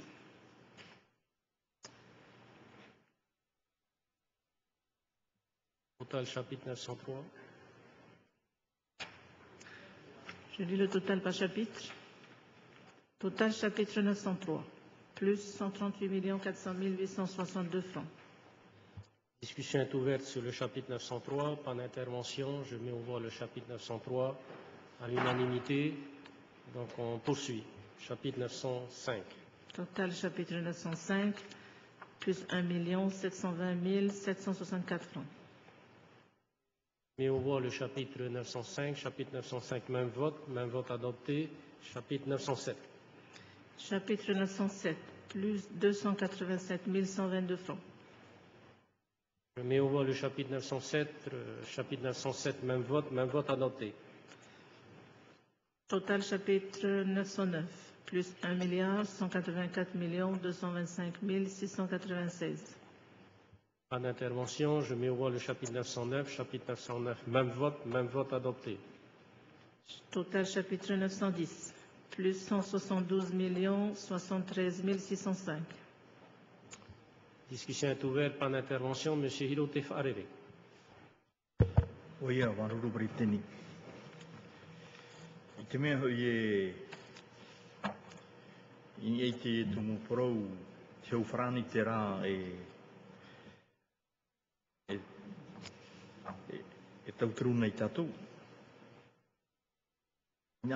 E... Whārai tātou te tei... Whiwhi o te itehia no te whare mei a pi no, mā, no taone o hohi a rai te hauwharani. Te e turu, e te mono preteni. No te e roa mō mhanai i meri e nei, te upapuro rai te e whiwhi rei. Uh, Poe whet i te unu pira, ki rohia taram ei mariri e te ata rutui te arapo, te rewa nei te whenua wharani e ura pāhuia, u awharo mai, whahepora ke tō te ana, paurua te mō ono au e, e rewa o ia no te rawe rai tāna rāau. E, I roto i te tei pi, e, pia, paruruhia. Heume nei te rāwhiti, whawhāturo o ia te rei rā o te mō mai no te whenua nei, rohia tara mai mi ana. Me heuru rei. heru rei, ua hau i te anere te no te whenua nei, e paurua te mou au e ato, wharewa hei a refrani no te whaatupu rā i te mou rawe rā au e hi o poara. Te ui rā, ua rawe anei mou hua tātou i te tei whaanho rā. Api, me ke tei tanu, i rutu i te te whare mei api no taone, i te mea hoi e, ua tia turi tātou, no te ia mō mai, e nen he e au te ia mō tata, i nei o tatou nei. E rea nei? E ua porourua ia, ina pōra roto i te awhatateata, ina pō noana. E, e māmā tia māua rā te whenua, i e te whaito, toru miria, no te mea tara mō mai, i tēra we aho i te whenua wharani, une no o tatou nei. I hare e au e titoro toro. Oi te o e te uhuru e te mono preteni. Ai tā te rā i rawa hi e unei taone nei. Te au aia, pauro tara mō mai. E rewa hoa e rātou i te whenua whrani, no te rawa e rā i ki rāra au tā rātou, i rātou i te e pia. Ato e to e rā. Te au rā, ua haore hia tātou. Warore hia pā tātou. O punu hia pā tātou. Ke rā te whiwhi. Te hi o ore rā tātou, te tere rā mō o te uhipa, iau te mea i rawe hia, i whaahuia. Te uira ia. E mama ia te hopo i a CPS, no te e mō mai, i te e mama, nā i te tarafa anhora i taume. E pau noho e a tātou pauru o te mataiti, toru miria. Wa pauturu i am hahoru mahi tu miri roto te e whare mai api no taone mā te te aturi e rawahi a te e upai taone i te rawahi. Pū i tātaua, tiu e te moni a te nuna, promo te nuna wharani. E whiwhir hei te rā. Trānā tō mō whiwhir e tupu rei te whenua nei. Wa ti e au e harme unei no te whaara no te me hopo i opa i kera nā tau wharani. No te mea hui te pōro tātou, e te e mō tātou te rohi e tra mai, mariri e tata no te arapoa, promou no te maa tu ati arheira te e mumai, e tara mumai nā rato i te mō tamatara atomi. Ere nā hiru e paraura tara parau, nā te mō wāng āto no te o e paraura i tara parau. Ahi o nara. Ti tauhia, ti tauhia e tua tapo paho honu te e tumu parau ti tauhia e whawha mai te. Mau anei hoa. Nā whai ia a tātou. E hawo parau e kera parau. No te mea ui te otou. Hare otou wharerei te tei oma. Whatu te e te. Arauhi no te whenua nei no te parau o te tupitara. Tō tātou hoa palastane. E ui o tau iana. Wahare oia, i raro e ke tau no te tupita wa haura, no te hamoni wa haura, no te mea ua moe ia, te wharu e rā popoe. Me pea pea te mo pro tau e pro nei. No rea o i ti e e te emhang, e tu tra mo pro i mo tatu.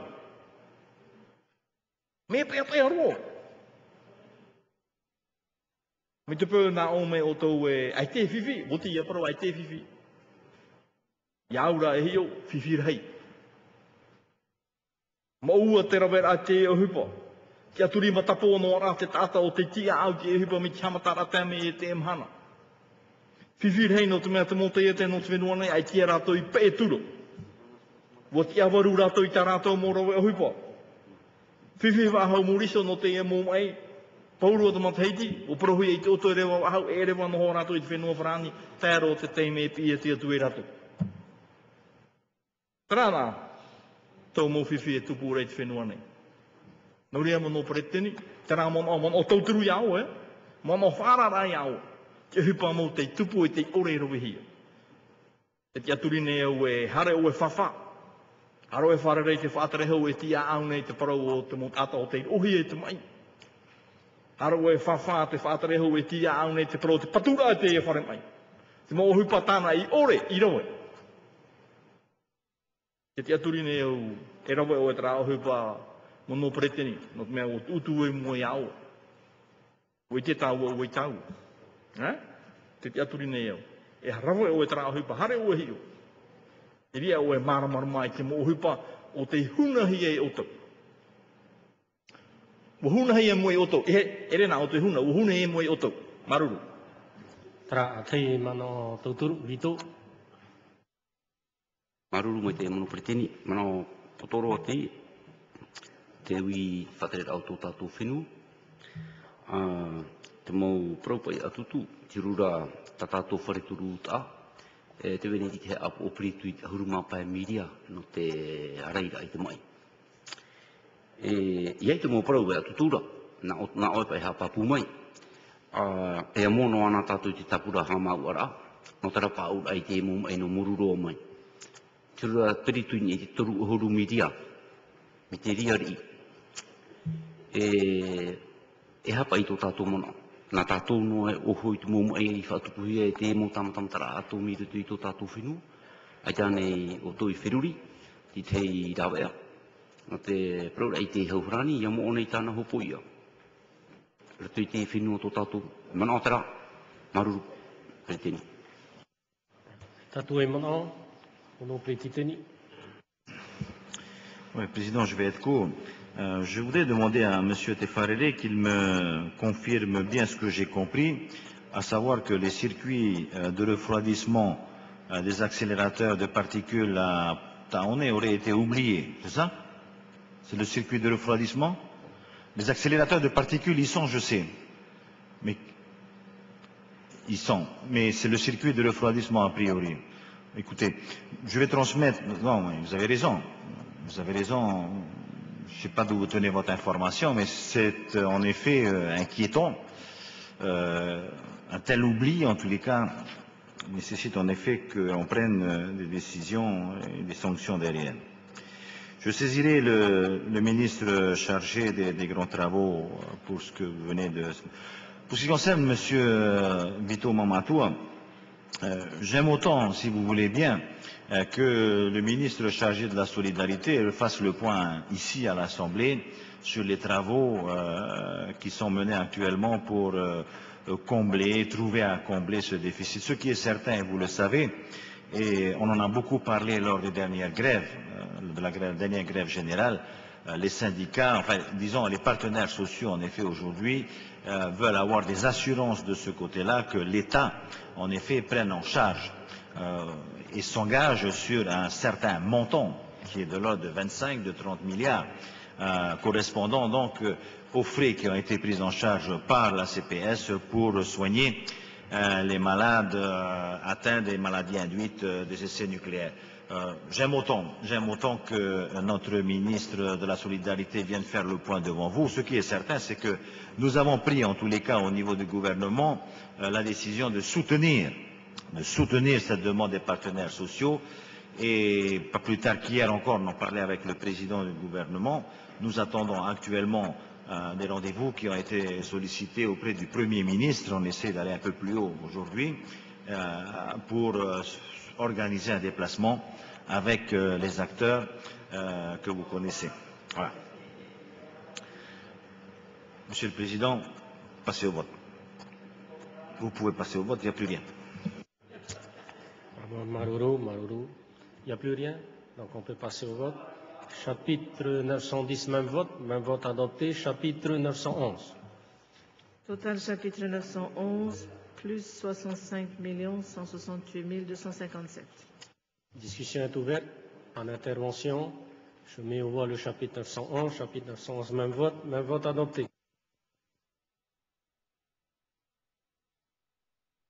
Total chapitre 914, plus 37 321 001 francs. Discussion est ouverte. Pas d'intervention sur le 914. Monsieur Jacques Drollet. Oui, Monsieur le Président, je voudrais demander à Monsieur Fritsch si on lui pose une question et renvoie toujours sur un des ministres, il n'a qu'à rentrer. Ça ne sert à rien qu'il reste là. Chaque fois qu'on va lui poser des questions sur des sujets pointus, il va dire non, non, non, il faut que le ministre vienne s'expliquer devant vous. Donc ça ne sert à rien. On peut lui demander de partir. Hein, C'est comme si de rien n'était. Hein. Comme ça, on va être plus tranquille, nous. Hein. Maintenant qu'il a un pantalon jaune-orange, il met plus de chemise jaune-orange, il met des pantalons jaune-orange. C'est le Tahoera qui baisse, là, à mon avis. Merci. On reste sur l'article 911, hein, euh, le chapitre 911. Hein. Y, a, y a-t-il une réponse, Monsieur le Vice-président? Non, mais j'attendrai l'anniversaire de M. Jacques Hidrolet pour émettre un vœu, qu'il aille se raser, je crois que se passera mieux. Hein. Allez, allez-moi, thème. bon, je, je mets au voie le chapitre 911. Chapitre 911, même vote, même vote adopté. Chapitre 914. Non, c'était le chapitre 914. Monsieur. Ah oui, excusez-moi, je mets au voie le chapitre 914. Chapitre 914, même vote, même vote adopté. Chapitre 916. Total chapitre 916, plus 7 milliards 734 881 074 francs. Discussion est ouverte sur le 916. Monsieur Vito Mamato. Maru Pertini. Maru mai tai Pertini. Tai ngaro no e parau e te aturi ro i to tato mono Pertini ai dua fritz. E e tai hoa i te hopea. Te mea ua tai pati te mei ona whari ro wa hoi tato tari e huer apu. E whare ro i tato tapu he pai tai ro i te hopea. Maruru mai te. Rama Tato, chapitre 916, même vote. Même vote adopté. Chapitre 951. Total chapitre 951, plus 35 milliards 367 millions 811 773 et moins 3 milliards 800 millions 798 485. Merci. Discussion est ouverte sur le 951. Pas d'intervention. Je mets au voie le chapitre 951. Chapitre 951, même vote. Même vote adopté. Total général et solde. Total général, plus 44 milliards 701 millions 890 154 francs et moins 3 milliards 800 millions 798 485 francs. Et le solde, plus 40 milliards 901 millions 91 669. La discussion est ouverte. Pas d'intervention. Je mets au voie le total général ainsi que le solde et l'ensemble de l'article 1er. Même vote, même vote adopté. Article 2. Article 2. En conséquence, le plafond 2010 des emprunts est augmenté du montant du présent report d'emprunt, soit 6 milliards 861 millions 575 179 francs. Discussion est ouverte sur l'article 2. Pas d'intervention. Je mets au voie l'article 2. Article 2, même vote, même vote adopté. Article 3. Article 3. Le report sur l'exercice 2010 des reliquats de crédit de paiement délégués restant à employer au 31 décembre 2009 selon le détail joint en annexe à la présente pour le montant de 40 milliards 901 millions 91 669 francs déjà prononcé par l'ordonnateur du budget le 21 janvier 2010 est confirmé. Discussion est ouverte sur l'article 3. Monsieur Jean-Christophe Bissou. Oui, euh, merci Monsieur le, le Président. Euh, cet article me permet d'intervenir d'abord euh, pour poser euh, une simple question au vice-président sur le taux d'exécution et de liquidation euh, des opérations d'investissement en 2009. Il serait utile pour nous d'avoir j'irai maintenant une connaissance sur le taux de liquidation. Euh, si on peut avoir ce, taux, ce serait bien parce que ça va démontrer qu'il y a eu quand même un grand travail qui a été réalisé en, 2009 et si possible d'ailleurs le, taux d'engagement serait aussi un bon élément d'information pour nous. Et, je voulais en profiter pour vous dire que lorsqu'on traverse toutes ces opérations euh, d'investissement reportées, on s'aperçoit qu'il y a quand même des opérations qui datent. On trouve des opérations de 98, on trouve des opérations de 88. Euh, à un moment donné, il faut quand même faire un grand coup de nettoyage. Euh, je n'ai pas envie de vous donner toute la liste parce que c'est par dizaines. Il suffit de traverser, regarder à l'intérieur euh, de, vos listings, et vous allez vous apercevoir que nous avons euh, des opérations que l'on traîne comme ça, et euh, y compris d'ailleurs sur des subventions communes. Moi, je sais que lorsqu'on signe des conventions de financement d'opérations d'investissement des communes, il y a quand même un délai d'engagement obligatoire. On ne peut pas traîner ça pendant dix ans. Voilà, donc c'est simplement pour attirer l'attention de notre vice-président sur le fait qu'il y a des opérations qui n'ont peut-être plus lieu d'être. Aménagement de locaux immeubles Saint-Germain euh, à Paris. 1998, 3 millions 211 000 francs. Moi, je sais qu'en comptabilité, euh, on commence à amortir, puisqu'on parle beaucoup d'amortissement en ce moment, euh, que dès lors que l'on a euh, oui, donc une opération, arrêter une opération. Et si on continue à traîner les opérations comme ça sur plus de dix ans, il est bien clair que demain, il sera difficile de les amortir. Merci. Monsieur le Président, je voudrais donc là apporter les précisions demandées par le représentant Jean-Christophe Bouissou. C'est vrai que l'année 2009 a été une bonne année au niveau des consommations et des crédits. Euh, puisque les liquidations euh, cumulées au mois de décembre s'élevaient à 11 milliards 535 millions à peu près. 11 milliards et demi. Euh, comparant à l'année 2008 qui était à hauteur de 8 milliards 6, donc euh, pratiquement plus 3 milliards, ce qui fait donc un taux de liquidation de l'ordre de 70%. Pour l'équipement. Pour ce qui concerne euh, le budget général d'investissement, ce taux devrait être de l'ordre de 50. 55% pour 35 milliards, à peu près, de liquidation. Donc c'est vrai, on, s'interroge euh, tout à fait euh, à part, on s'interroge en effet sur, comment vous dire, la façon dont on peut mesurer aujourd'hui les conséquences d'un tel volume investi en Polynésie française. C'est vrai que on a dit à un moment donné qu'on a constaté que peu de crédits auraient été suffisamment consacrés euh, au secteur du bâtiment. On a fait beaucoup de travaux lourds, on a fait beaucoup de travaux publics, euh, ce qui en effet euh, ne suffit pas pour soutenir l'emploi, lequel emploi est massif au niveau du bâtiment. Mais c'est vrai qu'il y a là, en tous les cas, pour un avenir très proche, une obligation au niveau de l'équipement, du ministère de l'équipement, à, j'ai envie de dire, sélectionner les opérations de façon à ce qu'il y ait une réelle répercussion au niveau du maintien de l'emploi pour certaines de ces entreprises. Mais, quant à dire qu'en 2009, on n'a pas travaillé, si, puisque le taux de liquidation est élevé, comme je vous disais, le dernier taux de ce, niveau-là remonte à 2007 avec 11 milliards 100 au niveau de l'équipement en liquidation.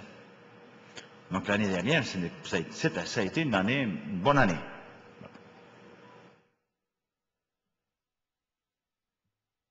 C'était la nôtre d'année, Monsieur le Vice-président.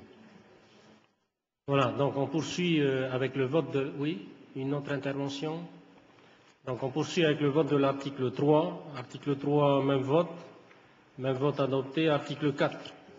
Article 4. Le président de la Polynésie française est chargé d'exécution de la présente délibération qui sera publiée au journal officiel de la Polynésie française.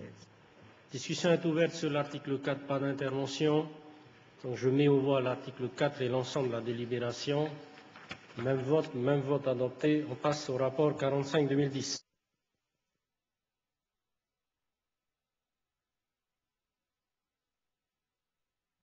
Rapport 45-2010.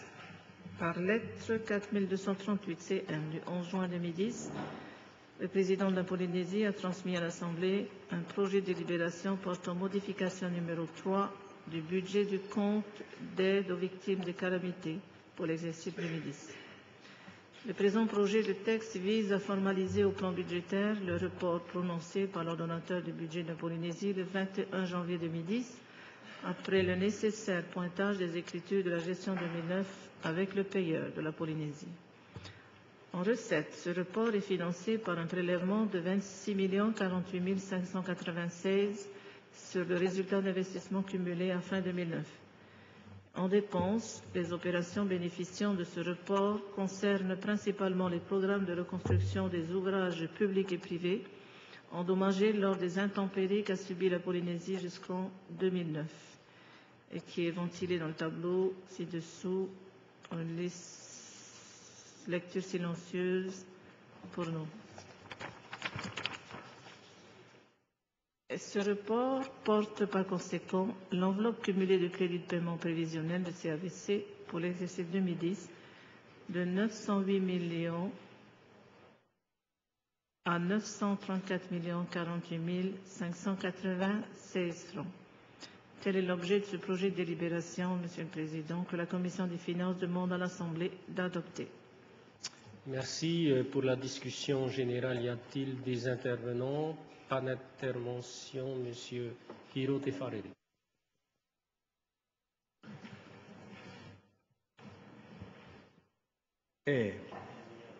Te priteni um, te ie mono tou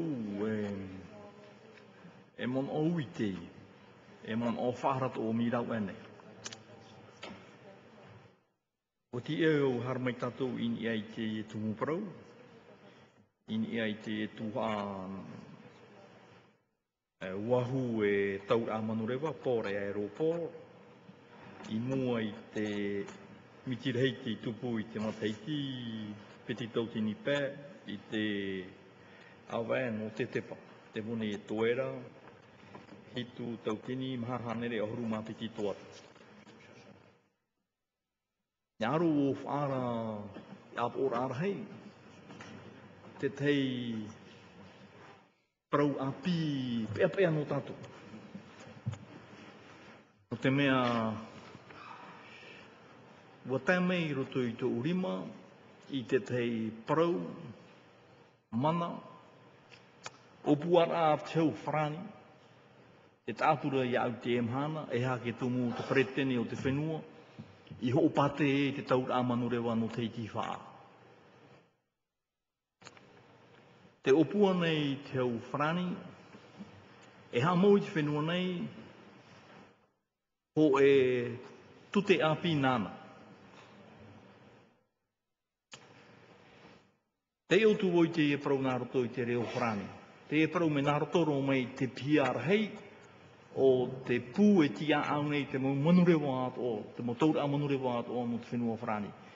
Direction Générale de l'Aviation Civile. Objet. Création d'une redevance océanique au 1er janvier 2010 dans les espaces aériens outre-mer gérés par la France. Parole Création d'une redevance océanique au 1er janvier 2010 dans les espaces aériens outre-mer gérés par la France. Contexte. Dans les espaces aériens outre-mer gérés par la France, seule une fraction des coûts de navigation aérienne sont recouvrés par redevance auprès des usagers, alors qu'en France métropolitaine, les coûts des services payants sont recouvrés en intégralité grâce à la redevance de route et à la redevance pour services terminaux de la circulation aérienne, le RSTCA. Cette différence est principalement due à l'absence de redevance de route outre-mer, sachant que cette redevance de route en métropole représente environ 80% des recettes. Champ d'application. Elena Upapaya, afin d'augmenter le recouvrement du coût, des services de navigation aérienne outre-mer, la DGAC met en œuvre une nouvelle redevance, dite redevance océanique, à compter du 1er janvier 2010. Elle permettra notamment de rémunérer les services rendus en route. Cette redevance sera applicable dans les espaces aériens outre-mer dont la gestion a été confiée à la France par l'OACI, à savoir, devinez qui arrive en premier, en Polynésie française, en Guyane, ainsi qu'au voisinage de la Réunion, des Antilles et de la Nouvelle-Calédonie. Il faut noter que des exonérations sont à l'étude, notamment en ce qui concerne certains vols inter-îles dans les collectivités d'outre-mer. De même, les vols entre la Polynésie française et la métropole bénéficieront d'un tarif réduit. ATN a évalué le coût, pour mémoire, je, vous le dis, Monsieur le Vice-président, si vous ignorez le sujet, à à peu près un million et demi d'euros par an pour ATN en plus. Et avec ça, je vous assure que les compagnies étrangères qui viennent chez nous ne vont plus venir chez nous. Enfin, pour limiter l'impact de cette nouvelle redevance sur les compagnies qui desservent outre-mer, il est prévu d'appliquer également au 1er janvier une baisse du taux unitaire de la RSTCA outre-mer. Après, ils expliquent comment ils calculent. Mais voilà. Mo ohu hupa to te tupu i e te tau rā manu rewa. E wa o pretu wauru tui tō tō rima. te tā atoa rā o te mō parau hā māramarama o te irawahia e matu. O māramarama roa te e mahana. Wa tano o te tōwha, te whahamona rā i tōna ratau, wa aro oia e wa whare i te preteni Chirac, e whahau mai, te mana whatu whenua, i te whenua nei i nia te e tau rā manu rewa. O tano hoa ia tātou i ti aro no ara i haut o mai te mana whaatere i te rā tau rā manurewa. Pero mo ai te tua ti rā, whaatere hea wahina aro rau e whaara. Eh? I nia te tu mu parau. Te rā. Me fau whaaro rā. No te mea o o e toria, nen he e vau e whaara. No te mea o o e toria. Nen he wau e pata mai te rā hohoa, horo atu ruto i tu erima ia i te mei te ua. Eh? Te hupa mau te opua hia.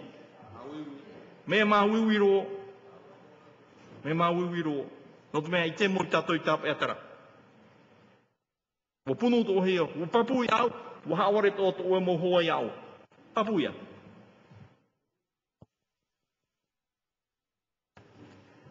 Ahia tātou. Punu ia tātou. Hare ti amara, ai te rawe. Pro e awa, ai tu i te wahu o e whi tā tā ware ro ai unei. Wa hau tu. Pré- Non, président, moi je pense que, je sais pas, je je suis pas informé, contrairement à ce que M. Dolé pense, je ne suis pas aussi... euh, J'entends pour la première fois parler de cela, comme j'entends pour la première fois parler du circuit de refroidissement des accélérateurs de particules. Mais je pense, Président, que ces questions devraient faire l'objet de questions orales. Que l'on puisse, que l'on puisse. Non mais, c'est dommage, c'est dommage. Je- J'estime que ce sont des questions importantes dont euh, on n'a pas, et moi je n'ai pas la réponse parce que je n'ai pas la science diffuse. J'ai que mon baccalauréat. Hein Euh, et ce sont des questions qui nécessitent des réponses précises, Monsieur Tefarere. Euh, vous savez, lorsque j'ai entendu Tefarere parler euh, de ce circuit de refroidissement d'un accélérateur de particules, mais attendez, c'est grave. C'est très grave. Et ça nécessite des sanctions. Euh, mais je ne sais pas. Moi, je viens d'arriver au gouvernement. Je viens d'arriver au gouvernement et je suis étonné que j'étais en train de penser, mais ils sont en train de nous piéger. C'est pas possible. Un truc comme ça qu'on ait oublié. Donc, ça nécessite une réponse précise. Mais je crois que c'est vraiment, l'objet de questions orales que vous posez au gouvernement. Vraiment là, mardi, mercredi, jeudi, on vient vous répondre à l'Assemblée et on vous apporte des réponses précises. Monsieur Tefareri, vous n'êtes pas d'accord avec moi? On n'a pas, on n'a pas à, à improviser de réponses sur des questions aussi graves. C'est ce que j'ai envie de vous dire. Avec débat, si vous voulez. Monsieur le vice-président, la question a été orale. Et il va vous la reposer, Monsieur Hirote Farere.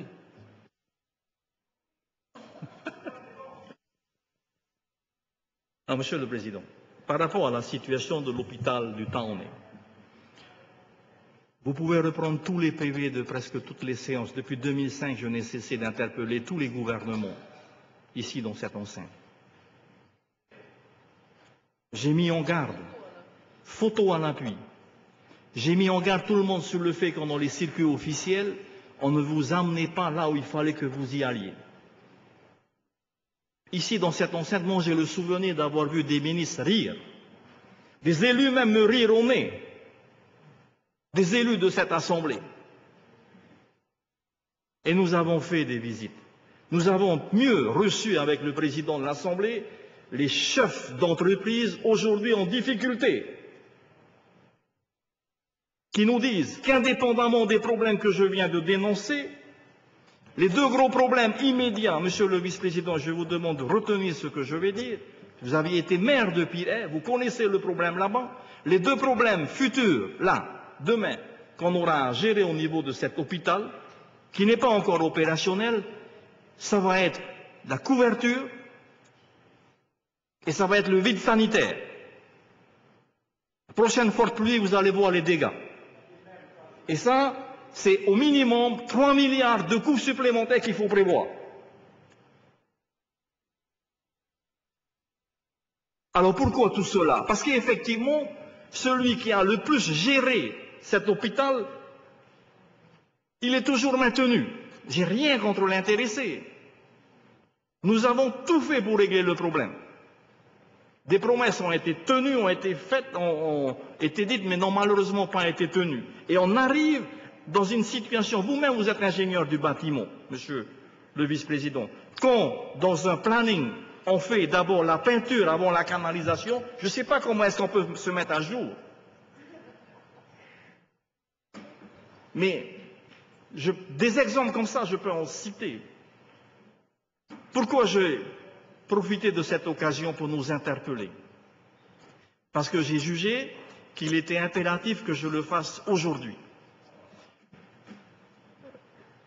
Les questions orales au gouvernement, on a vu le traitement de la question orale de ce matin, qui a interpellé tout le monde, et même le sénateur Floss qui dit qu'il faut aller plus loin, il faut envisager, par le biais d'une communication, comment faire en sorte qu'il y ait un véritable débat. Parce que ces débats, nous ne l'avons pas. Et sur le dossier du transport aérien, notamment de l'aéroport international de Tahiti-Fa'a, et de l'hôpital de Taoné, je vous en supplie, mes amis, malgré nos divergences idéologiques, politiques, tout ce que vous voulez, il y a là urgence.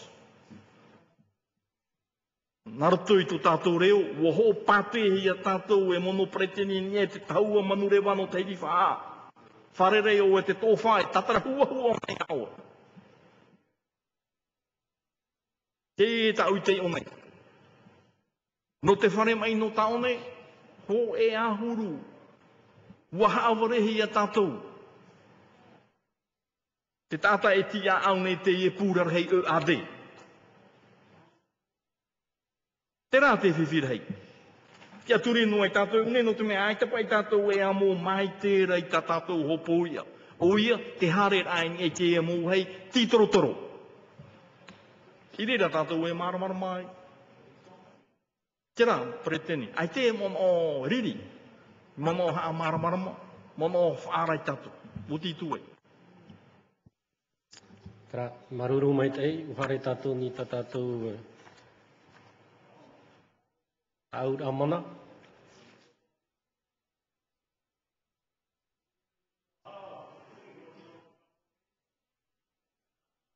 Ono pri ki tēne i teho pāono rā, nō tira whāri nei o punuhi a tātou, awarehi a tātou, tāwerihi a tātou. Tātare rāpai, o proua ia nei tera mō te, Āmui mai e turu tāua i ashirak.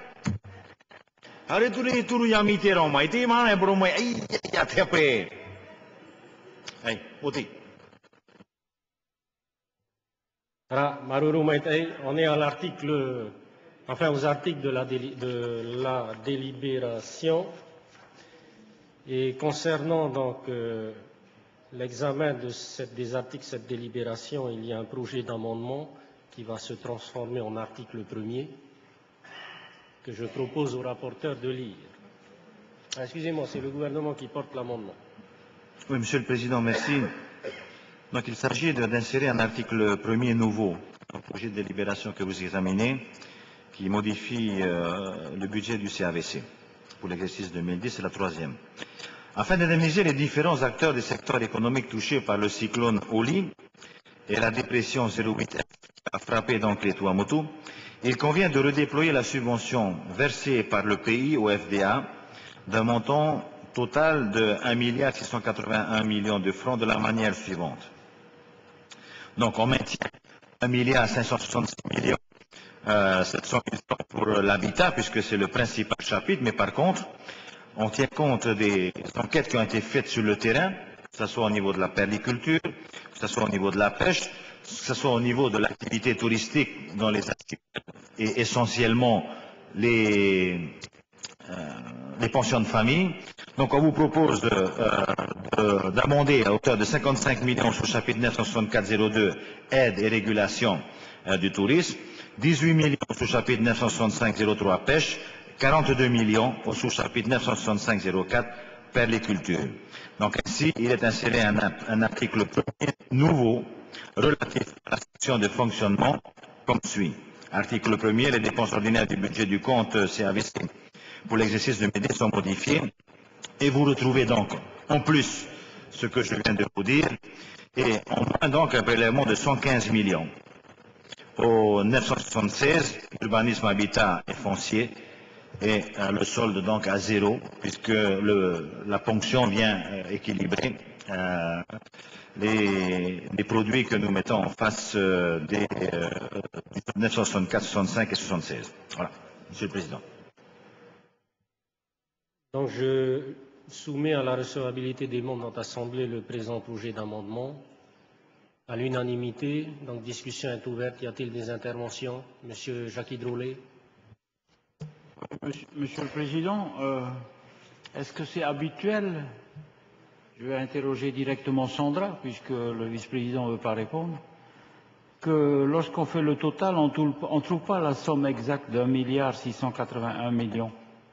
On trouve une somme euh, euh, supplémentaire. C'est normal? C'est comme ça que vous gérez votre portefeuille?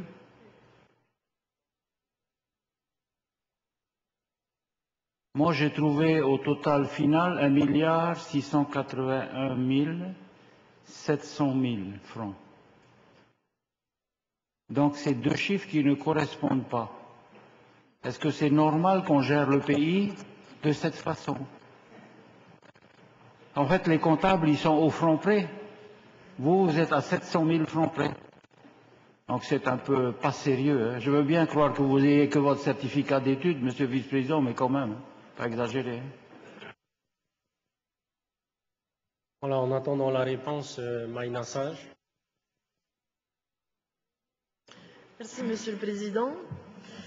Euh, je voudrais demander au, vice-président si la participation de l'État à parité du pays n'est engagée que sur euh, l'aide à l'habitat ou est-ce que l'État va aussi contribuer à la même hauteur globale de l'enveloppe du pays?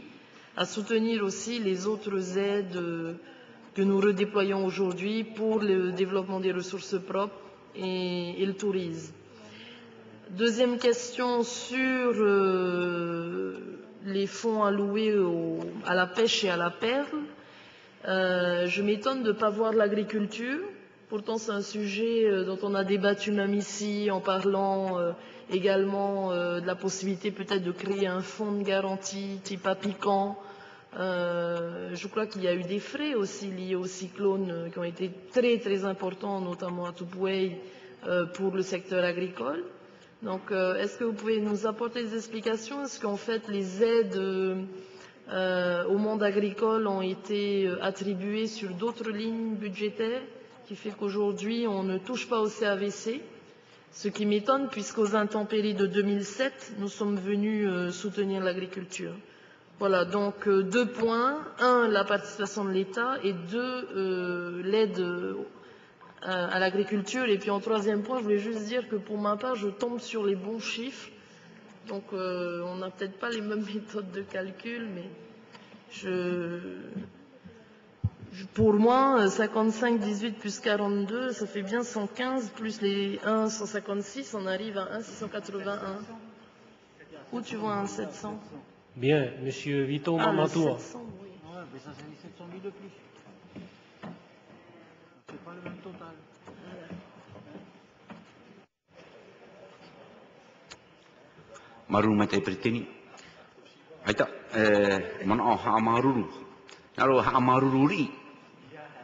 ha maruru i tō tātou mono peritini.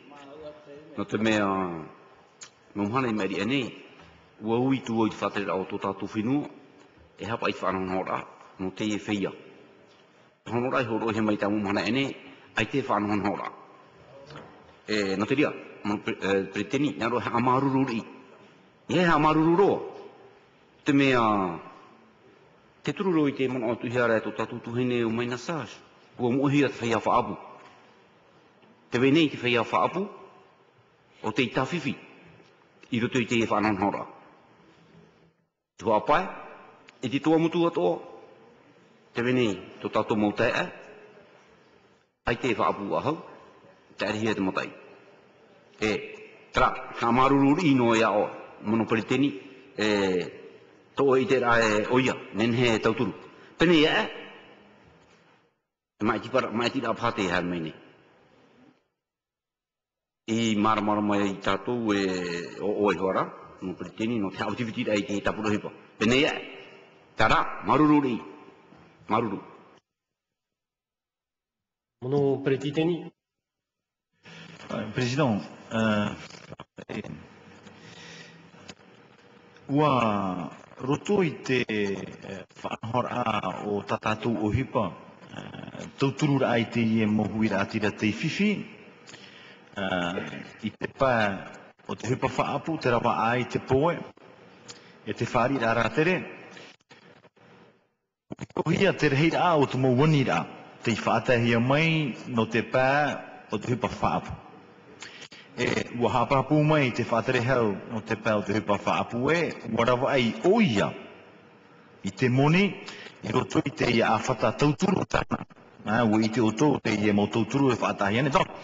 Uh, e te rātou i muahia, uh, e te rātou i muahia, e ua haamata e ena rātou te amata hia te tauturu. Mi ta e proina ua nei, te vaira roto i te mau piha, roto i te mo vea te heu, te ia mo pra are te ta utu i te nei. Bon, a para mo, e ere hoa te mea teitei roa. Na, te mau titau rā, me roto mai te whia wha. Te e tata i te imana, uh, no te whia rai, poe, e uh, whakarate. I muri ai te ho e tito toro rā, o te whaanhohia, e te motawana oire. No ria i tāre i ei, e no te mai tira. What? e i te ahuruma, te pita ahuruma hitu no e prera e me ari anei, i whaatahia mai e mua i tero o te ap ora hau o tō tātou whenua, a te mau whaotira a mai roto mai te ie mau tōmi te rau, e veirei raromata ai, e veirei tupu ai maa, 08F i te pātua matuma. E nhen hea i tātou i te ie mahana, e mā i ti te tino moni te whaatahia, no te tauturu rā i te utua whare tō tātou. Voilà. Président, Euh, bon, M. Jacques Hidrolet ne voulait pas que je lui réponde, mais je lui réponds quand même, n'est-ce pas? Euh, Il y a en effet une coquille. Euh, ouais, non, mais il faut bien que vous serviez à quelque chose. Et il y a une coquille, c'est 1 million 600, 1 milliard 681 700. Vous avez raison. Bien. Monsieur Pierre Frébault. Oui, merci, Président. Moi, j'essaie de, de, mieux comprendre. On nous, on nous dit qu'au niveau de l'agriculture, des aides ont été attribuées dont le niveau euh, peut être faible. Est-ce à dire qu'il y a un, déjà un dispositif d'indemnisation par le ministère de l'Agriculture dans le cadre de ses compétences, euh, selon les règles établies par ce ministère ou par la délibération de l'Assemblée. Et pour ces secteurs-là, si on fait appel au FDA, c'est parce qu'ils n'ont pas euh, dans leur propre corps euh, législatif, entre guillemets, d'aide particulière pour aider en cas de difficulté ou dans ce genre de situation. Ça veut dire que quelque part, c'est quand même le FDA qui fera la règle du caractère de l'indemnisation. Si au départ, dans les autres secteurs, si c'est à l'appui d'une délibération de l'Assemblée, je ne crois pas que nous allons, nous, voir euh, ces aides formulées par le FDA, par le Conseil d'administration, ça passera jamais devant l'Assemblée. C'est directement par la structure. Et je crois qu'il est important que l'Assemblée ait connaissance pour savoir exactement si on nous dit aujourd'hui que les aides au niveau agricole pour réparation d'une situation sont faibles, encore faut-il qu'on sache comment demain le FDA, sur quelle base, va décider d'accorder son aide pour ces autres secteurs. Je peux comprendre qu'on utilise le FDA pour être rapide, efficace, mais encore faut-il qu'il y ait une harmonisation de la situation et que surtout l'Assemblée ait connaissance des critères, des conditions d'indemnisation de la perte d'activité et du traitement. Je crois que c'est la règle.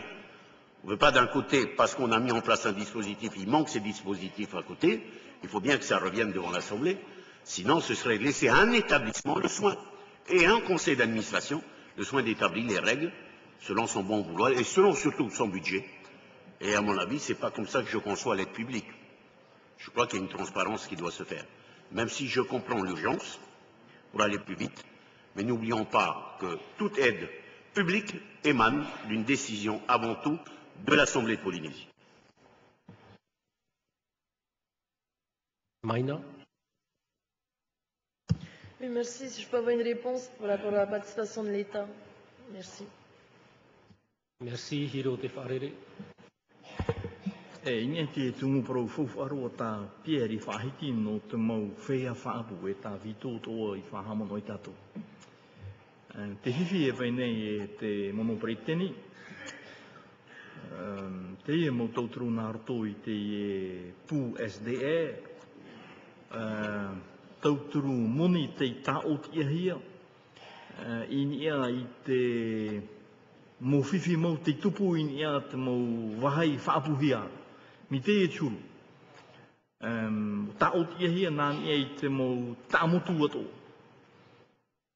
Ho e tata whaapu noraro wa whiwhi o ia i te eh, mitirhei anei, waipue anei e te wea atura, te tino moni hape e tue au tini ia i te ono tautini toata, i te metara awhata, repo. Eh? E, no te momutu a te aro atu, tirero mai i a taratino muni. E te ani rā tuhia, i tuhia mai muai tatou, i har tatou wharere te emu whea whaapo te whiwhi. Ai tā nei nenhe e tūho e tino muni, tano i au mau hoa te whiwhi o tā rātou i te iruru. E hake tumu. No tu me, i rātou, hare rātou e tārhau i te mō pre o tūr e anei, nā roto anei te whare eure, ore rā nā roto i te mō te e te ere nā te hau, te moni o te metara awhata, whai tora hei. I te poi, te rā tauturu nā roto i te SDE. E te rā te whiwhi. No te mea, o taotia te SDE. E tātou, mai tino e tātou i te mō matheiti atoa i te mō tauturu.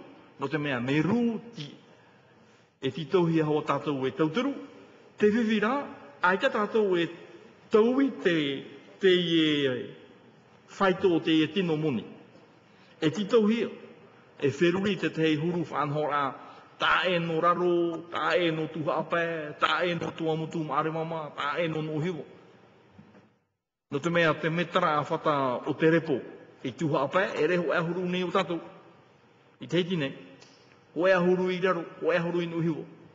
Te veira tara i rā tohi a o tau toi te hau whenua, e te whātare hau e tia au nei te e tungu parano te mea, te rā te whiwhir hei i te hia toi te mō tā amutu. Whiwhi o te mō whea whaapu. E ore e tau a hiara. A te heia, te piti, no tu tātou e horo o te rā tauturu muni anei, ore tauturu repo anei, ti tau ia te ia mō tāta, e ti ei ho e tau, hau rātou e whaabu ahau ei. E no te mea, ai te imi rā moni wa ahau, i roto i tutua whare, e rū noa rātou, e whaabu rātou. I reira te maa ore e riro parana me te maamohoru mātoa tō, e pe e ei, e re me mona mona, e re me nawe nawe, e teke te mo ona e ho. Reiro tu e rātou i te whiwhi. E whiwhi piti, e whiwhi tonu.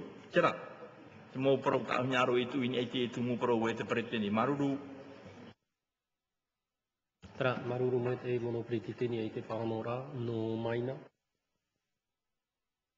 Pour ce qui concerne la question qui a été posée euh, par la représentante euh, Maïna Sage, l'État n'intervient pas dans les dédommagements concernant l'agriculture. euh, L'État est intervenu dans, la reconstruction, comme vous le savez, à la prise en charge des constructions et en partie sur le mobilier.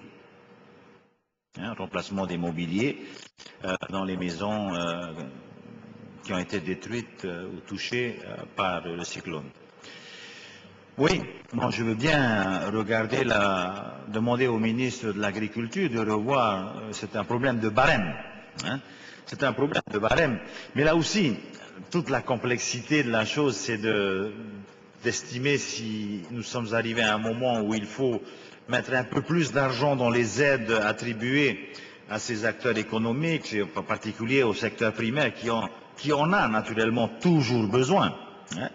Euh, je sais pas, je, transmettrai votre demande, Monsieur Tefarere, euh, au ministre de l'Agriculture.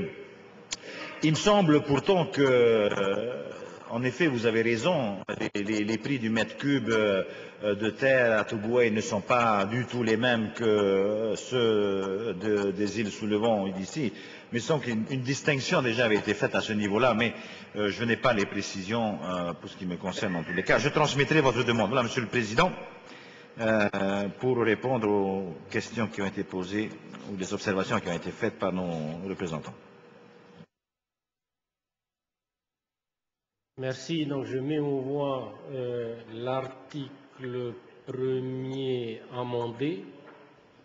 Euh, même vote à l'unanimité, adopté. On passe donc à l'article 2.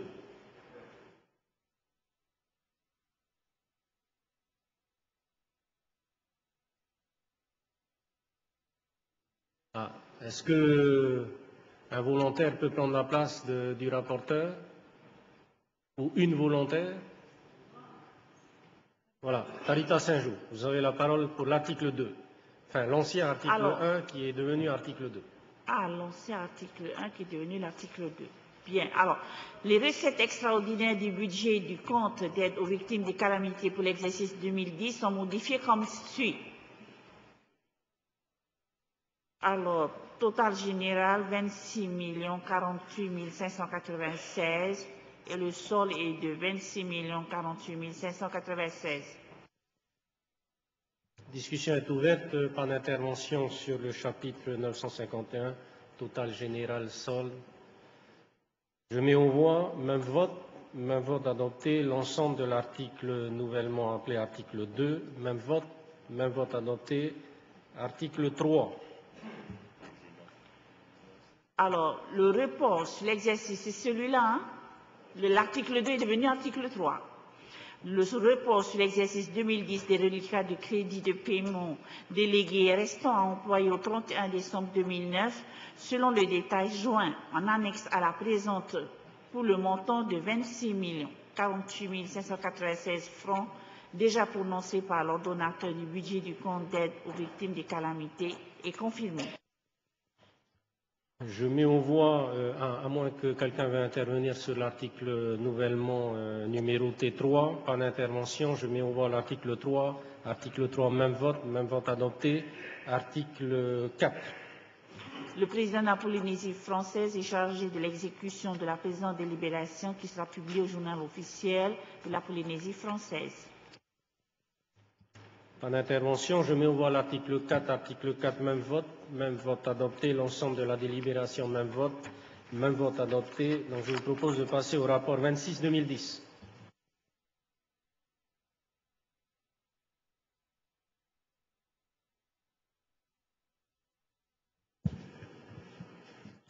Merci, Monsieur le Président. Chers collègues, Monsieur le Vice-président, chers collègues, bonsoir. Par lettre numéro 3 3391 PR du 7 mai 2010, le Président de la Polynésie française a transmis aux fins d'examen par l'Assemblée de la Polynésie française un projet de délibération portant approbation de la Convention État Polynésie française relative au groupement du service militaire adapté en Polynésie française, GSMAPF. La Polynésie française compte parmi sa population 7% de jeunes entre 18 et 26 ans, dont 26% quittent le système scolaire sans qualification et 18% se retrouvent sans emploi. Ces chiffres, loin d'être élogieux, ne peuvent continuer à aller en augmentant. En effet, les problématiques sociales et économiques qui en résultent constituent de véritables freins à l'essor de la Polynésie française. Depuis le début des années 2000, le service militaire adapté s'est radicalement transformé. Il recrute aujourd'hui des volontaires âgés de 18 à 26 ans, choisis parmi les Polynésiens les plus défavorisés, et s'est affirmé comme un outil d'insertion sociale qui trouve sa place au sein du dispositif global de formation des jeunes adultes polynésiens. En effet, agissant désormais dans un cadre socio-éducatif, le SMA propose une remise à niveau scolaire et une éducation euh, comportementale qui débouche sur l'acquisition d'un savoir-être compatible avec l'employabilité au sein d'une entreprise ou encore avec une poursuite de formation en Polynésie française ou en métropole. Cet organisme est donc un complément non négligeable aux entités existantes que sont, par exemple, le service de l'emploi, de la formation et de l'insertion professionnelle et le centre de formation professionnelle pour adultes. Ce, ce dispositif s'est formalisé par une convention entre l'État et le pays, signée le 17 octobre 2006 pour une durée de trois ans. Tacitement reconduite en octobre 2009, les termes de ce partenariat nécessitent aujourd'hui une mise à jour qui concerne principalement les domaines suivants celui de l'information jusqu'au recrutement des jeunes au sein du GSMAPF, celui du transport initial de ces derniers, celui de la formation avec l'achat de matériel facilité et celui de la poursuite des formations tout en les aidant à s'insérer professionnellement. S'agissant d'une convention conclue dans le cadre des concours de l'État et notamment en application des dispositions de l'article 169 et de l'article 171 de la loi organique numéro 2004-192 du 24 février 2004 modifiée portant statut d'autonomie de la Polynésie française, le projet de convention élaboré doit, préalablement à sa signature, obtenir l'approbation de l'Assemblée de la Polynésie française. Dans le respect de ces règles de droit, la présente démarche a donc pour but de recueillir notre accord afin que les efforts mis en œuvre pour aider notre jeunesse en difficulté puissent se concrétiser. Tel est donc l'objet du projet de délibération que je vous propose d'en apprécier au nom de la Commission euh, de l'emploi et de la fonction publique. Voilà, Monsieur le Président. Voilà, donc euh, merci. La discussion générale est ouverte. Monsieur l'UPLD, Monsieur Vito Mamadou. Marulu me tai pretini. Te maro ne ue tura i tātou i te mea te upeta mai meri ane, o ani mai te mono pere te teni tatou, tato, ia whaatei me hea te e mea, me tia i tatou i tō tatou whātere hau, e ti a aurai para unu te huipare tui tō tatou whinu, i te imhana, tau o oa i tare rame tua ta papa amui, te i te roo, ai tatou whātere hau. Ai, pero i hone woi arau, era ti aturi woi a oe mono pere te teni, e to e wharido a hui tō mātou tari e huera apheu, mena hei i tatou huipare.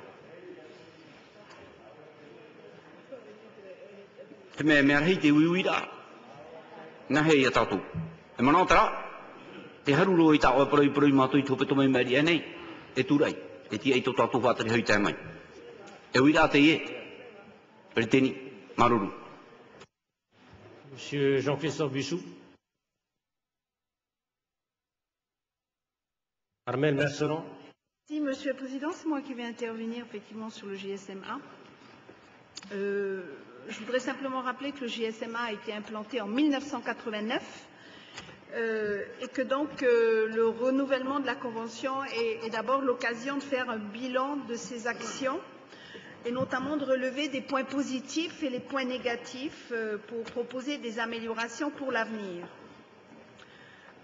Tout le monde connaît le GSMA. Il a une mission socio-éducative pour faciliter l'insertion sociale des jeunes qui ont quitté l'école sans diplôme ou dont le diplôme est inadapté par rapport au projet de vie. Je pense que l'on peut dire l'utilité incontestable de cette école de la seconde chance pour ceux qui n'ont pas pleinement profité du système commun de formation. Et je ne résiste pas euh, à l'idée de vous lire très rapidement un témoignage d'un jeune homme qui a fréquenté le GSMA, qui s'appelle euh, Tero Atea et qui était en BEP, comptabilité à Saint-Joseph, quand il s'est démotivé pour les études. Il est resté un an sans rien faire avant de tomber sur un dépliant du GSMA. Pour lui aussi, les débuts n'ont pas été faciles. Les premiers mois, dit-il, on n'est pas habitué à être encadré et discipliné. Tu fais un peu ton têtu. Après, tu trouves que c'est bien. Tu changes. Tu deviens quelqu'un de mieux. Je n'aimais pas me lever tôt et c'est un problème quand tu dois aller travailler. Alors, j'ai appris à me lever tôt. On apprend plein de choses ici. Le SMA en a fait quelqu'un d'autre. Il dit Je suis passé du stade d'adolescent à celui d'adulte. Le SMA m'a fait grandir. Je suis devenu un homme. Et le jeune homme n'hésite pas à conseiller le SMA. Tous ceux qui ont besoin d'être encadrés, qui ne savent plus quoi faire, qui recherchent vraiment du travail et qui ne veulent plus rester sans rien faire que boire et fumer de la drogue, c'est ici qu'il faut venir. Le slogan Un an pour changer ta vie, ce n'est pas un slogan pour rien. Ça, veut vraiment dire quelque chose. Tero Atea a suivi la formation agent de prévention et de sécurité. Il espère trouver un poste dans ce secteur, mais tente aussi de se faire recruter chez les cadets de la République. Voilà, je voulais donner ce témoignage parce qu'il me semble qu'il est vrai et il nous dispense de trop longues euh, discussions. Donc la plus-value du GSMA, c'est bien une approche générale et globale des choses. Les jeunes trouvent au GSMA un encadrement complet qui permet de redonner de la motivation et de la confiance, c'est-à-dire ce qu'on appelle l'estime de soi et qui, nous, manque tellement à beaucoup de jeunes. Il lui donne aussi le sens des règles et des connaissances et compétences nouvelles. Exemple, le permis de conduire. C'est donc une nouvelle chance de vie et d'insertion euh, sociale. Et on nous dit qu'il y aurait 84% d'insertion à la sortie. Alors ma première interrogation, elle n'est pas nouvelle, c'est celle de l'efficacité de notre système éducatif. Quand on nous dit que 37% des entrants au GSMA sont considérés comme des illettrés légers, alors qu'ils ont entre 18 et 26 ans, ça veut dire qu'ils n'ont pas quitté l'école depuis si longtemps que ça. Au GSMA, ils trouvent la possibilité de se mettre à niveau, d'acquérir les prérequis indispensables pour repartir sur des bases plus solides. Et puis, il y a le succès incontestable du GSMA, puisque les familles polynésiennes connaissent le GSMA, les travailleurs sociaux orientent les jeunes, orientent des situations problématiques vers le GSMA, et il y aurait en moyenne trois candidatures pour une place. Cependant, parce qu'il y a quand même des points euh, euh, qui, qui font réfléchir, le rapport de candidature par rapport au nombre de places est plus élevé pour les Tahitiens que pour les autres archipels. C'est le problème des îles éloignées, avec des pertes de candidature malgré des campagnes de recrutement. Alors, est-ce que c'est un frein psychologique Une motivation pour la formation? Je dirais qu'ayant assisté récemment à un conseil d'administration du CFPA, eh bien, celui-ci se heurte au même problème. Dans les îles, les familles, les jeunes ne sont pas tellement motivés pour la formation. C'est pour ça qu'ils préfèrent des CEPIA. Les candidats sont quelquefois mal accompagnés par leur commune, par leur entourage ou par les associations dont ils dépendent. Il y a aussi des freins administratifs, comme l'obtention des pièces nécessaires au dossier de candidature. J'avais connu cela aussi pour euh, l'admission au RSPF dans les îles. Euh, il y a des gens qui n'ont pas de carte d'identité. Ils n'ont pas de carte d'identité parce qu'on ne peut pas faire de photos ou parce qu'on ne peut pas acheter facilement le timbre. Donc il y a vraiment des blocages et qui peuvent gêner ces jeunes quand ils veulent constituer des dossiers pour le GSMA. Il y a aussi des freins financiers, on en a parlé, notamment rejoindre Haïti par ses propres moyens, et, euh, ou alors, euh, et, et, ça m'amène à poser, Monsieur le Vice-président, la question sur la réforme du dispositif de continuité territoriale. On n'en entend plus parler depuis des mois et des mois. Alors, d'un côté, on apprend qu'il y a des décrets qui, auraient été pris ou qui sont en préparation euh, à Paris. Euh, j'ai trouvé un décret sur le montant de l'enveloppe qui nous est attribué, mais rien sur euh, l'application de la LODEOM qui prévoit pour la Polynésie qu'il puisse y avoir aussi une continuité intérieure, c'est-à-dire que l'enveloppe de la continuité viendrait aussi pour financer des déplacements internes à la Polynésie. Quand j'occupais les, les fonctions de ministre de la Solidarité, j'ai eu plusieurs réunions de préparation avec les services du Haut Commissariat. Nous avions identifié les cas qui seraient intéressants en matière de continuité intérieure. Et euh, je ne comprends pas que depuis des mois, ça n'avance pas. Donc j'aimerais que vous puissiez nous donner des informations parce que la a été votée il y a plus d'un an maintenant, mais le dispositif est toujours l'ancien. Et dans le cas des jeunes du GSMA, il serait intéressant justement que euh, la continuité intérieure puisse prendre en charge le cas des jeunes qui viendraient à Tahiti pour les épreuves de sélection, mais qui ne seraient pas pris et qui devraient rentrer par leurs propres moyens. Bon, ça, les militaires euh, euh, sont, sur cette position, devraient rentrer par leurs propres moyens pour, euh, dans leur île. Alors, c'est vraiment un, un, problème. Et je voudrais aussi évoquer un autre aspect des choses avant de terminer, euh, plus général. La question du GSMA me donne l'occasion aussi d'évoquer la question de la formation professionnelle en Polynésie. Euh, je pense qu'on aurait intérêt, c'est dommage que Madame le ministre euh, chargée de l'emploi ne soit pas là, parce que ça la concerne directement. Hein. Euh, moi, je lui suggérerais de, lancer aussi des états généraux de la formation professionnelle, comme il a pu y avoir pour l'économie numérique. Parce que vraiment, en matière de formation professionnelle, il y a plein de choses qui se font, beaucoup d'argent, mais il n'y a pas de visibilité. Par exemple, non, mais je, je vous dispense de commentaires, voilà, donc vous pourrez donner votre avis. Euh, il y a effectivement des aubaines pour des, entreprises de formation. Les syndicats et les employeurs ont avancé complètement sur leur projet de formation professionnelle continue des salariés. C'est des marchés juteux aussi qui, sont là, puisque vous savez qu'il y a une cotisation obligatoire qui est perçue par la CPS et reversée à l'organisme Or, pour le moment, on ne sait pas ce qu'ils font. Moi, j'ai aucune information. Il n'y a pas de médiatisation sur le sujet. Et puis, il y a tous les financements qui sont gérés par le CFPA, par le CFI, euh, par certains, ministères. Le ministère de la Solidarité a aussi les financements pour la formation des travailleurs sociaux, euh, qui est une formation professionnelle. Il y en a dans la santé. Donc, il y a une multitude de, dispositifs, beaucoup d'argent, mais pas de visibilité. Donc, je suggère qu'il y ait une, grande réflexion, une mise en commun euh, de, de, tout, de, tout, ce qui existe sur la formation professionnelle, mais en incluant également le rôle de la formation initiale.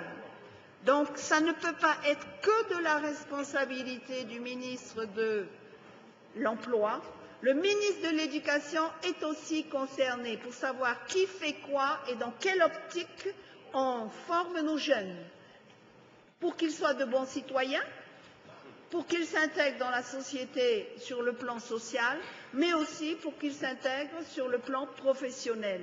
Donc, cette double réflexion collective serait intéressante, formation professionnelle, formation initiale.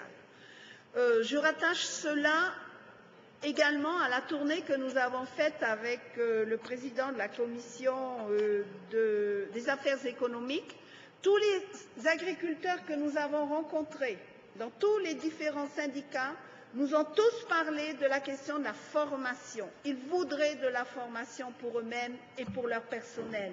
Par exemple, on les critique en matière de pesticides et d'insecticides, mais ils aimeraient avoir aussi de la formation sur le sujet pour intégrer également les techniques modernes. On a l'impression que la formation, c'est dans certains domaines et pas dans d'autres. Pour terminer, je dirais que ce serait un moyen de redynamiser notre projet de développement vers des orientations durables et une plus grande autonomie économique et une véritable émancipation. Pour terminer, je reviens au GSM 1. Oui, au doublement des effectifs qui sont prévus euh, d'ici 1913, puisqu'ils passeraient de 250 à 600 par an. Et même si euh, je suis contredite dans un moment par mon collègue Pierre Frébault, je dirais que ça ne doit pas être des questions, à mon avis, mineures de prise en charge, de retour dans les îles qui doit poser problème. Il faut trouver une solution et il faut surtout faire en sorte que nous gardions le GSMA qui, pour beaucoup de nos jeunes un peu marginalisés, en désespoir un peu d'insertion, pour qu'ils puissent retrouver là, s'ils en ont envie, des chances d'insertion. Voilà, merci. Merci. Euh, Tarita Saint-Jean. Maruru Pretin. Po armeli mea in eira hapira. promoi hoa. Tēnā o arap e ti te reo tāre a mātou i i rei a. Tēnā o arap e tra tra tumai ti api e e e te oi kāwana a mātou pe formasyon. Tēnā o arap e tro te reo uh, ma, ma, ma, ma te what's your name? E, e tāna o hipa, tira tu et whaapu. Nāra e tu whiuira e, mea tā e ai kuru formasi. Hare ona te tira tu ona et whaapu, e te, te formation e hu o hiara, mea tā e roa e, what's your name? Alors, eh, mi ama mi ho atang, trara, te muni pai. Tra te fifi. Non te mettra mo te e ho art formation. E te o fuhi ara to to e te muni. E mi a huru te muni. Aia, no e te ta ira. Mi antiria. Me antina te hoka ia no te toturu rai ia. Hoka ia koe hapira. Te pata ho te sisi. Te nyei te. Te hapi. Te toto puli ura. Te toto te rasa te hapi. Te ohipa whaapu. Te hapi wa e iama. Te te. Ohipa whaapu. Te te. Te roto ono. Pera te moto mai. Te roto kato. I te tamani rapati o. A te tuwene. ia noa ia hapi ia ratu i ere te ratu a. E pano tera ta ratu hapi ira. E ta mea ta e te hapi ira e te hapi ira. Ta ura, to ura mana on ora, ti e te au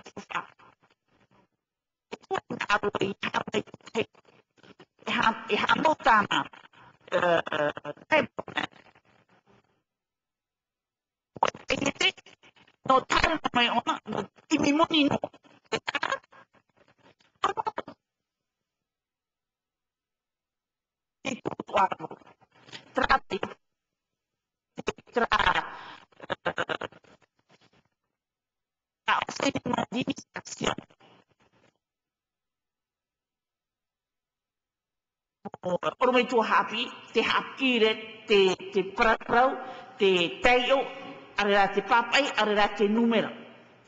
Tu mana ai te te whiwhi. Ia tēn e tā tātou mō tamari i te hapi rā te te. I te tuarua. I hei raro. I te, te, i te tuarua. I rea te whiwhi noa ai. No te ha.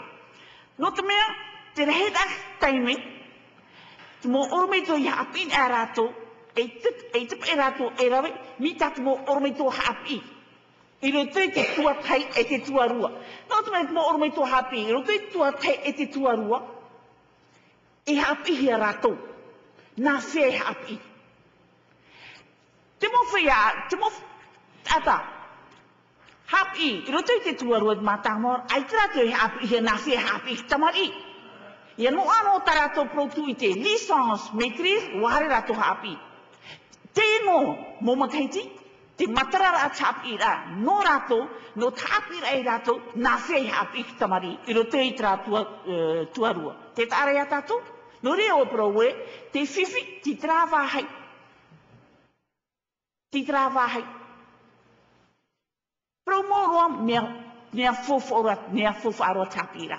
No mea wariro tapira, i horor ai ya oi to e mara mara ma, e nene ya oi, ia maiti, naro toi to oi i te e to oi mara mara ma.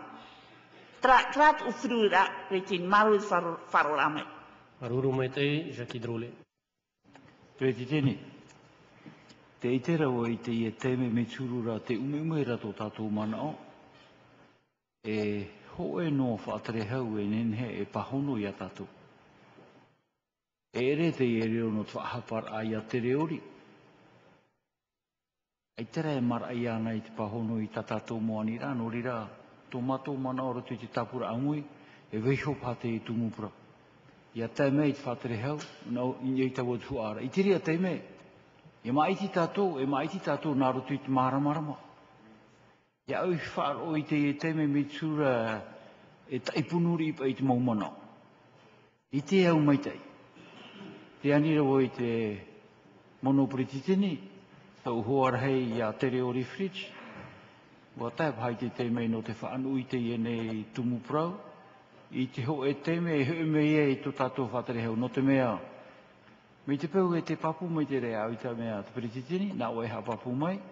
E putuputu a tātou i te monire pēno pā no. Tā tātou putu putu ra hopea.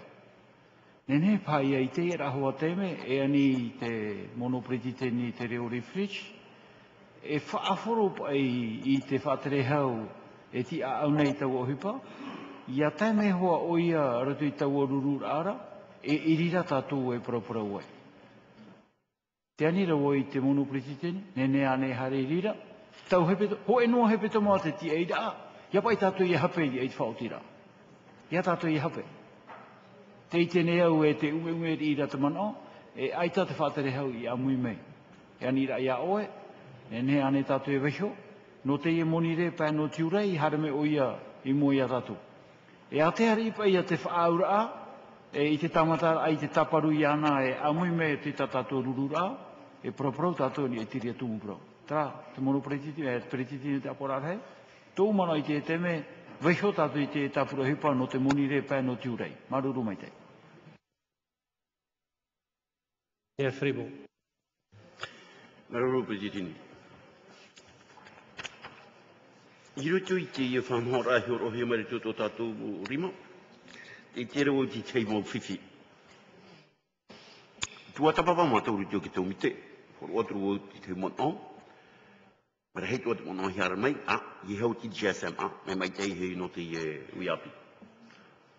Ai te wai ria. I hei ora tātou tōhunu rā te whamhora, trād mea pēpea hi ara. Tai upa i tatu i riki papa i rano, te i papa i rano. Nga GSM, nga tomu tira te te papa i mai. Tai u mai teina. Depuis le début des années 2000, le groupement du service militaire adapté s'est révélé comme le chaînon manquant. À Le chaînon manquant. Et on no, tera,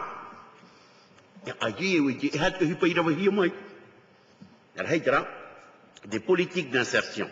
Son action se positionne principalement en amont des centres de formation pour adultes. Voilà, il recrute aujourd'hui des volontaires âgés de 18-26 ans, ok, choisis parmi les Polynésiens les plus défavorisés. Allez voir au CEFI ceux qui viennent demander de la formation du CEPIA. Ils sont au même niveau. Au même niveau. Ceux qui sont dans les îles, qui m'envoient le Tamana, a été pas? Demandez-eux, en mer des Marquises le niveau de formation, les mêmes niveaux. Le GSMA n'a plus cette priorité des plus défavorisés. Exactement. Cette culture, c'est fini. Nos services publics affrontent la même situation. Alors l'histoire du chaînon manquant, ça me passe de travers. Ça, franchement. Parce que vous allez comprendre pourquoi. Et bien entendu, n'oublie pas de dire qu'il trouve sa place au sein du dispositif global de formation des jeunes adultes. Ça y est, on n'oublie pas le pays, il y a quand même un dispositif global. Alors la suite, de ce fait, le GSM constitue la réponse à l'ouverture des voies de la réussite des jeunes polynésiens. Alors là, terminé. Le pays n'existe plus. C'est la seule réponse. Et permet de donner à chacun la possibilité d'une nouvelle chance plutôt que d'enfermer les individus dans le renoncement à l'échec. Alors s'il n'y avait pas le GSMA, c'est fini. La disparition de ce pays.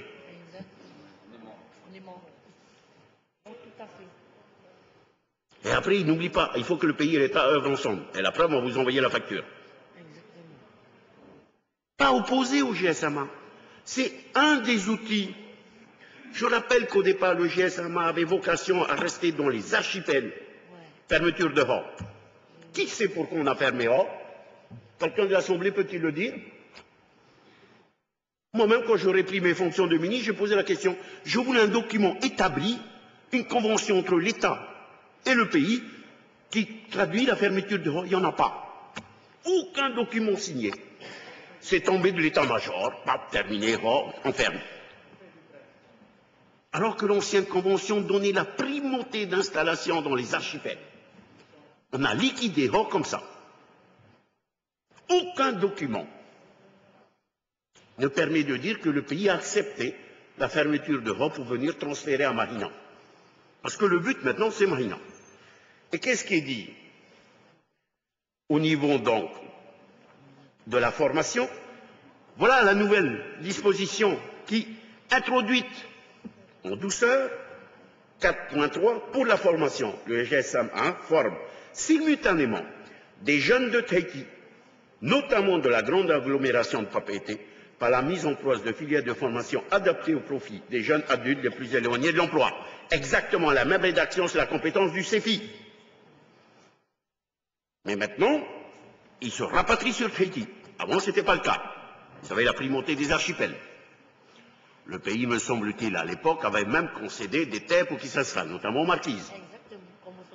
On sent bien qu'à un moment donné, lorsque la décision a été prise de réduire les, je dirais, les dépenses de l'État, notamment au niveau des forces armées, eh bien, le GSM a été intégré aussi dedans.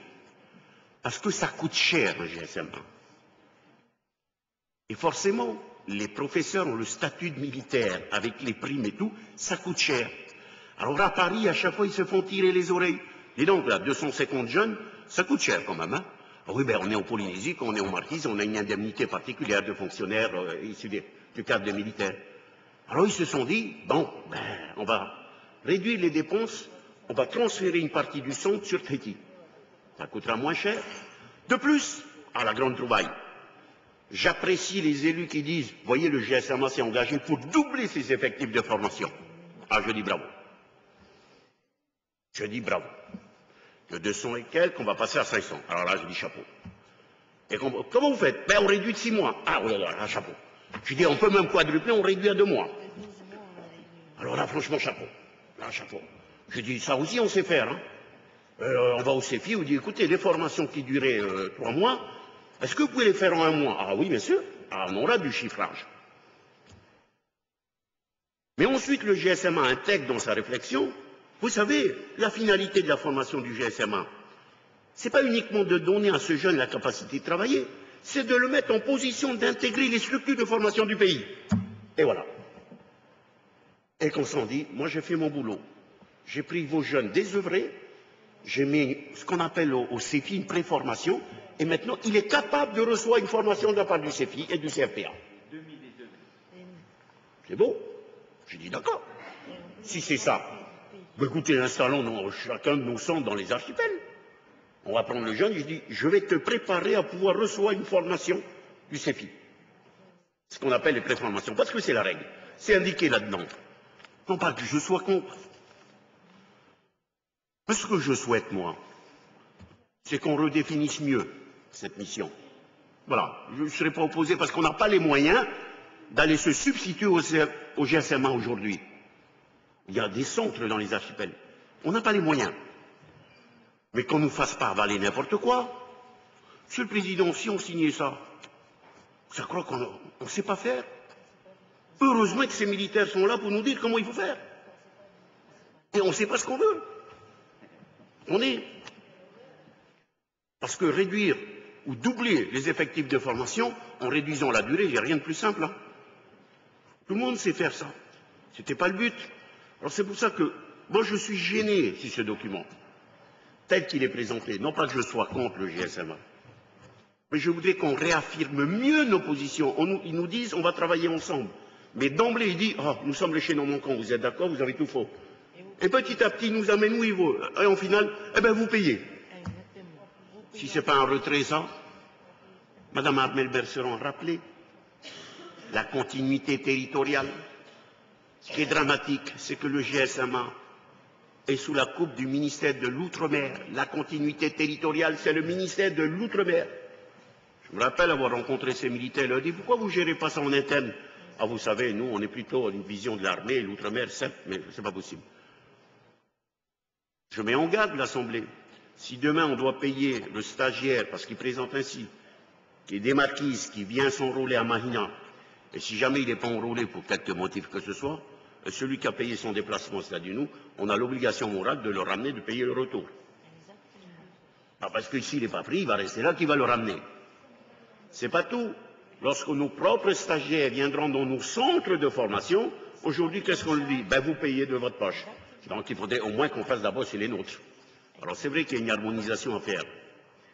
Mais ce n'est pas uniquement une histoire de coûts de frais de déplacement de philosophie, de philosophie. Accepter les phrases qui sont présentées comme ça, franchement, euh, Monsieur le Président, personnellement, moi je ne voterai pas. Non pas que je sois contre, mais j'estime que là, l'État en profite, là. Il dit ce qu'il nous veut. Et quelle sera la prochaine couche? Ah, parce qu'on m'a dit, il y a urgence. La Convention a été reconduite jusqu'en 2012. Il n'y a pas urgence. S'il y avait urgence, les GSMA seraient fermés. La convention existe. Je pense qu'il vaut mieux rediscuter, repositionner les termes, repositionner les termes et les missions. Et les conditions donc, de rapport entre deux, les, frais. Parce que sinon, euh, je ne sais pas comment on peut expliquer que la réponse à l'ouverture des voies de la réussite, c'est le GSMA, que le chaînon manquant, c'est le GSMA, euh, c'est avoir une négation sur nos propres visions, sur nos propres structures de la formation. Même si je reconnais qu'il faut rassembler toutes nos structures, il faut effectivement, depuis la mise en place de la structure dite de formation et de la collecte des fonds par les employeurs et dans le cadre paritaire avec les salariés, mais il me semble que certains mots là présentés sont inacceptables pour ce que nous représentons nous-mêmes que là-dessus, ça ne pose pas de difficultés au quotidien. Nous avons une, convention qui perdure. Elle a été renouvelée tacitement. Elle durera jusqu'en 2012. Nous sommes au mois de juillet 2010. On peut reprendre les termes. Réaffirmons un peu plus l'existence du pays. Monsieur le Président, ce que je demande, c'est que le pays affirme son existence. Mais passe par ces termes comme ça, là, on se fait écraser totalement. Voilà ma vision de ce sujet, Monsieur le Président. Merci, Monsieur Frébeau. Monsieur René Comouetini.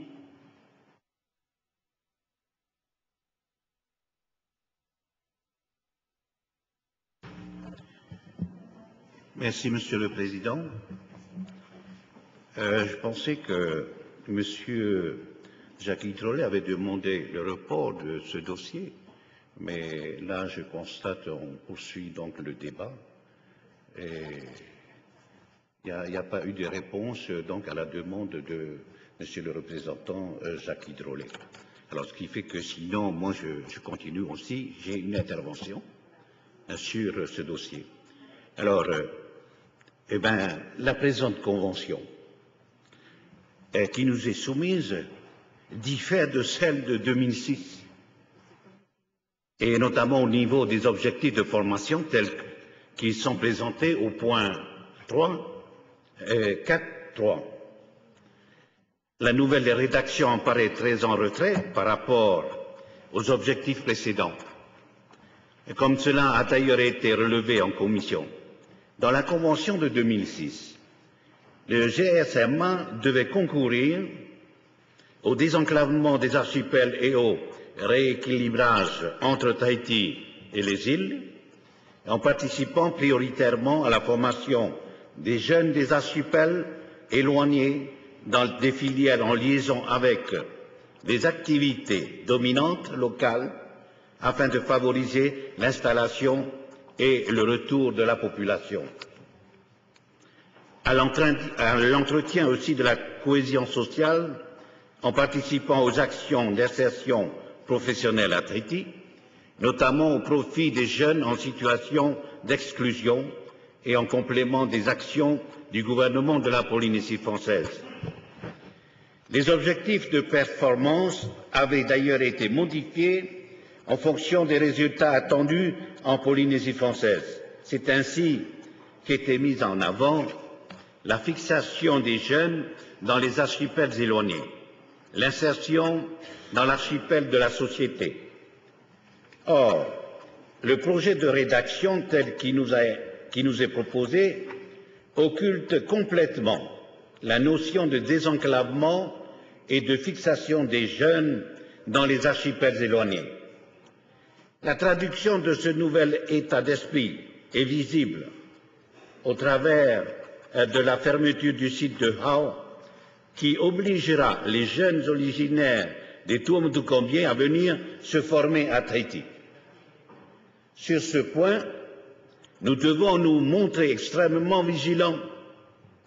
En effet, le 23 mars 2009, le journal Libération avait fait état du projet de fermeture des implantations du SMA dans les archipels pour regrouper tout le dispositif au Condaroué.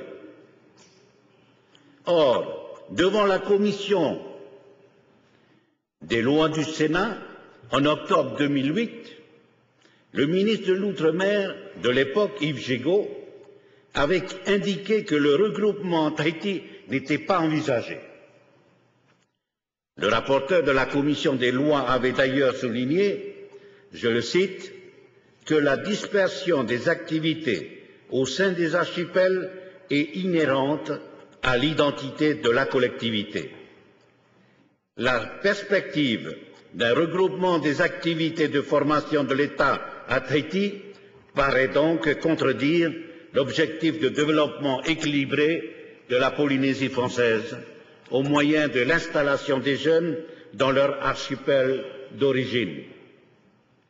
Alors, c'est vrai, en commission, l'officier représentant le SMA nous a fait part des difficultés de recrutement dans cet archipel ainsi que des difficultés de transport des autres atolls vers Hao. Mais on a bien compris également qu'il s'agissait de faire à l'économie. On nous a bien expliqué que le départ du SMA de Hao serait compensé par le chantier de reconversion du site du CEP. Mais cette reconversion, si elle nécessite l'injection d'une somme de 7 milliards sur sept ans, ne vient pas en crédit supplémentaire du ministre de la Défense en Polynésie française, mais sur un simple redéploiement de crédit. Les économies, nous les retrouvons dans la demande de prise en charge par le pays du transport des jeunes vers Tahiti pour effectuer leur formation initiale. Ce point a été longuement discuté en commission, notamment pour savoir si ces jeunes pourraient intégrer le dispositif de la continuité territoriale. Pour l'heure, nous n'avons toujours pas la réponse, puisque les décrets qui avait été transmis pour avis au gouvernement de la Polynésie française à la fin du mois de février n'ont toujours pas été publiés. Madame Teura Iriti, ministre de la Solidarité, dans son avis sur les projets de décret, avait déjà demandé, dans le cadre de la redéfinition de la réorganisation de l'attribution des aides, à ce que le cas des personnes souhaitant suivre une formation professionnelle en Polynésie sont prises en compte pour les déplacements inter-îles. J'en viens maintenant à une autre interrogation concernant les exonérations fiscales. La Convention prévoit en effet que le GSMA serait exonéré de droits et taxes pour les matériels importés dans l'exercice de ses missions de formation.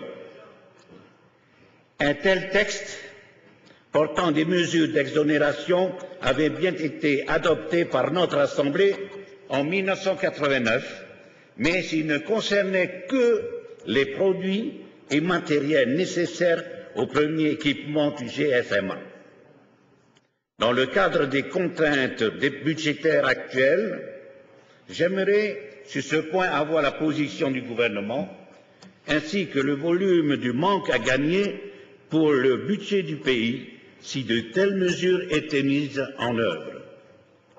Enfin, nous aimerions connaître le volume exact des dépenses militaires en Polynésie qui s'élevaient en 2008 hors pension à 19 milliards 79 millions. En effet, pour 2009, le Haut Commissariat, contrairement à son habitude, n'a pas publié son tableau récapitulatif des dépenses de l'État en Polynésie française, prêtant ainsi un peu plus le flanc aux critiques sur son désengagement.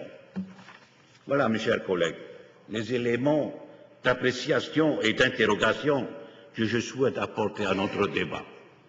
Je vous remercie de votre attention. Avec ça, on ne reporte même pas, on vote contre. Euh, y a-t-il des intervenants pour les non-inscrits? Il n'y a pas d'intervention? Il n'y a pas d'intervention. Peut-être un dernier intervenant euh, sur le temps écoulé là, pour l'UPLD. Ah, Roro.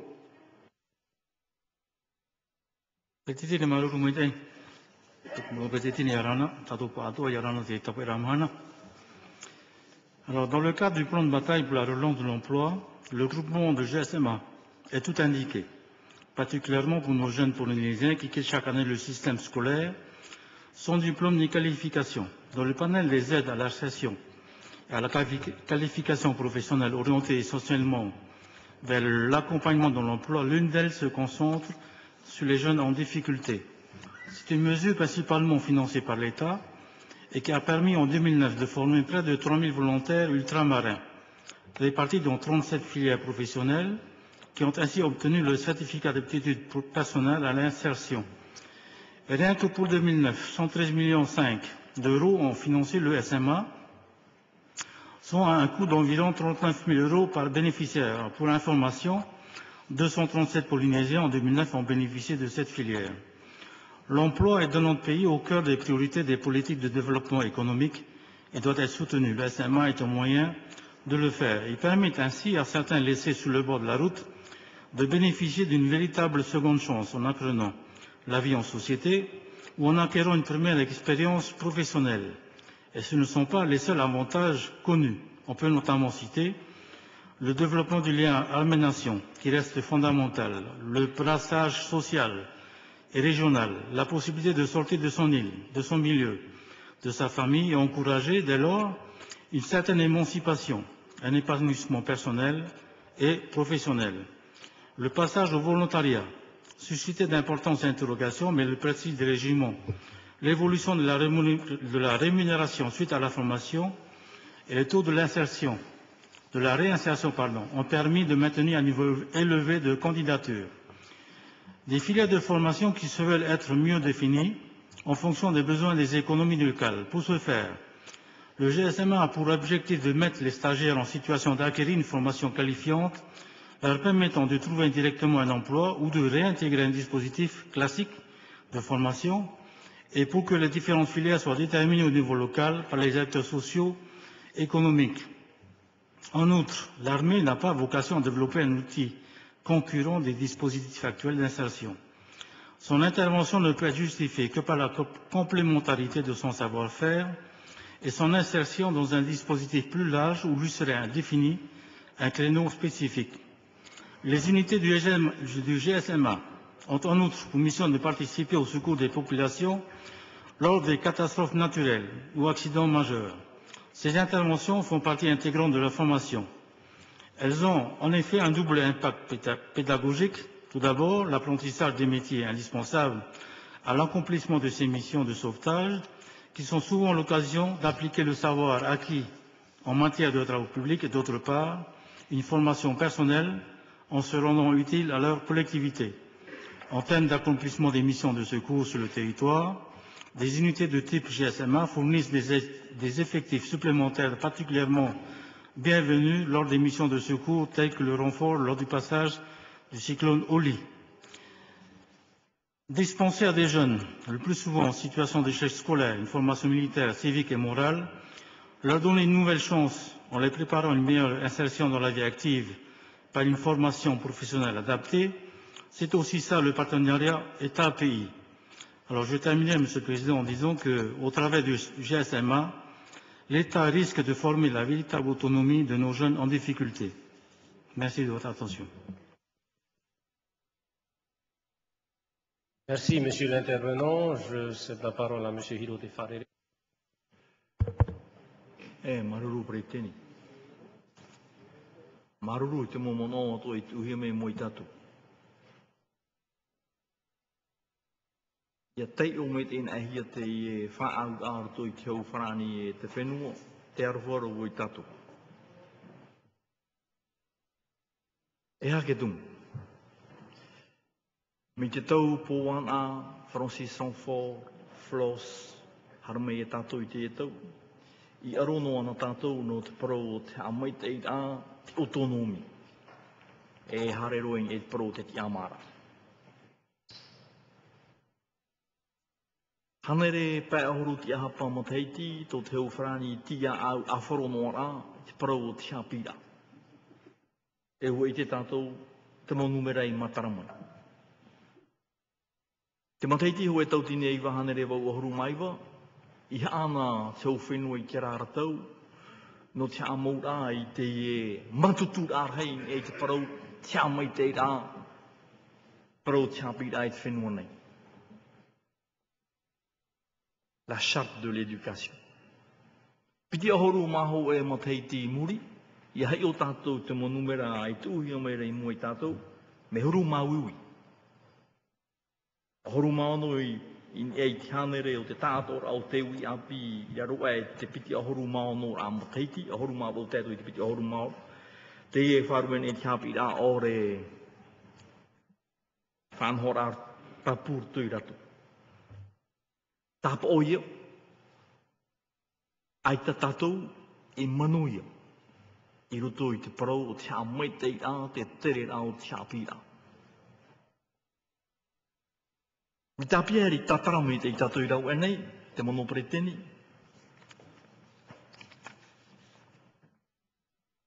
Whai tu tu i te propro nā i te reo fran. Comment peut-on accepter une convention en recul par rapport au texte de 2006 Quand l'État se prétend que le GSMA est le chaînon manquant, mais surtout quand il est écrit que le GSMA constitue la réponse, la réponse à l'ouverture des voies de la réussite des jeunes.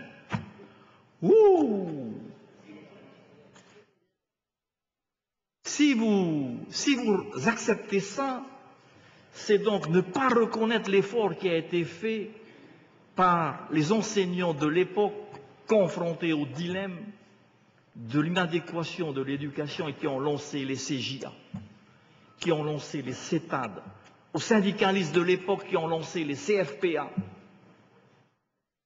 et après le CEFI, et toutes les mesures que le pays a mis en place. Quelle belle démission que l'acceptation de cette formulation. C'est un recul, mais extraordinaire, ne serait-ce que sur le plan de la philosophie politique qui vous anime, messieurs et mesdames les autonomistes. Rien que là. Alors, il faut comprendre pourquoi l'État se comporte de la sorte. L'État a toujours été sournois. Sournois, c'est essayer de reprendre ce qu'il a été obligé de céder par la force des choses d'une fait d'une revendication populaire et politique. Et là, l'État est en train de nous dire, regardez, dans ce domaine, vous manquez de savoir-faire, vous manquez de compétences, et bien nous, allons vous proposer ce qui conviendrait de mettre en place, sans respecter pour autant les précédentes conventions qui obligeaient l'État à uniquement privilégier les archipels, et notamment cette notion d'équilibrage entre les déshérités des archipels et des îles éloignées par rapport à Tahiti. Et aujourd'hui, pour des raisons uniquement financières, mais également pour cette culture de résultat chère au président Sarkozy, on revient sur Tahiti pour privilégier les déshérités de nos lotissements sociaux. Mais de qui se moque-t-on dans cette démarche-là? Je ne veux pas croire un seul instant que, au niveau du gouvernement, les élus Tawera Huirantira, surtout, acceptent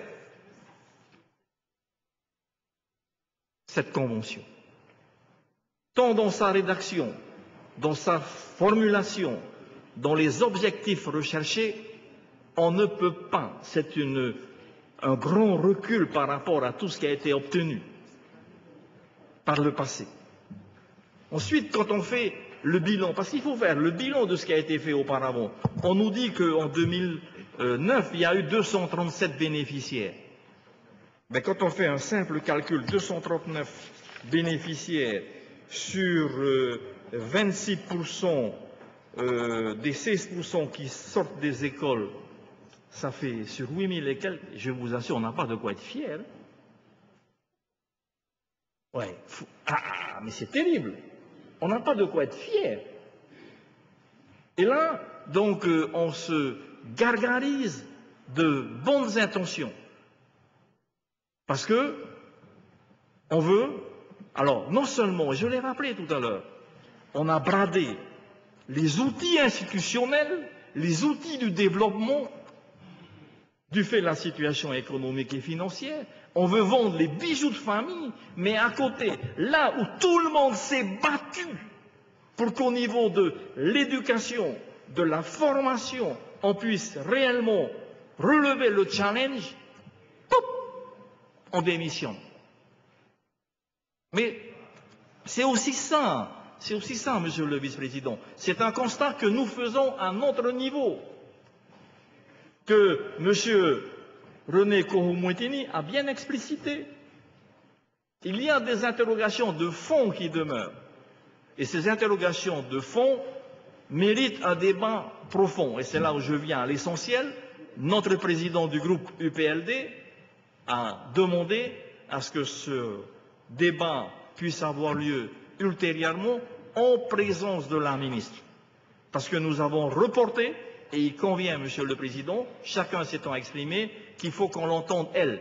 Parce que la connaissant, je ne suis pas convaincu qu'elle doit partager l'intégralité de ce document, qui mérite une révision dans sa formulation, dans sa rédaction.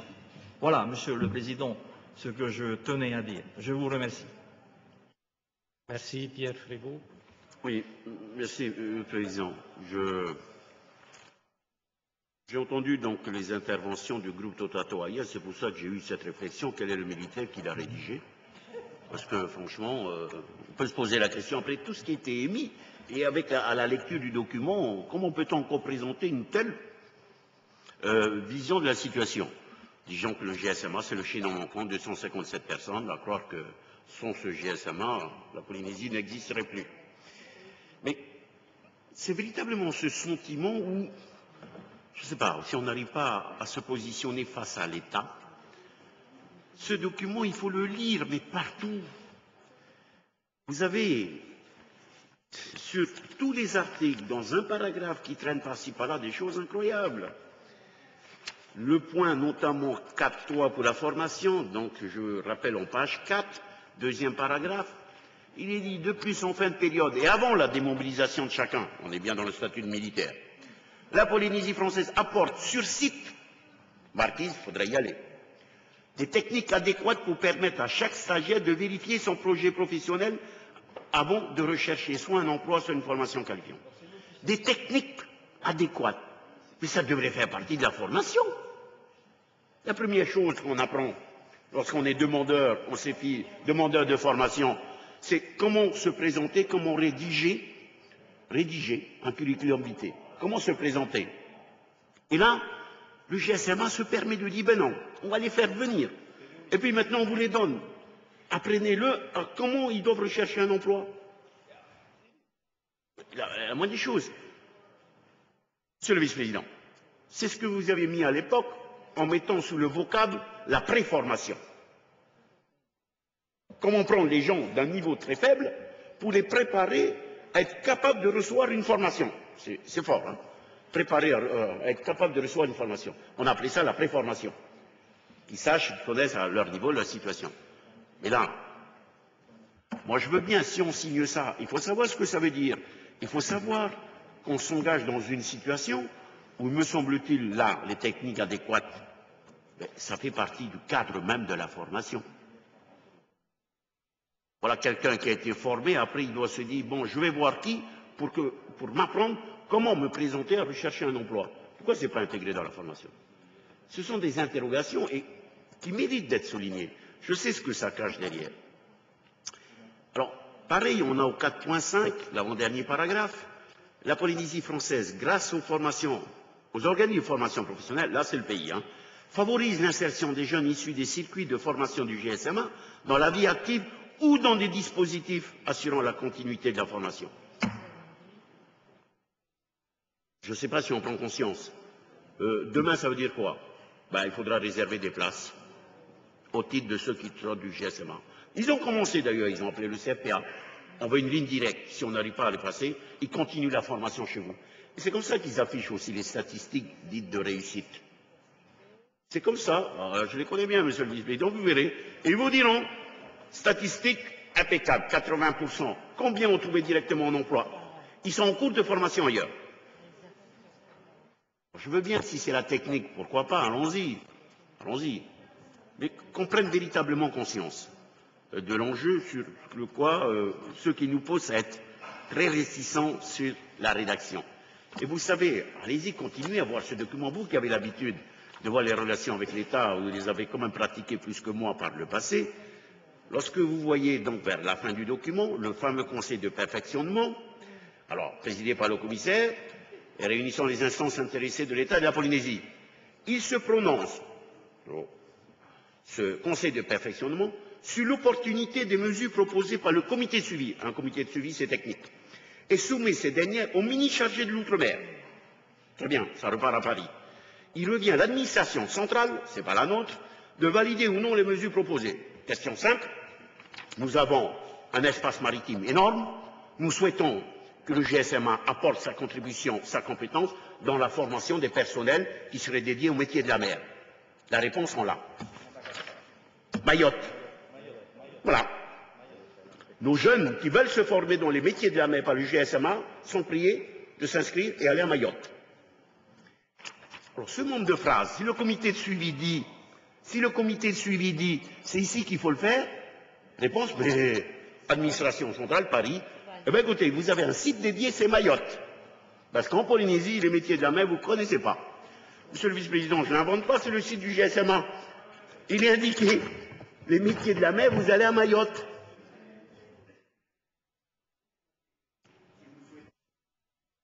Je veux bien, mais enfin, c'est pour ça qu'il est important que, véritablement, euh, je m'adresse, vous savez, ce n'est pas à la ministre, parce que ce sera signé par le président du pays.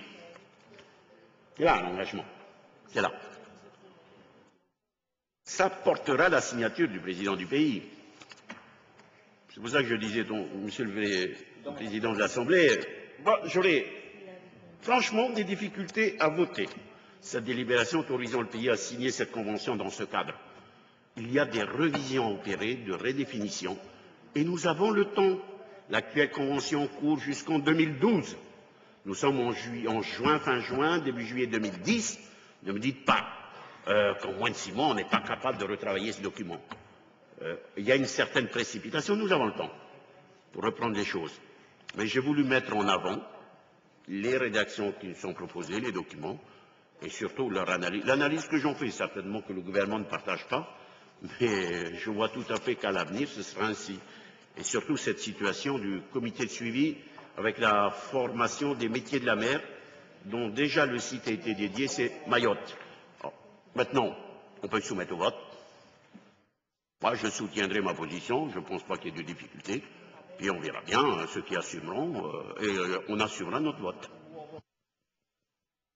Merci. Pour conclure, Emma Algon. Ensuite, on ramène la parole au gouvernement. Non, non, non, non, non. Non, mais la discussion générale euh, se termine avec euh, Emma Algon. Ça va, ça va être rapide, monsieur. Et ensuite, euh, on, vous ramène, on vous ramène la parole.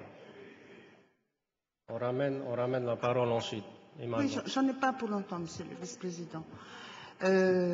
au contraire, c'est de tout ce que je, viens d'entendre depuis, depuis tout à l'heure sur ce dossier. Je ne sais pas si vous, avez bien écouté les propos de Mme Armelle Merceron et notamment de ce témoignage euh, de ce jeune hein, qui a bénéficié du GSMA. Et il est vrai qu'il il y a Laissez-moi terminer, je ne vous ai pas du tout coupé votre parole. Hein. Il y a deux volets. D'abord, sur les relations institutionnelles de partenariat entre l'État et le pays. Probablement, apparemment, il y a certains, sur la forme, ça heurte, ça heurte certains. Peut-être que ça, c'est quelque chose qui est tout à fait euh, possible de, réaménager. Mais moi, je voudrais plus intervenir sur l'autre volet euh, du dispositif, et notamment sur les, bénéficiaires de ce, de ce dispositif GSMA. J'ai eu à pratiquer ce, dispositif, et surtout dans le cadre de, mon travail social. Et, donc, à l'époque, j'étais responsable d'un petit département qui s'occupe des mineurs dits délinquants, c'est-à-dire qui ont commis des infractions, mineurs, jeunes majeurs. Et je dois dire que avant, que cette euh, compétence soit euh, restituée à l'État dans le cadre du statut de MINCAP. Et je dois dire que nous avions, beaucoup, beaucoup et vraiment bien travaillé avec le dispositif GSM1 partout, hein, que ce soit à Mahina euh, et également ceux des îles. Et je dirais même que pour certains, ça a bien servi, ça a bien servi pour sortir justement de leur spirale euh, euh, de passage à l'acte. Et avant, je dirais, de, véritablement suivre euh, une formation, être vraiment bien disposé à 100% pour une formation, il ne faut pas se leurrer, même. Nous avons, bien sûr, une, bonne, une partie de notre jeunesse qui a décroché sur le plan scolaire décroché, soit en fin de primaire, soit même euh, avant, fin primaire.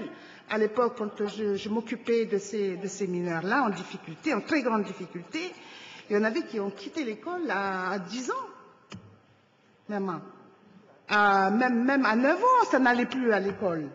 Donc ça, c'est une réalité. Et puis, deuxièmement, pour bien recevoir les formations qui sont dispensées ou par le GSMA ou par euh, les dispositifs du territoire, il y a tout un, comment dirais-je, une reprise en main sur le plan comportemental. Et le témoignage du, jeune homme hein, qui a été lu par euh, Madame Armel Merceron, c'est bien ça. C'est bien ça, il faut apprendre, mais alors tout, tout, tout, tout, tout, de A à Z, notamment savoir se lever. Et se dire, bon, bah, j'ai quelque chose demain à faire, il faut que je me lève à telle heure, que je me prépare. Il y a toute cette, préparation avant de recevoir la formation. Donc, moi, je ne suis pas complètement d'accord avec euh, surtout les propos contre l'État, suspicieux, machin. Il y a, c'est un dispositif qui, à mon sens, est complémentaire de l'ensemble des, dispositifs de, de, formation. Et je crois qu'il faut voir au bout de ce dispositif quel est le bénéfice. Et ça bénéficie à qui? Eh bien, c'est bien à nos jeunes. C'est eux qui sont bénéficiaires. Et en plus de ça, ils peuvent euh, aussi avoir d'autres formations, et notamment de permis euh, euh, routiers ou permis côtiers, des choses comme ça. Donc, je, je crois qu'il ne faut pas s'enfermer et voyons plutôt le produit qui sera fini après avoir suivi le GSMA et ensuite qui permet bien sûr d'intégrer d'autres cursus de formation et complètement s'insérer.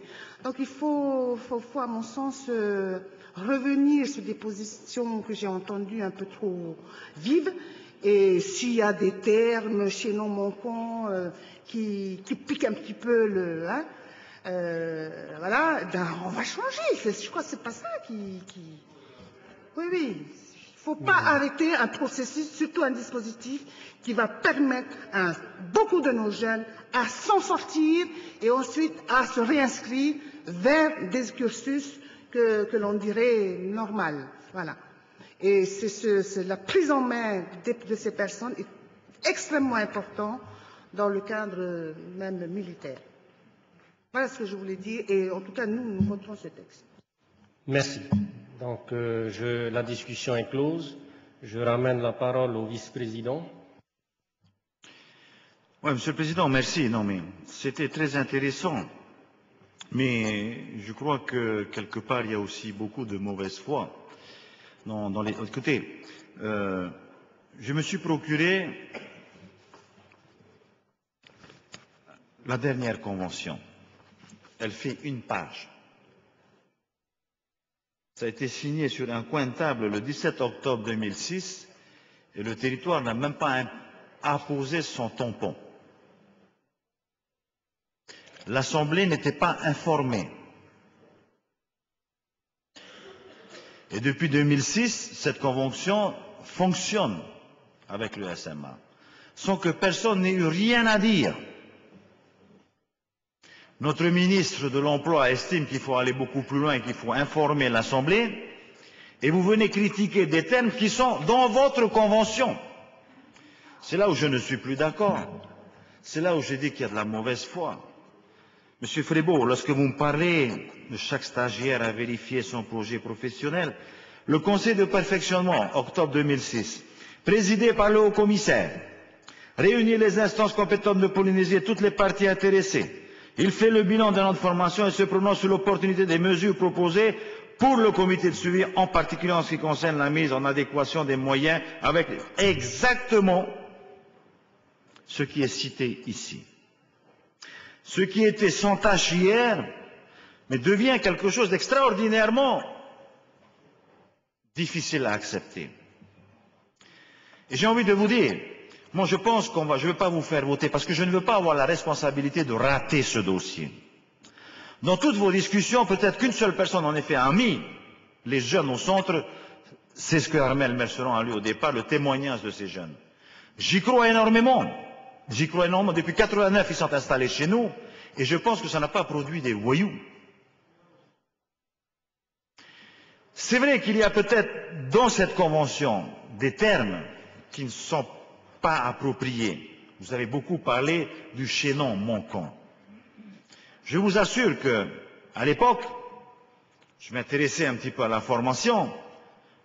C'était la partie que j'appréciais le plus au SMA, c'est cette prise en main de nos jeunes. Le retour à la discipline, le retour à la rigueur. Mais c'est vrai que sur le plan de la formation, déjà à l'époque, je souhaitais intervenir justement pour contrôler la qualité de la formation du GSMA. À l'époque, je n'ai pas pu le faire. Aujourd'hui, nous ouvrons la porte. Ce n'est pas, faire appel au pays. C'est dire au pays, occupe-toi de tes jeunes. Lorsqu'on nous demande d'aller contrôler la qualité de la formation, c'est tout à l'honneur de ce jeune. De se présenter un jour devant une entreprise et dire, voilà, hey, Titirohuye Merma, c'est pas que du frani, Titirohuye et Merma. Alors, je sais pas, mais on a l'impression que ce soir, vous voyez tout en noir. Alors que, alors que, le GSMA n'a jamais joué le rôle du CFPA, n'a jamais piqué le rôle du CEFI, on le sait tous ici. Et le souci du ministère de Mme Lana Tétouanou, pour répondre aux inquiétudes de Mme Merceron, est en effet que l'on coordonne mieux nos actions de formation. Tout le monde fait n'importe quoi aujourd'hui. Il faut, et elle s'est présentée devant la commission présidée par Armel Messeron pour justement exprimer son souci à ce niveau-là. Elle s'est déplacée en Nouvelle-Calédonie parce qu'il y a une réforme de la formation professionnelle qui se fait en Nouvelle-Calédonie, dont le rapport final nous sera transmis en septembre 2010. C'est pour vous dire que je suis sûr que quelque part, vous avez envie de soutenir, parce que entre un papier signé par Tawhid Inena, et quelque chose d'un peu plus sérieux qu'on essaie de vous présenter aujourd'hui. Moi, ce qui me fait mal au cœur, c'est que j'ai l'impression que malgré tout, derrière, il y a un peu de rancœur. Je ne sais pas contre qui. Mais lorsqu'on me dit que les résultats d'insertion, et c'est vrai, c'est vrai, les chiffres que vous avez envoyés, j'ai, les dernières, derniers chiffres du Conseil de perfectionnement du, GSMA. C'est vrai que les chiffres sont éloquents. On en est presque à en douter. Non, c'est pas communiste. C'est là, c'est là où, M. Frébeau, j'ai un... Ah, Vous connaissez les taux de réussite chez nous, dans nos établissements.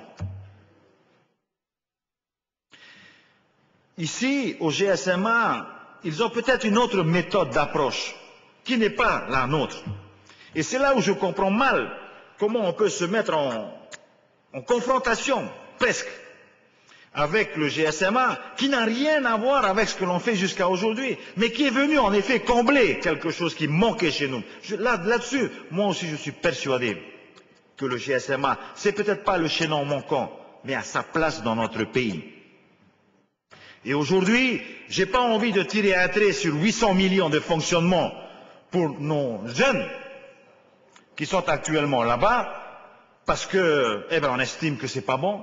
Tout à l'heure, vous allez me dire, le pays va payer 3 millions parce qu'il faut faire venir les jeunes à l'enrôlement.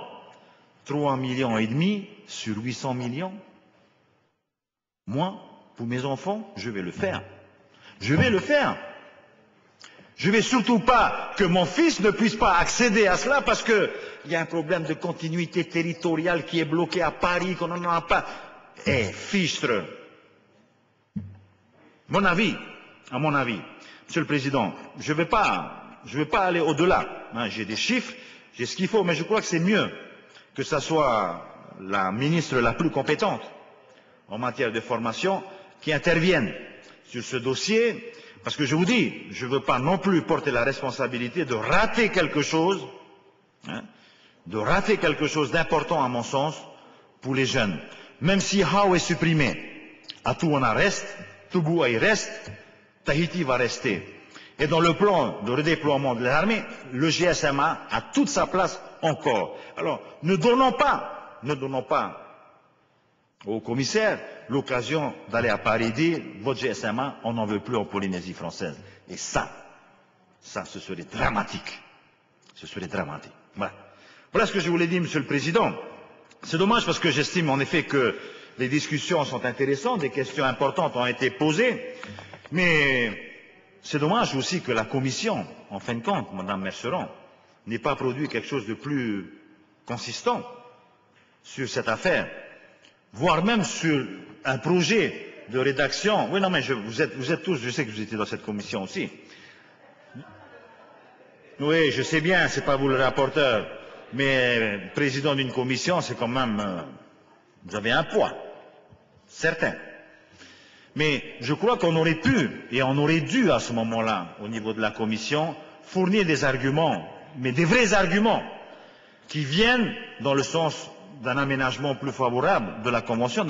Parce que lorsque je vois, lorsque je vois, Monsieur Frébeau, juste pour terminer, parce qu'on va, va lever, on va lever la séance, mais la nouvelle Convention qui est présentée, passée en Conseil de perfectionnement, est le résultat d'un groupe de travail composée de représentants du pays, de l'État et du GSMA.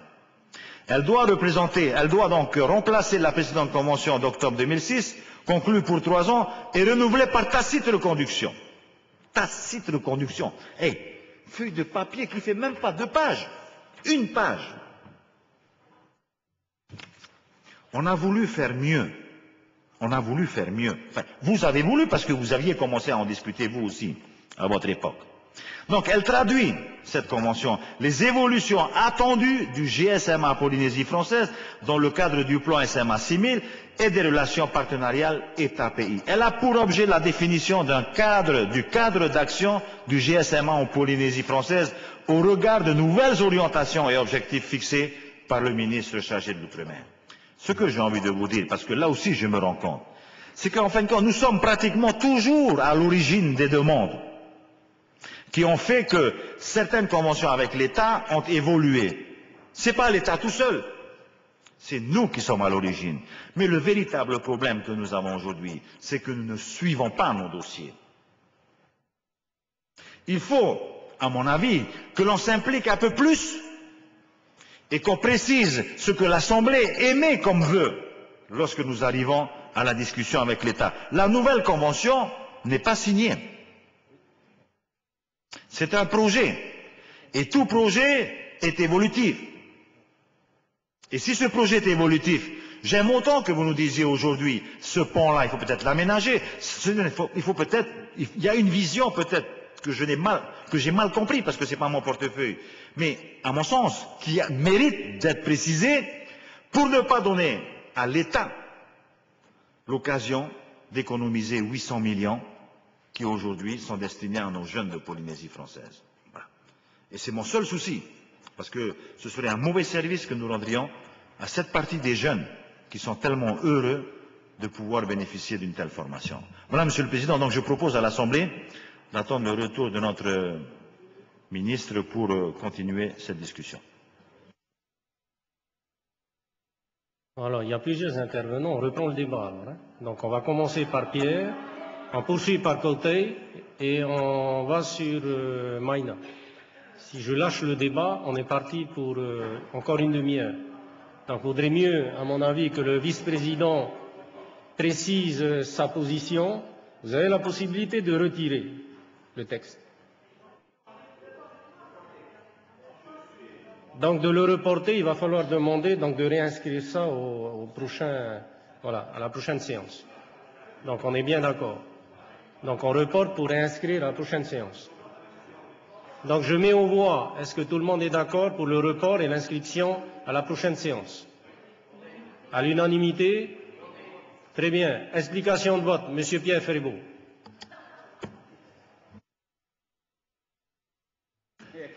Je sais bien que la convention de 2006, savez-vous comment elle a été obtenue? Savez-vous qu'auparavant le GSM a été en Polynésie sans aucun cadre? C'est là aussi la réalité. Je sais bien que le document de 2006, d'ailleurs, vous auriez pu vous étonner de ne pas y voir ma signature. Hein? Partons de là, le sujet était très ouvert. Et lorsque vous rappelez que ce projet de convention fait l'objet d'une étude, d'une discussion, oui. Mais d'entrée, moi j'ai dit aux militaires, non, pas comme ça. C'est pour ça que ce document, vous ne pouvez pas le soutenir. Ça fait deux ou trois fois où on a vu des conventions signées par Monsieur le Président Tongson où le pays s'est laissé entraîner. Je rappelle l'inspection du travail, les transferts de charges. Et à chaque fois, l'État profite. Dès que ça change, et on fait glisser le document. Je ne suis pas opposé au GSMA. Je pense qu'on est assez grand pour débattre, pour rédiger comme il faudrait. C'est cela. Et vous avez raison, Monsieur le Vice-président, de dire, mais qu'a donc fait la Commission? C'est vrai, le débat en commission, on n'a pas voulu. La grande difficulté, s'agissant d'un document négocié, discuté avec l'État, il est très difficile ici de dire, eh bien voilà la proposition de modification de la Convention. Parce que l'État va très mal le prendre en disant, mais Monsieur le ministre, Monsieur le Président, nous n'avons pas discuté, l'Assemblée nous impose. Le message qui été donné, ne vaut-il pas reprendre les discussions? Il est aisé ici de venir à l'Assemblée de dire, on modifie tel paragraphe. Mais l'État va dire, écoutez, c'est un document paritaire, vous ne pouvez pas nous imposer votre rédaction, c'est le fondement même des discussions. Le fait de repousser une autre séance, ça changera quoi? Ça changera quoi? Il faut au contraire, pour mieux accompagner la position du pays, que l'Assemblée ne prenne pas un vote qui l'enferme le pays devant une relation tendue avec l'État. Ce n'est pas parce que l'Assemblée a dit que tel paragraphe se rédige comme ça que vous pourriez, vous, aller voir jusqu'à Paris et dire voilà la nouvelle convention. L'État va dire écoutez, nous avons proposé, l'Assemblée n'est pas d'accord. Pas comme ça que ça se passe. Il faut reprendre en termes de discussion. Mais écoutez le message qu'on vous donne, ce n'est pas une opposition. C'est pour ça que je ne souhaitais pas, moi, intervenir sur le sujet, parce que je savais que si on passait au vote, on va bloquer le document. Heureusement que l'actuelle convention, pour ce qu'elle vaut, perdue jusqu'en 2012. Comment un ministre peut venir devant une, commission et dire Je vous ai compris, je propose des modifications On va lui dire Mais à qui vous devez recueillir le sentiment de l'autre partie? C'est très difficile en convention. Ce n'est pas parce qu'on a adopté par une délibération une situation de modification que ce sera accepté par l'autre partie. Ça ne se passe pas comme ça. Il faut reprendre le débat entre les deux parties en intégrant la réflexion que nous apportons. Il ne s'agit pas pour nous. On ne peut pas, l'Assemblée ne peut pas modifier un projet de convention signé avec l'État. L'État va très mal le prendre. Il faut au contraire avoir la capacité à rediscuter et à mieux accompagner. Mais ne, me dites pas qu'on est opposé au, au GSMA, pas du tout. Mais il y a des termes et des dispositions, à mon avis, qui mériteraient peut-être, y compris dans la langue de Molière, de ne pas se laisser écraser constamment par l'État. Voilà la vision que j'en avais, Monsieur le, le, Président. Merci. Explication de vote, Monsieur Coltay. Oui, merci, Président. Non, c'est juste pour demander à l'Assemblée. Je crois que le GSMA en Polynésie, c'est la seule structure qui fonctionne 24 sur 24. 24 sur 24. Et dans les archipels. Donc, au niveau des jeunes de, de, des îles du Vent, vous avez de la chance, il y a plusieurs structures de, formation. Et dans les archipels, citez-moi un, ou deux. Donc, à part les, formations données par l'éducation, il n'y a rien. C'est une chance pour nous qu'il y, a, qu y a cette structure dans les archipels. Alors, mais moi, Ferrouri. Euh, Maïna.